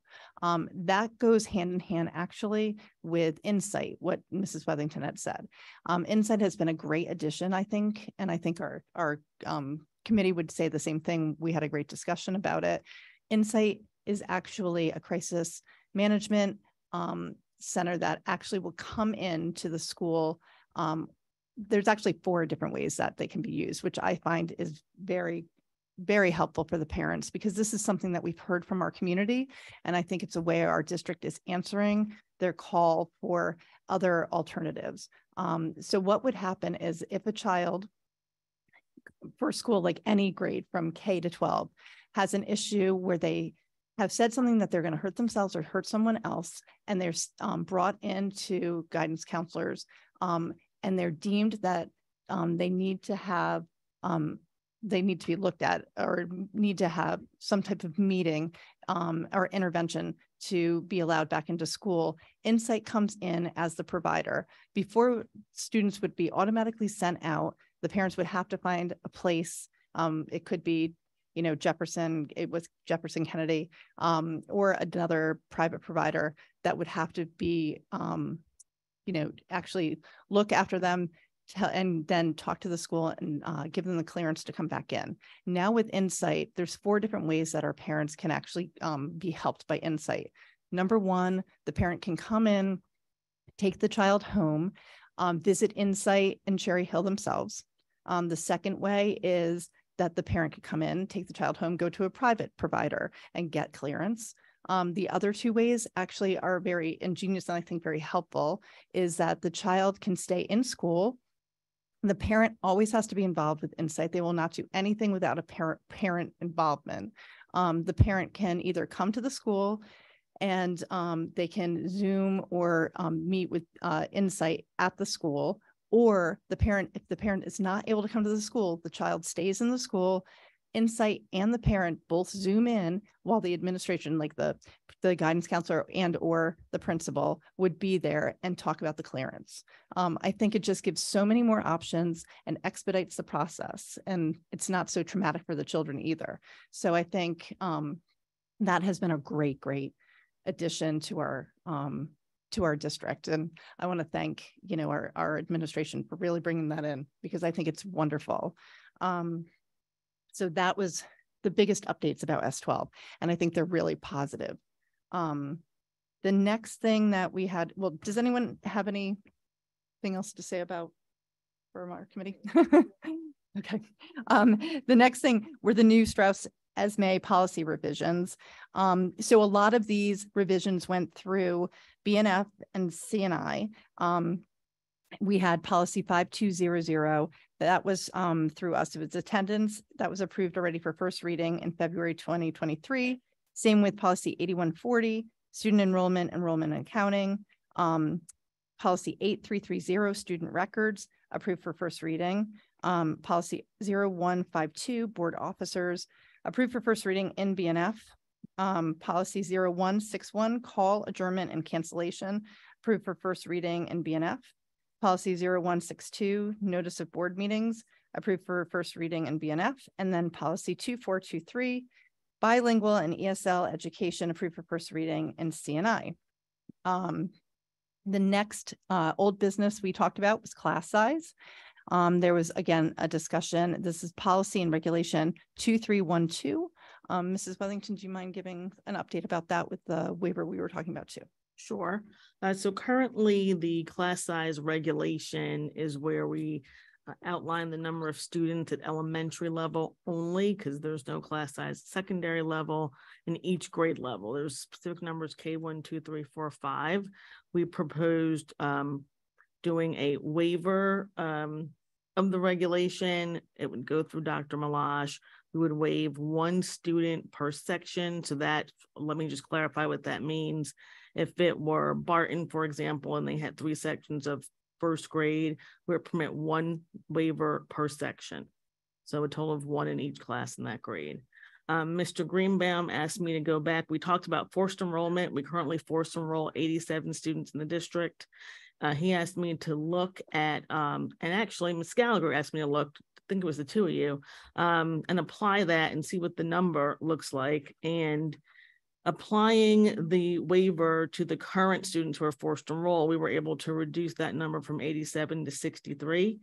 Uh, to a transportation savings, we currently spend about 380,000 to transport those those children, and we saved um, 280,000. The cost would then be 100,000. Mrs. Wethington, I think you're reduced by 63.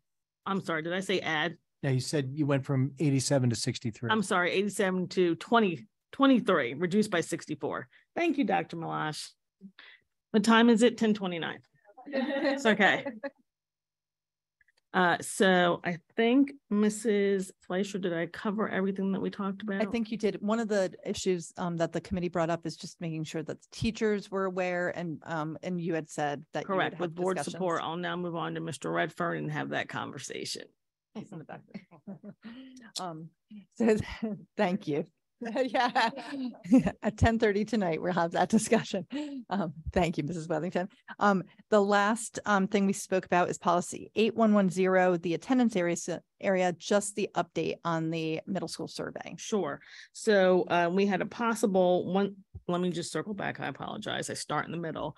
If you recall, we surveyed sixth and seventh grade parents and gave them the option of remaining in their current school or transferring quote unquote to their new districted school.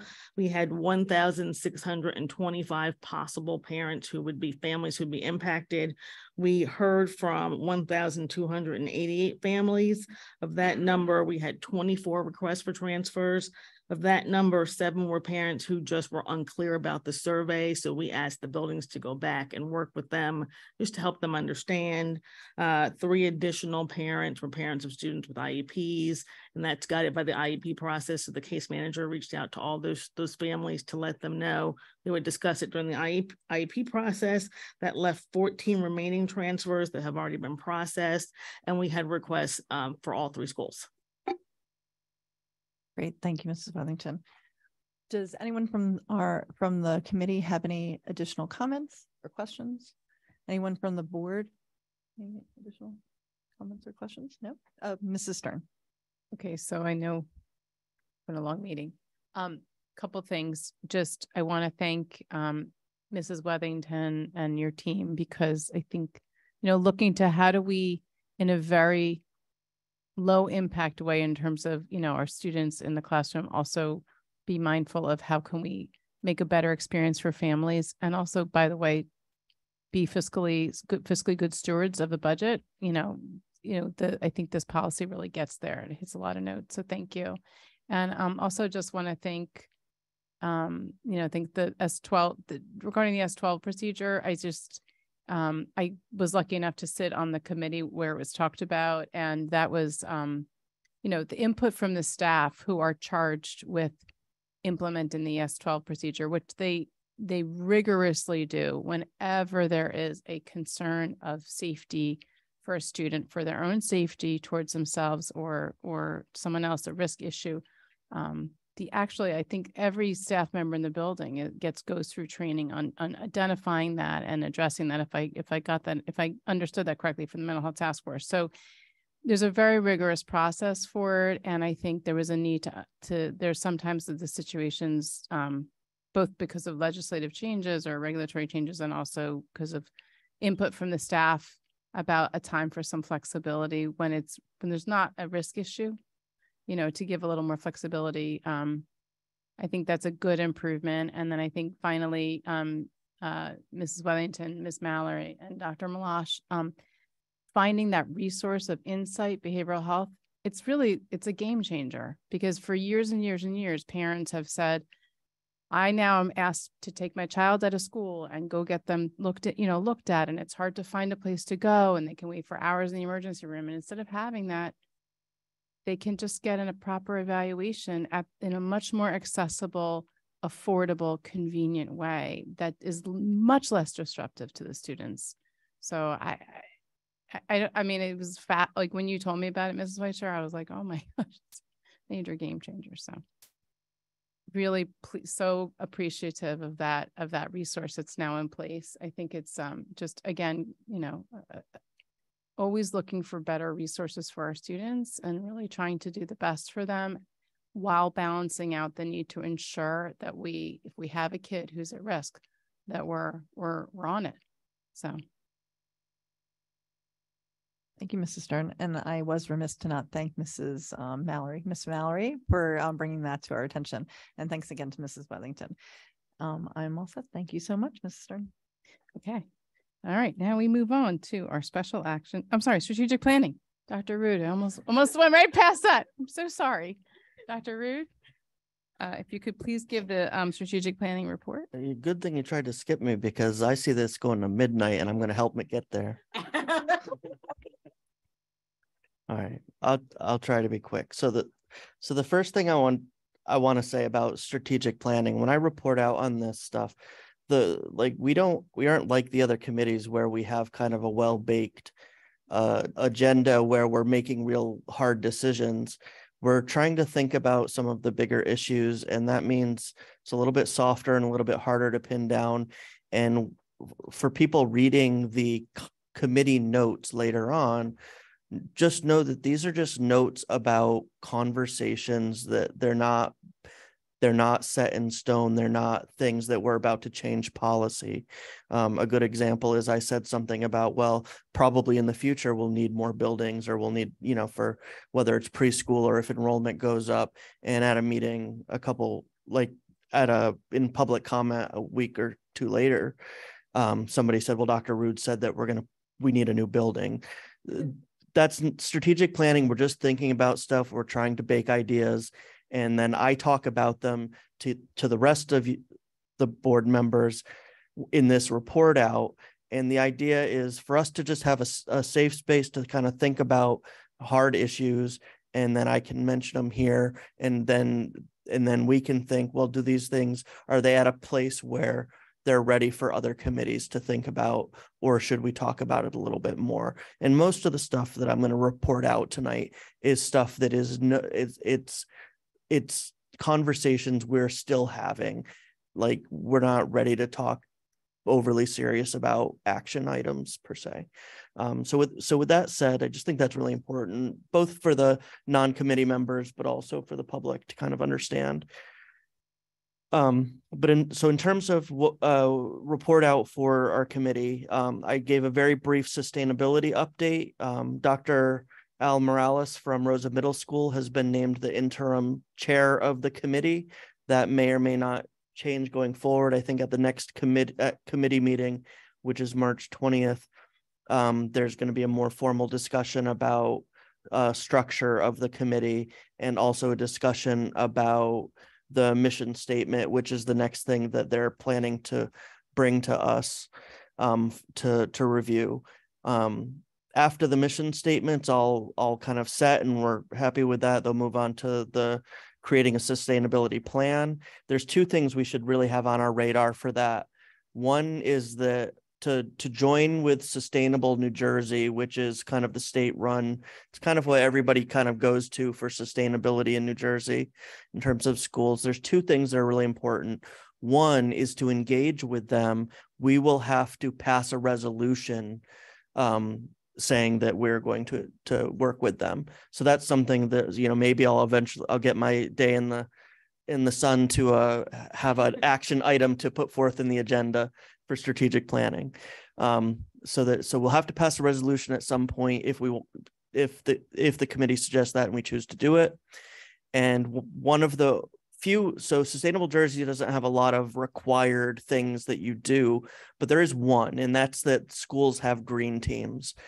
And so that'll be a big part of any sustainability plan that involves sustainable New Jersey. And I think um, uh, it'd be it'd be awesome if all of our teachers were still here because it, you know, it'd be lovely to give, you know, hopefully the, oh, uh, I, I can't wait to see what teachers and admin and people in individual buildings come up with to um, institute green teams and to get kids engaged and to um, kind of create that buy-in for the sustainability committee and sustainability plan and and bringing a little some uh, really I think wonderful changes to the schools. So so those are two big things that'll come up um, in the not too distant future with sustainability.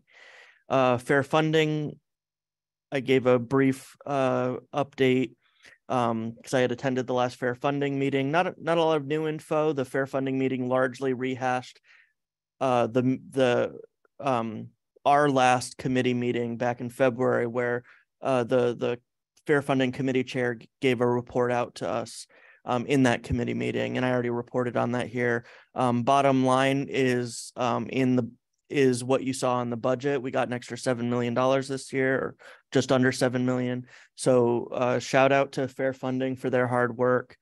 Um, and in their meeting, they talked about like what do they do next, and kind of the big thing is is keep up the fight because I, I think um, uh, I couldn't say it any better than our audit the auditor who said it's not fair. It's still not fair. We might be hitting the whatever the calculated formula is at this point, but it's it's the num like I think this is a conversation we'll have again in, in strategic planning. It's still not high enough. It's it's not anywhere near it's not in line. I'm thinking of like actual plot lines that I've been looking at. So I need to make some plots to bring to like strategic planning, but Cherry Hill's not anywhere on that best fit line with other school districts.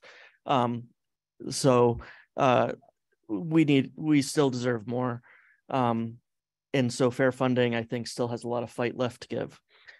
Um, so that's pretty much it for that. And then the main discussion that we had, and um, and I'm going to cut this a little short because it is late, um, was about communication. Um, so a couple of board members have given me kind of some talking points they were interested in bringing up for discussion about communication. So we um, we started off with a brief discussion about should we stream uh, um, should we stream the committee meetings. Um, that was a suggestion um, from um, from Kim Gallagher. Um, it's a great suggestion. What we talked about in the meeting is that, first of all, a lot of districts don't even offer access to committee meetings because it's not a quorum, it's not a public meeting, it's a work meeting. Um, and part of I'm a I'm a I'm a shy person, so I'm always like no cameras. But but part of the conversation was really more about like you put that camera on, and all of a sudden everybody's afraid to say what what they want because it's now recorded and you know forever and you know sound bites get misused and whatever so there's some i i think the the general feeling among the committee and among it, the admin that were there is that that's probably not we understand the desire for transparency but it's probably not the best idea. Um and but i wanted to make sure it got its fair uh like the it was mentioned amongst the board so that we can talk about it amongst ourselves in a wider conversation now and and think about it seriously. I don't think we should have that discussion tonight but now that now that it's on the on the table you know let's share ideas. Let's bring it back to strategic planning and talk about it again um, the other two we talked about a few other things we talked about HIB and uh, and and kind of the broader topic of student conduct and um, you know, it, HI, the, these are some sensitive, very sensitive issues. Um, HIB, a lot of times people don't, including board members, have a hard time understanding what the statute is, the state statute. Because HIB is not something we do necessarily because, you know, we, as, as a school district, we're trying to uh, take care of bullying. That's more in our student conduct. Conduct. HIB is a state statute that we're required to to do a report, a whole reporting on certain uh, certain types of uh, harassment, intimidation, and bullying, and and it, it's more complicated than just those words. If you just say harassment, intimidation, and bullying, everybody has a concept of what those words are. The statute is not going to make you happy with your definitions. Um, so that's something we talked about a little bit. It's something that um, we've had we've had educational meetings for the board on, um, you know, uh, uh, and and what we what we talked about that I think is probably the most salient suggestion or idea is that we try to find a way to provide information when a HIB is is given. We can we can give parents information at the beginning of the year, but um, not everybody reads it. Um, probably not many read it, but it's really the time where you are, you know, at the time that the the a HIB occurs. Like that's when people are most in need of salient information and and that's when they're most confused and most scared and most upset. And is there a way that we can uh, improve communication surrounding that process? Um, no decisions were made. This is not like i said this is just a conversation um, and it's it's a conversation that will continue. We also talked about you know uh, so what what happens when you feel like you're being bullied and it's not a HIB? You know, that's a very hard topic for us to deal with because you know kids are kids can be pretty good at hiding their bad behavior from adults. Um, sometimes it's very subtle bullying that is persistent and causes real trauma to the victim and and how do we how do we address that? How do we deal with that? Um, you know so finding you know so what so, some of the things we talked about are there better ways of you know communicating to parents about you know what was what was done for a child that was a victim or talking to the parents of an offender about about student conduct conduct you know like are there are there things that we can tweak we did not go very deep into that conversation but i i'm just putting it out there so that you can all now think you know about those ideas let them let them you know uh Thank you. Percolate. That's a good term. Uh, marinate, whatever you want, and you know, bring back your best ideas. Uh, you know, uh, and you know, and chances are the district's thought of it. It's a hard, it's a really hard topic, but it's it's something that there's definitely you can see the pain out in the community sometimes, you know, at these meetings, and and we want to we want students to feel safe in their environment, and sometimes that's really hard hard to do because it can be a hard thing to to see. Um, we also talked about like uh, this goes along with mental health, but like our and you know, and kind of kind of counseling and care are that you know are we you know is, is there more that we can do to offer up like information about about for parents? Like we can send a kid to a counselor that's great but can we help parents to know how give them tools give them you know a pamphlet on like you know resiliency? And can we you know can we help parents to help the their kids with those issues? Because parents don't always know how to be resilient. I mean i i have an anxiety disorder and there's times like i don't want to get out of bed and and i it's hard very hard for me to be there for my kids when they're having trouble you know so it it it's a tough thing out there. What can we do to help parents a little bit more?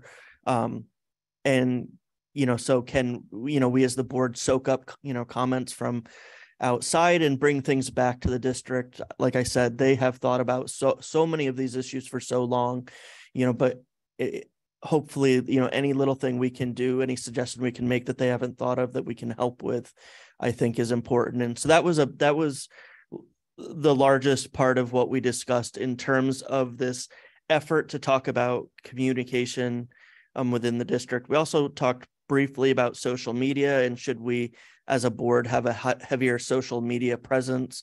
Um, Barbara Wilson uh, pretty clearly uh, suggested that we be very careful in thinking about having a board social media account, just because some of the dangers of social media and how some of the conversations really get away from you.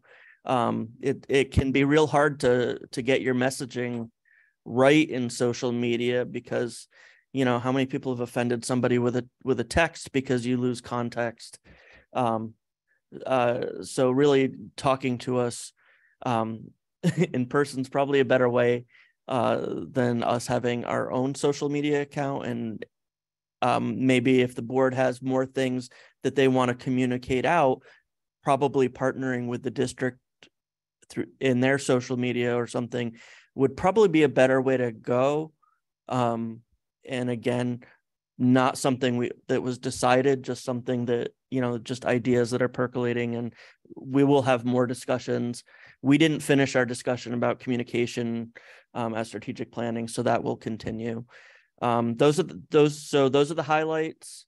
Um, like i said we don't have a strict agenda. If you guys have things that are really um, uh, really like weighing down on you and you don't have a good place or nowhere to talk about them um, it, but you want them kind of brought up at a meeting, tell me, I'll bring them up at strategic planning and then I'll feel like I have to report out on it and it'll get out to the whole wider meeting.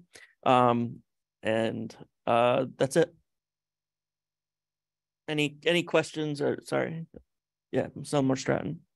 Thank you, Dr. Root. Um, I, I hate that your committee seems like a hodgepodge of all the things that don't fit anywhere but I love that your committee has taken time to uh, really form and be intentional about the conversation so that the hodgepodge has a point and it's not just all over the place. Um, I, I definitely love that you you're tackling communication. I think that's something that's uh, really on the forefront of everybody's mind. And um, I would love to hear what your committee comes up with in terms of how we can move the needle there in terms of combating um, not stopping because that's not possible, but combating some of the false information that gets out there and gets told over and over and over and over again. Um, I, I've always thought uh, our board chair would be great once a quarter to be in a Meloche minute, and maybe that might help. Um, so I don't know, but um, my other thing, the other thought is with along with the um, with HIB in terms of how to better explain it. I do like the comments that you guys have here um, pertaining to just notifications. And, but I just also want to caution us too that there's, you know, 10,000 students, but there's very small percentage that are, you know, reporting HIB or um, incurring that. I don't want us to have such a hard focus on it. This is going to sound horrible at 11 o'clock at night, but I don't want us to have such a hard focus on it so that we're developing more um, layers and layers of policy and procedures on it um, because there's such a large amount of students that don't incur that that challenge during school day. However, so that it's clear and there's no misinformation, I do think HIB is important. We definitely need to look at it and focus on it. We should be aware of it and we should be making sure that parents fully understand the statute and the law and uh, the difference between HIB matters and code of conduct matters. Um, I just don't want us to get too into the minutia with that because we have just such a large community, and there's a there's you know nine thousand more kids that have no idea about it because that's not their that's not their story, that's not their life. So I don't. That's just my thoughts. Ms. Winters. Thanks. I just had um one thought about communication, and I, I definitely appreciate all the work your committee's doing, and I think you're on the right track with the um the authenticity of face-to-face communication versus what can be done over social media or text. And I just wanted to sort of bring up that I really enjoyed during the bond referendum process going to different PTAs and getting to have more authentic back and forth dialogue and conversation with community members. I think I often feel at board meetings like this, everybody gets up and has their three minutes, but we are not allowed to respond. And I think sometimes that inability to respond at that moment comes off as um, callousness or that we don't care or that we're not listening when that's not true. It's just simply the format that we're forced into doesn't allow for that authentic dialogue. But all of us sitting up here on the board are community members and we're parents as well.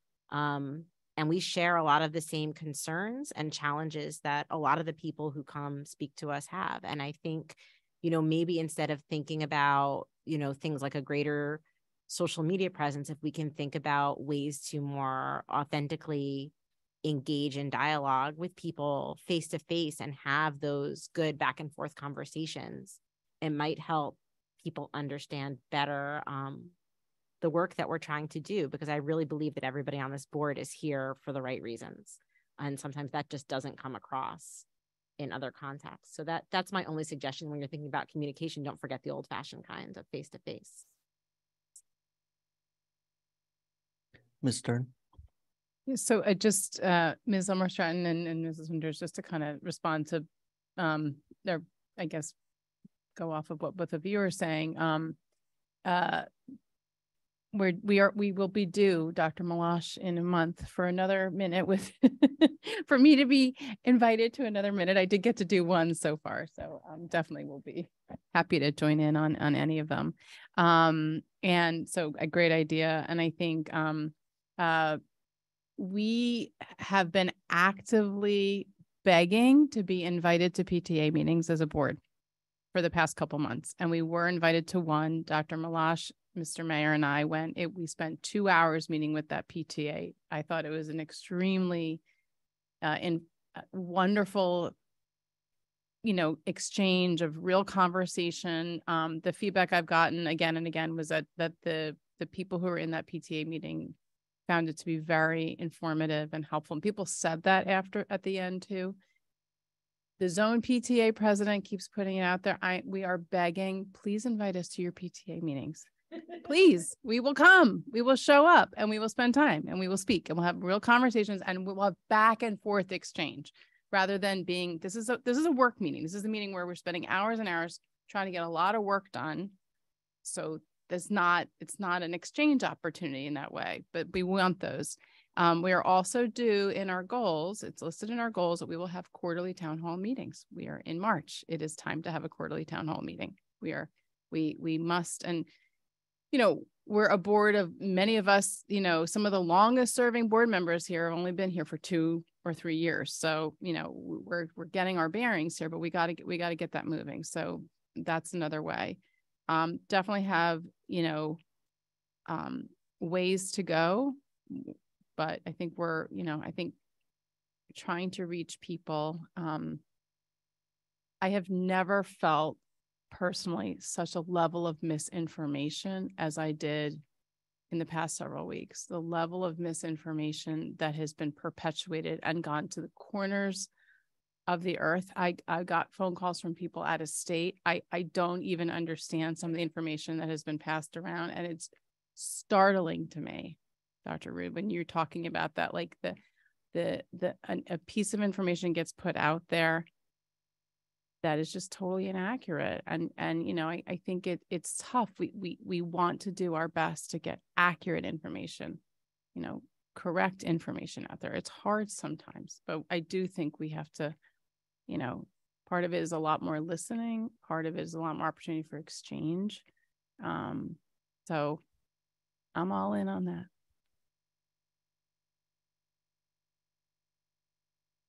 Anyone else? I just had one final comment, just kind of piggyback on. So Dr. Meloche said, um, I don't remember if it was at the strategic planning meeting. I think it was that like we talk in this district about HIB an, an awful lot.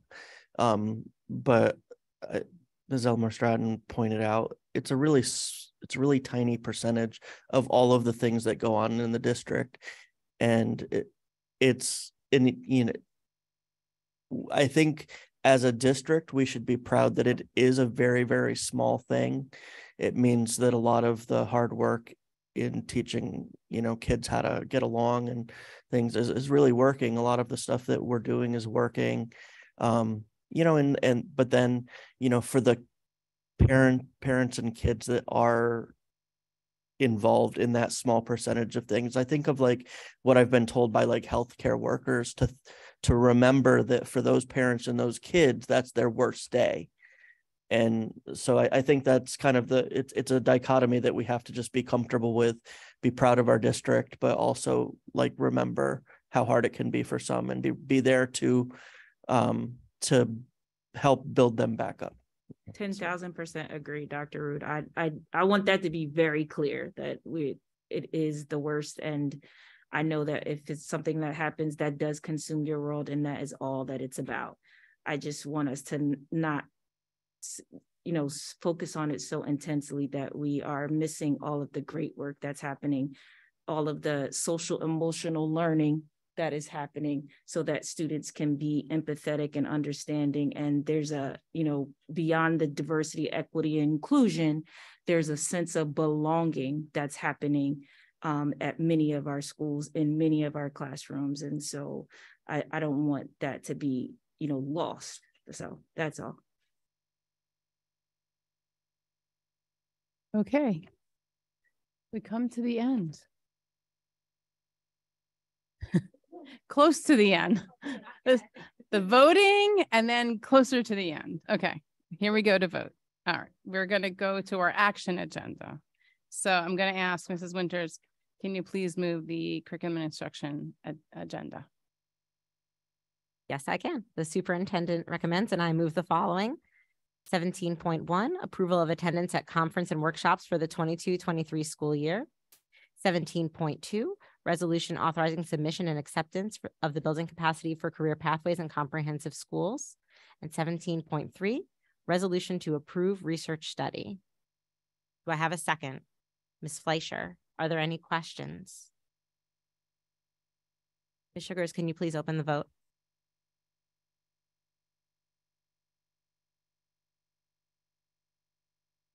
Board members, you may cast your votes. Ms. Shugars, um, I need to, I, I'm not sure, so I'm gonna just abstain from seventeen point one. Um, I think it might be a conflict, but I don't know, um, that I'm, I'm teaching at one of those conferences, so I don't wanna get in any trouble. But I'm yes to everything else.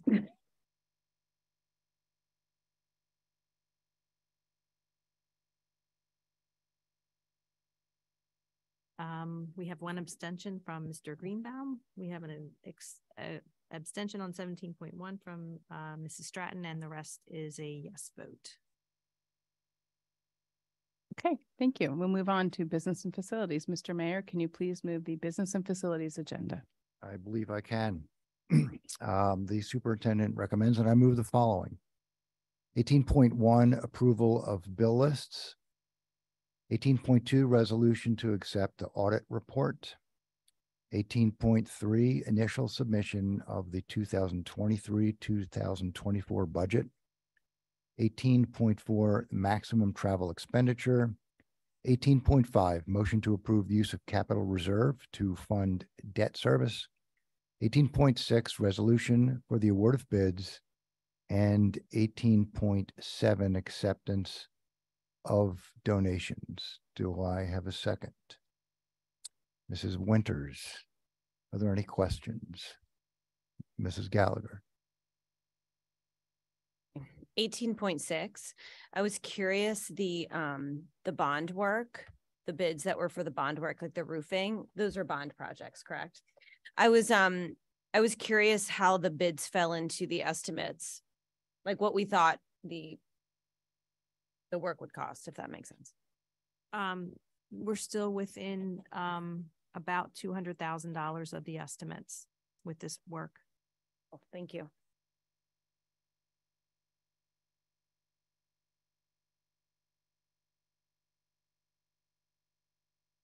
Okay, are there any other questions? Seeing none, Mrs. Shugars, would you kindly open the voting? Board members, you may cast your votes.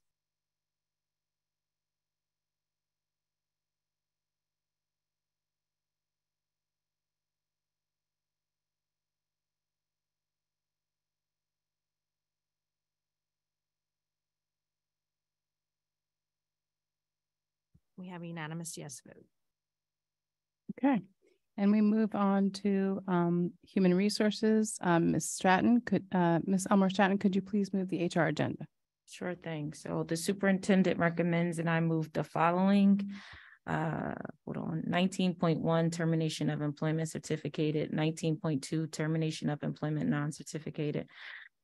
Uh, nineteen point three, appointments certificated, nineteen point four, appointments non-certificated, nineteen point five, assignment or salary change certificated, and nineteen point six, assignment and salary change non-certificated. Do I have a second? Dr. Rude, any questions? Okay, thank you. Mrs. Shugars?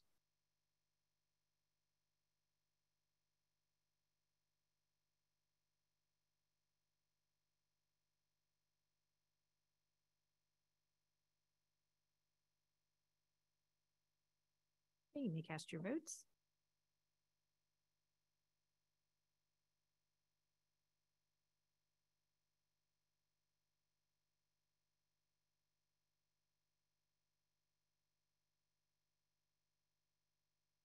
We have a unanimous yes vote. Thank you. And Len, uh, just need to clarify 17.4 uh, is mistaken vote. It should be yes. Thank you. Okay, and we move on to um, policy and legislation. Mrs. Fleischer, can you please move the P and L agenda? Thank you. The superintendent recommends and I um, move the following. Twenty point one, approval of harassment, intimidation, bullying, investigation decisions. Do I have a second? Mr. Greenbaum? Um, any questions? Then Mrs. Shugars, can you please open the voting? Thank you.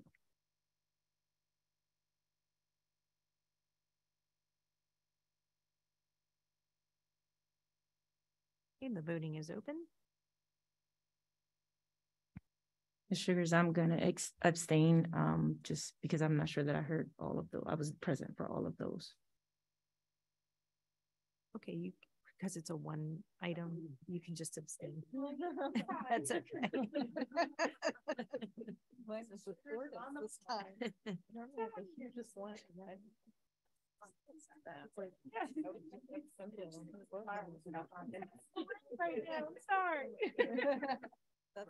Other than the exception noted. We'd all like to be there. I mean, unanimous yes vote except for Mrs. Stratton's abstention. All right. All right, let's move this along. Thank you. Is there any new business? Please say no. Okay, good. Excellent. Is there any old business? Please say no. Okay, I'm sorry. To be fair to board members, truthfully, is there any? Okay. Okay. Uh, uh, yeah, I skipped over you, Dr. Reed, because there was nothing on to vote on. So, but that's, that's coming to an end. Soon we'll have something to vote on. Okay. Okay, we are now at second public comment. This is the sec, uh, this is a time when you may comment on um, other topics. If you would like to speak now, please clearly state your name and your municipality. We will alternate between speakers in the room and those who are online. Each speaker will be given a maximum of three minutes to speak. The timer on the screen will indicate the amount of time you have remaining. Public comment is an opportunity for members of the community to comment on matters relevant to the operations of Cherry Hill Public School District or within the authority of the Cherry Hill Board of Education. The board welcomes diverse op- opinions on relevant matters.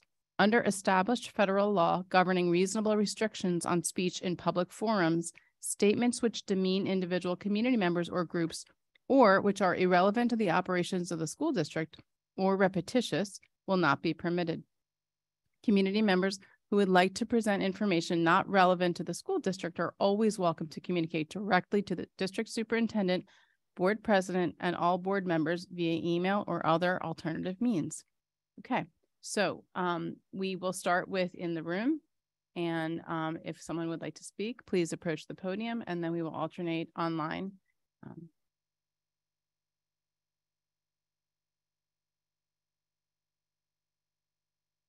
Rick Short, Cherry Hill. I'm uh, very disappointed tonight in this uh, this budget, this two hundred forty-two million dollar budget. Um, Dr. Meloche, you're missing one of the most important things you talk about all the time, and that is the safety and security of our children. Um, Madam President, you're also missing the safety and security of our children. These cameras at not at the stadium, aren't there just for football games. They're there for 24 hours a day security. And this board has failed. What will, what would be the cost? let's say $3,000 a camera times eight, $24,000. Let's throw another $24,000 in to install them. It's around $50,000. But I could be wrong. It could be $70,000. I'm not an electrician, but I'm in the ballpark between 50 and $70,000. And you're telling me after eight shots were fired in October of 20, 2020 that we can't find 50 or $70,000 to make our track safe 24 hours a day. It's really sad that you can't be that creative and you're not putting the safety of our uh, community first. Um, and I move on to my second question, which never seems to get answered. I have two slides here. One is from the bond for paving Lewis, and one is from capital reserves. $600,000. This is what you told the public. This is what you approved. This was in the bond. It is what it is, but nobody will answer it. It's not misinformation. You can't answer it. You can't admit you made a mistake. That's my opinion. Right? Let's move on to a, a speech given by one of our students. Um, it was an award on um, December 20th, 2022. It was a real great story. Hannah, part of the West tennis team, amazing story. Um, but at the end, and she was well deserved, she got a standing ovation. Um, on 823, Dr. Meloche uh, mentioned in a uh, comments after uh, public comments that there's no um, no altercations of the uh, videos. Nothing, not nothing ever, nothing ever done to the videos. So, what's going on, folks? I sent you the email today. Maybe you haven't reviewed it, but I'll be back again asking the same question. But I hope you find seventy or fifty thousand dollars to make our schools safer, and you do have two hundred thousand dollars already from the bond left over. And I hope you make the right choice. Okay, we go to the line. Um, and it's uh, 856489. That person, if you could please state your name and your municipality. My name is Jeff Potowitz, and I live in Cherry Hill, New Jersey. Um, an article in the Asbury Park dated July 16th, 2019 contained a comparison of school property taxes for the average valued home in New Jersey and that home is was was worth three hundred and twenty three thousand one hundred and seventy nine dollars. In Haddonfield, the tax on that house, school tax, would be five thousand approximately five thousand three hundred dollars. In Voorhees, the school tax would be approximately six thousand one hundred dollars, and in Cherry Hill, the school tax would be sixty five hundred dollars. I hope that answers the board questions they're higher in the taxes were higher in Cherry Hill. That $363 million in, in, in borrowing for the bond represented our legal debt limit. We could not borrow any more money. Remember, only 300 million of that was sold. $4 million or less was is going to be transferred from capital reserve funds and put towards paying for the bond. Sooner or later, that transfer of funds will stop, especially when and if our leaderships apply for ROD grants or other state grants that will be used towards preschool construction or other reason or other renovation projects having to do with preschool. In Camden City, the cost to the state for universal preschool is approximately $31 million. That's approximately $31,000 per student. We know what the cost of preschool is, of universal preschool in a large district. That's what it is $31,000 a student. For Cherry Hill, the cost of construction, renovations, construction, and, and and concerning preschools would not be in addition to that 31 million. Eventually, the preschool, okay, will have an estimated 1,700 students for a cost based on what Camden City costs, and the state pays for that, of fi- approximately $52 million extra a year. Of that 52 million, I don't know how much we're going to get for the state, but not even close to the $31 million plus it's going to cost us. The state thinks $12,000 per pupil is too cheap, it's too much. They want to go less. Oh, and recall, uh, the state doesn't give you any extra funds for the kids who have IEPs and, and 504s that are in preschool. They don't count to the state of New Jersey. That's a lot of money. That's a lot of money to pay. All right. And by the way, the state, the state will be glad t- to have you join this. Thank all right, you. because you we are Thank you. Um, we have to stop. I'm sorry, you're out of time. Okay, thank you. We'll go back to the room. If there's anyone who'd like to speak at the podium.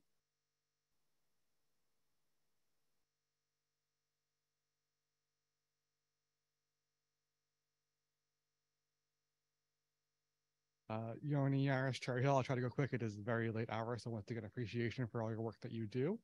Um, I appreciate the idea of the board going out. Um, as someone who's been very working towards supporting communities underserved and who've been typically marginalized, PTA is a wonderful outlet, but we also need to make sure that we're going out as a membership organization. It does not necessarily get a representative population of the district. Um, so I think we did a great job last year working out with special education parents, this week working with the Hispanic families, is to keep making sure that our outreach doesn't just exist to the quote unquote normative groups, but that we also go out um, and really reach out. We have got Chaka, for example, that always comes to mind. There's New Turkish Community Center that we're really working sure that we're going out and outreaching and meeting people where they're at, not always requiring them to come into the building. There is trauma that many families have. Uh, if you research who had horrible educational experiences, they will not set foot back in a school due to how challenging their experiences were. But their voices need to be heard because their children could be experiencing the trauma that they uh, went through um, to make sure that we figure out ways to meet them. Technology has been helpful for that, but when we're having this conversation, the communication is to make sure that we're open and inclusive in that process. We're not going to be able to hit everyone; it's impossible. But to really go out and do as much as we can. To pivot to a fun item, um, as I always like to do, um, with Mr. Kovnet being honored for 25 years, his daughter, who is a Hill East alum, now has up in Terminal C and D in Philly International Airport a massive art display. Um, so, product of what our art education does in Cherry Hill our alumni are getting things out in the public like that. So that's awesome and huge. I'm going to leave it at that because it's really late. Okay, we go back to the line.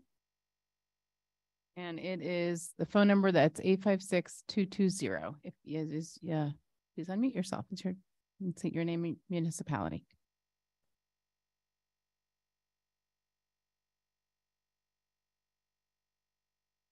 Okay, um, looks like the hand went down, so I'll go to the next hand that's up online, which is um Sarah uh Jocelyn. If you could um just state your name and municipality. Thank you. Sarah Jocelyn, uh, Cherry Hill. Well, I thank you for uh, this discussion about the uh, preschool. And I also want to, um, you know, uh, make sure that there is uh, an understanding of the number of children that would be involved. I understand your current plan includes the ability to go to full day school in uh, for the current preschool. I think there's about 150 children in this right now. But the number that would be um, involved with uh, a universal pre-K will be much larger than that. And I do think there needs to be consideration of, of how you're going to either partner or uh, provide space for these children. Um, it was mentioned earlier in the meeting about being one of the early leaders in this. I would remind the board that Voorhees has already started in this area. And I would think that they have about a comparable number of students, maybe not the same number, but a good sampling. Their target is to have, pre- have pre-K available for up to 500 children by the end of their five-year period.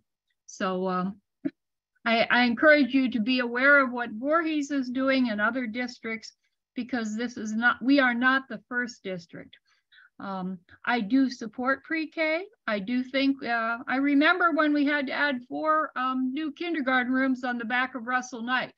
So I, I fully expect that there will be additional construction required. And I remind the board of the, of that issue um, as others have done. I earlier came to talk about the issue of summer reading, and I, I do want to say that's an important thing. Um, I was surprised to see that undefeated Jim Thorpe uh, and the and the Carlisle Indian School football team was removed. I think this is a book that is certainly accessible for a certain population. Um, I think it is a, a very qualified book. Um, and I would like to see if the if there would be a, a possibility of continuing to have that on the reading list uh, books that are of interest to other children, uh, to the wide breadth of children in the school are very important. And I agree with the um, the representative who spoke about uh, the short shrift given to the to the reading. Um, I would suggest that you might consider one of the swashbuckling uh, stories like Scaramouche, Scarlet Pimpernel, something that's a little bit on the other end. Um, I know that when I was in eighth grade, we read the, uh, I was one of the ones that read the um, over the bridges over Toko-Ri. So reading is very individual in choice. You need to give a wide breadth. Thank you. Okay, we go back to the room. Does anybody like to speak at the podium? Okay, we'll go back online and we have Ann uh, Gerasi, Gerasi, I believe it is. Uh, you could state your name and municipality, please.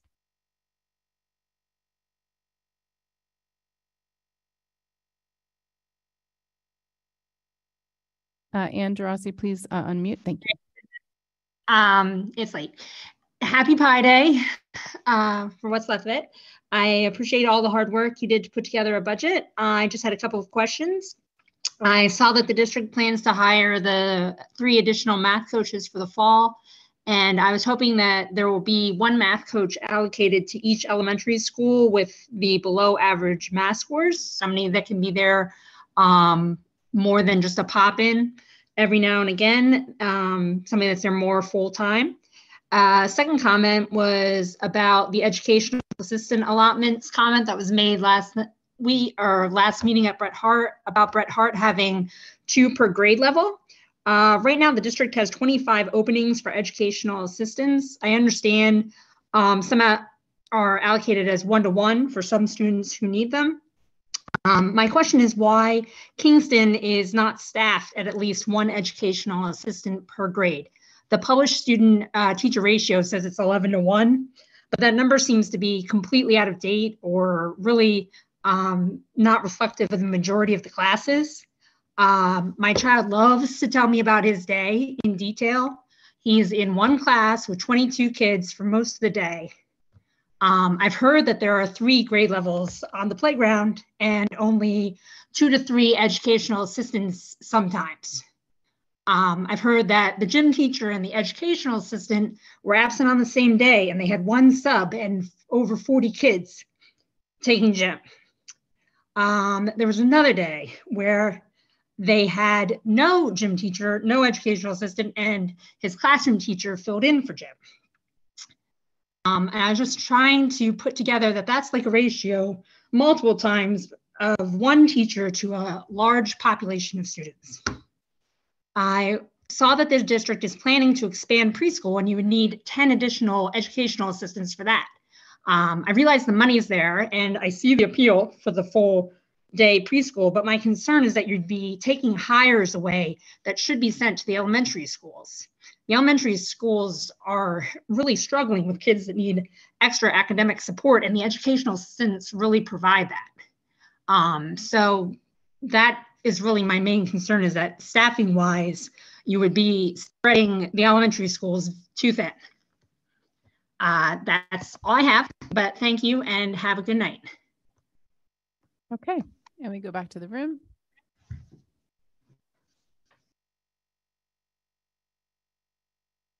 state your name and municipality, please. Alana Yaris, Cherry Hill. Um, I thought that the budget presentation was very well done. Everything explained well. I noticed that um, there were increases everywhere. There was one decrease of $536,000 in administrative costs. I was just wondering when we spoke about all of the increases in the budget for next year, what is it that the district is losing in that negative balance that was showing? Thank you. Okay, let me go back to the line. And Carolina Bevid, you are up. Name and municipality, please. Carolina Bevid, Cherry Hill. Um, I think pre-K would be a really great topic for a town hall. Um, if not, then maybe a community survey would be a good idea. Um, I read an article this week linking depression and anxiety, specifically in teenage girls, to certain types of thinking, such as catastrophizing and emotional reasoning. And um, according to the article, thinking in these ways can be symptoms or causes of depression, and breaking out of them can be a cure. So based on this information, I'd like our board and administrators to please be vigilant that our curriculum is not contributing to negative mental impacts. Catastrophic language like climate crisis or a hyper focus on problematic language can all contribute to feelings of depression and anxiety. Not to say that our curriculum should only focus on the positive, but I hope we're ensuring that there is a balance and kids are not being taught, uh, and kids are being taught to have hope and that the future of the world doesn't solely rest on their shoulders.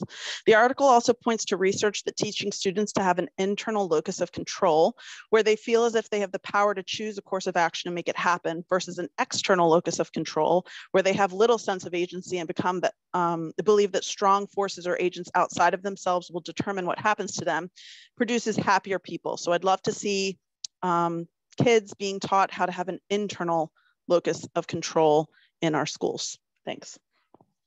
Okay, we go back to the room. And there's nobody at the podium, so we go back online. And uh, Nicole Nance, if you could please state your name and your municipality.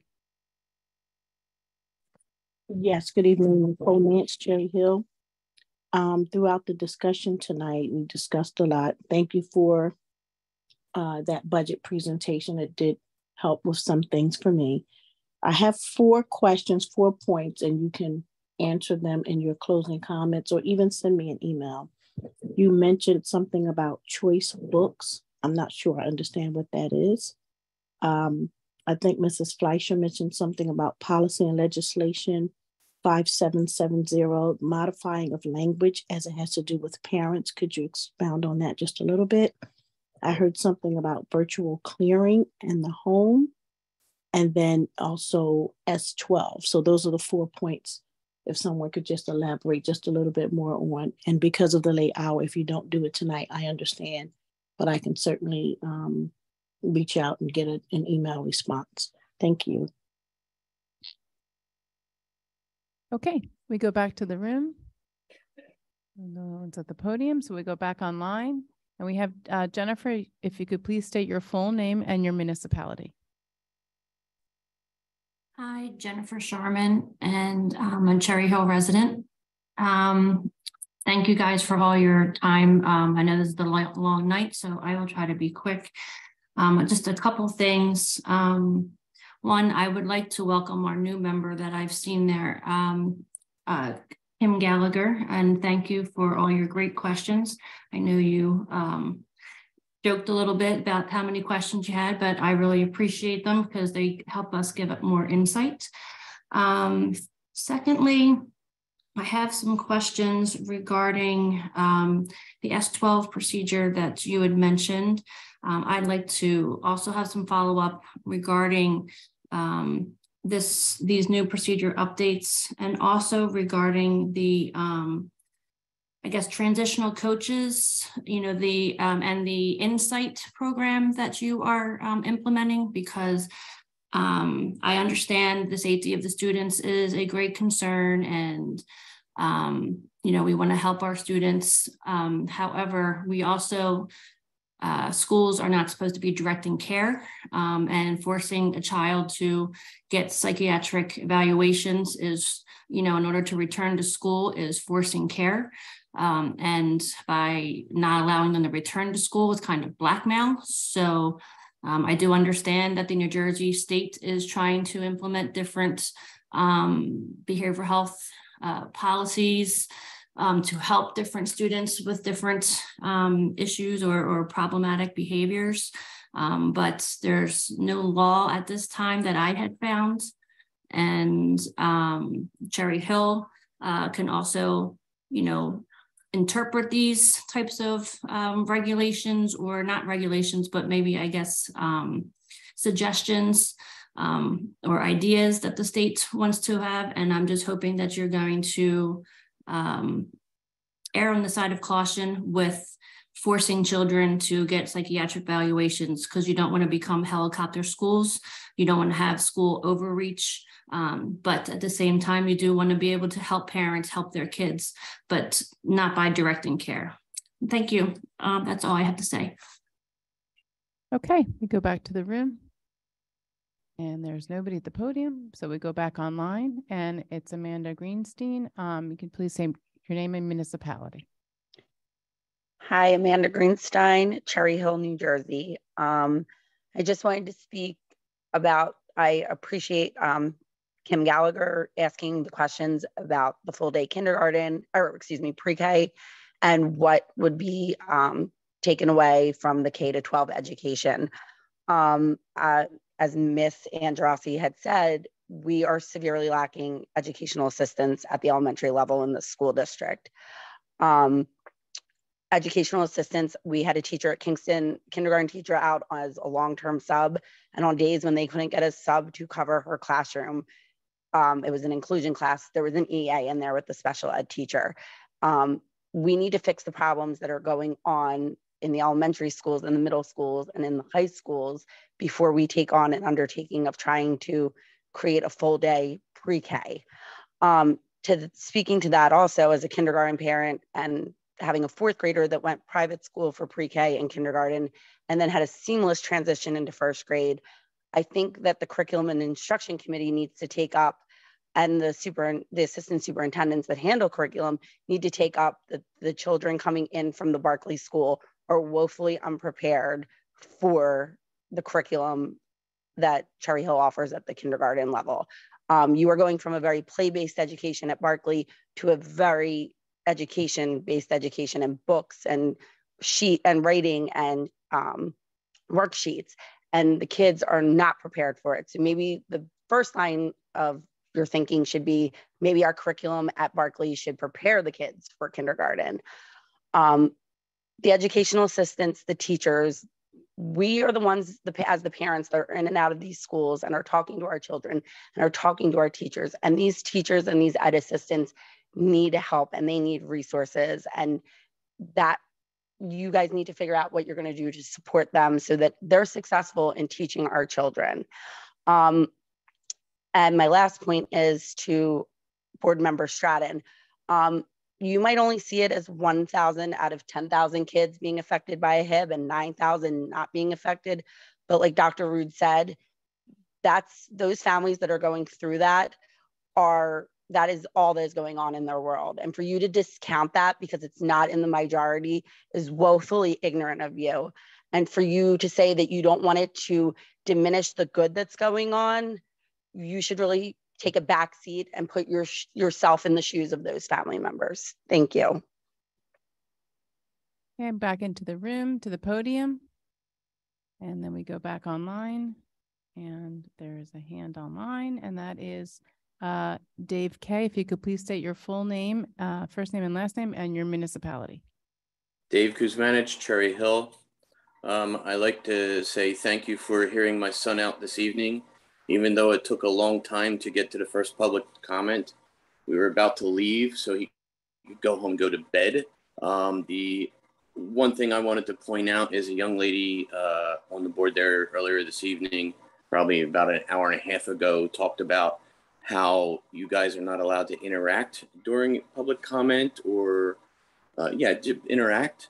Um, but I would suggest that when a student is speaking, that everyone pay attention because I rewatched the video on my wife's phone and my phone. There were a lot of a lot of members there typing away at their keyboards. I know, you know, and we as adults can multitask, but to a 12 year old, especially one who who is holding up a HIB report that says nothing, no evidence found, and then adults are not paying attention to to to this 12 year old that had enough gumption to stand up in front of 15, 20 adults, that really did not help his his demeanor for the rest of the evening. You know, this did this boy did a brave thing tonight that I wish other students would come up and do is talk in front of the board about their experiences because yes, some of you parent, some of you have are parents and have kids in the system here. Not all of you are going through HIBs, obviously, because your you know your kids probably aren't getting bullied. Um, but there are a lot of us out there that that that are going through the HIB system, and a lot of kids are being bullied, whether it's on the bus, the playground, in the hallways, in the classroom. You know, for my son to be asked if he's a lesbian, you know, I'm sure there is many more students out there that are not coming forward. I think what we need to do is just pay attention because you guys talk about student voice all the time when that student voice is at the podium, I think we all need to stop typing at the keyboards and pay attention. And I understand about the comment being made about not saying the other students' names, but there is no last name spoken during that presentation. So nobody would really know who he was talking about. Thank you. Okay, uh, go back to the room and no one at the podium. So going, going to close public comment. And now we move on to superintendent's comments. Thank you, Ms. Stern. Uh, I appreciate, I'll just go through quickly. Um, Mr. Kuzmanich, thank you to Aiden for his getting up and speaking this evening. I can tell you because I spend a lot of time with the board members. Um, as the board members are typing, um, they're taking notes uh, that they refer back to in terms of, of what goes on. Uh, I do believe that helps them uh, with their focus in, in, terms of what's taking place, so they can attend, um, you know, to uh, to what's there. Um, Ms. Sharman, if you if you send us an email with your specific questions um, about S12, about coaches, transitional coaches, insight, uh, we can certainly follow up. You can send that to to me. You can send it. I know that you've been corresponding with Dr. Morton. You can send it to Dr. Morton. They'll get the questions where they need to go. Um, Miss Nance, uh, same thing. Um, if you have questions, you know, you can certainly send those. I'm not sure what to address uh, in what you listed. Um, Ms. Yaris, the decrease in administrative costs um, comes in various areas, uh, professional fees, technology, um, things like that. Uh, there's no decrease uh, in staff uh, or in actual staff. um, Ms. Jocelyn, the um, the book uh, it, it's not been removed as an approved book. It's just no longer um, on the on the choice list for during the summer. The Jim Thorpe book, uh, and I believe when uh, the curriculum staff presented at the C&I meeting that in the in the few years that that's been a choice book, it's only been selected by two students um, in that time. Um, so uh, we do. I, I, think it's a great book. Uh, the the story of Jim Thorpe who he was and what he did and, and what he means to our country, I think is is very important. Um, but we wanted a book. We we are selecting new books to try and broaden uh, what children have the opportunity to choose from.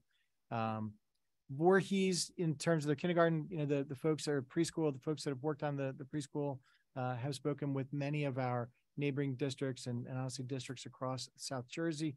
Uh, Voorhees is working on theirs moving forward. They're dramatically smaller than we are uh, in terms of numbers. Um, Mr. Short um, asked a question about the, the work uh, being done in the Lewis parking lot. There is work that's budgeted in the referendum to be done uh, here, and there is work that that's also budgeted that's not in the referendum to be done here in terms of site work. Um, all the projects, you know, as, as uh, projects were selected to be done, um, both in the bond and capital reserve, um, you know, will help. Hopefully, we'll be able to get everything that needs to be done in the parking lot uh, to be done. Capital reserve work only addresses part of the work, and the bond work addresses the rest of it. Uh, like many of the things, projects are broken up from one spot to the other. Um, it's not, you know, and and I know you shared that that was your opinion. So that's the fact about what it is. If you have additional questions, you can certainly let us know. Let me also clarify for folks because Mr. Short has said this a couple of times about a football game uh, and gunshots. There were no gunshots at a football game at the stadium at High School West. That did nothing at a football game. Was there an issue that went on in the community? Yes. Football game continued. Police were there. The district staff were there. Nothing inside the stadium, nothing that took place at a football game. Football game continued. The marching band played. The folks were there. Fans were there. Um, there was something that was going on in the community. No matter how many, how many cameras may be put up inside the stadium, that's not going to control what goes on in the community, nor is it going to capture what goes on in the community that's around the stadium. Think going back even to first, I think that might be it, Miss uh, Miss Stern. Thank you. Okay. I mean, we could stay another twenty minutes, twenty-three minutes. Well, we, we do have a second exec. so We will stay, but we could keep the meeting going, or I could entertain a motion. to- Aiden is going to, executive session. a motion to go into um executive session to review student, to review student matters. Do I have a no action will be taken. Do I have a second? Finally got it right. Mr. Greenbaum, uh, all in favor? Motion carries. Thank you. Come on, Aiden. Come on, Liz.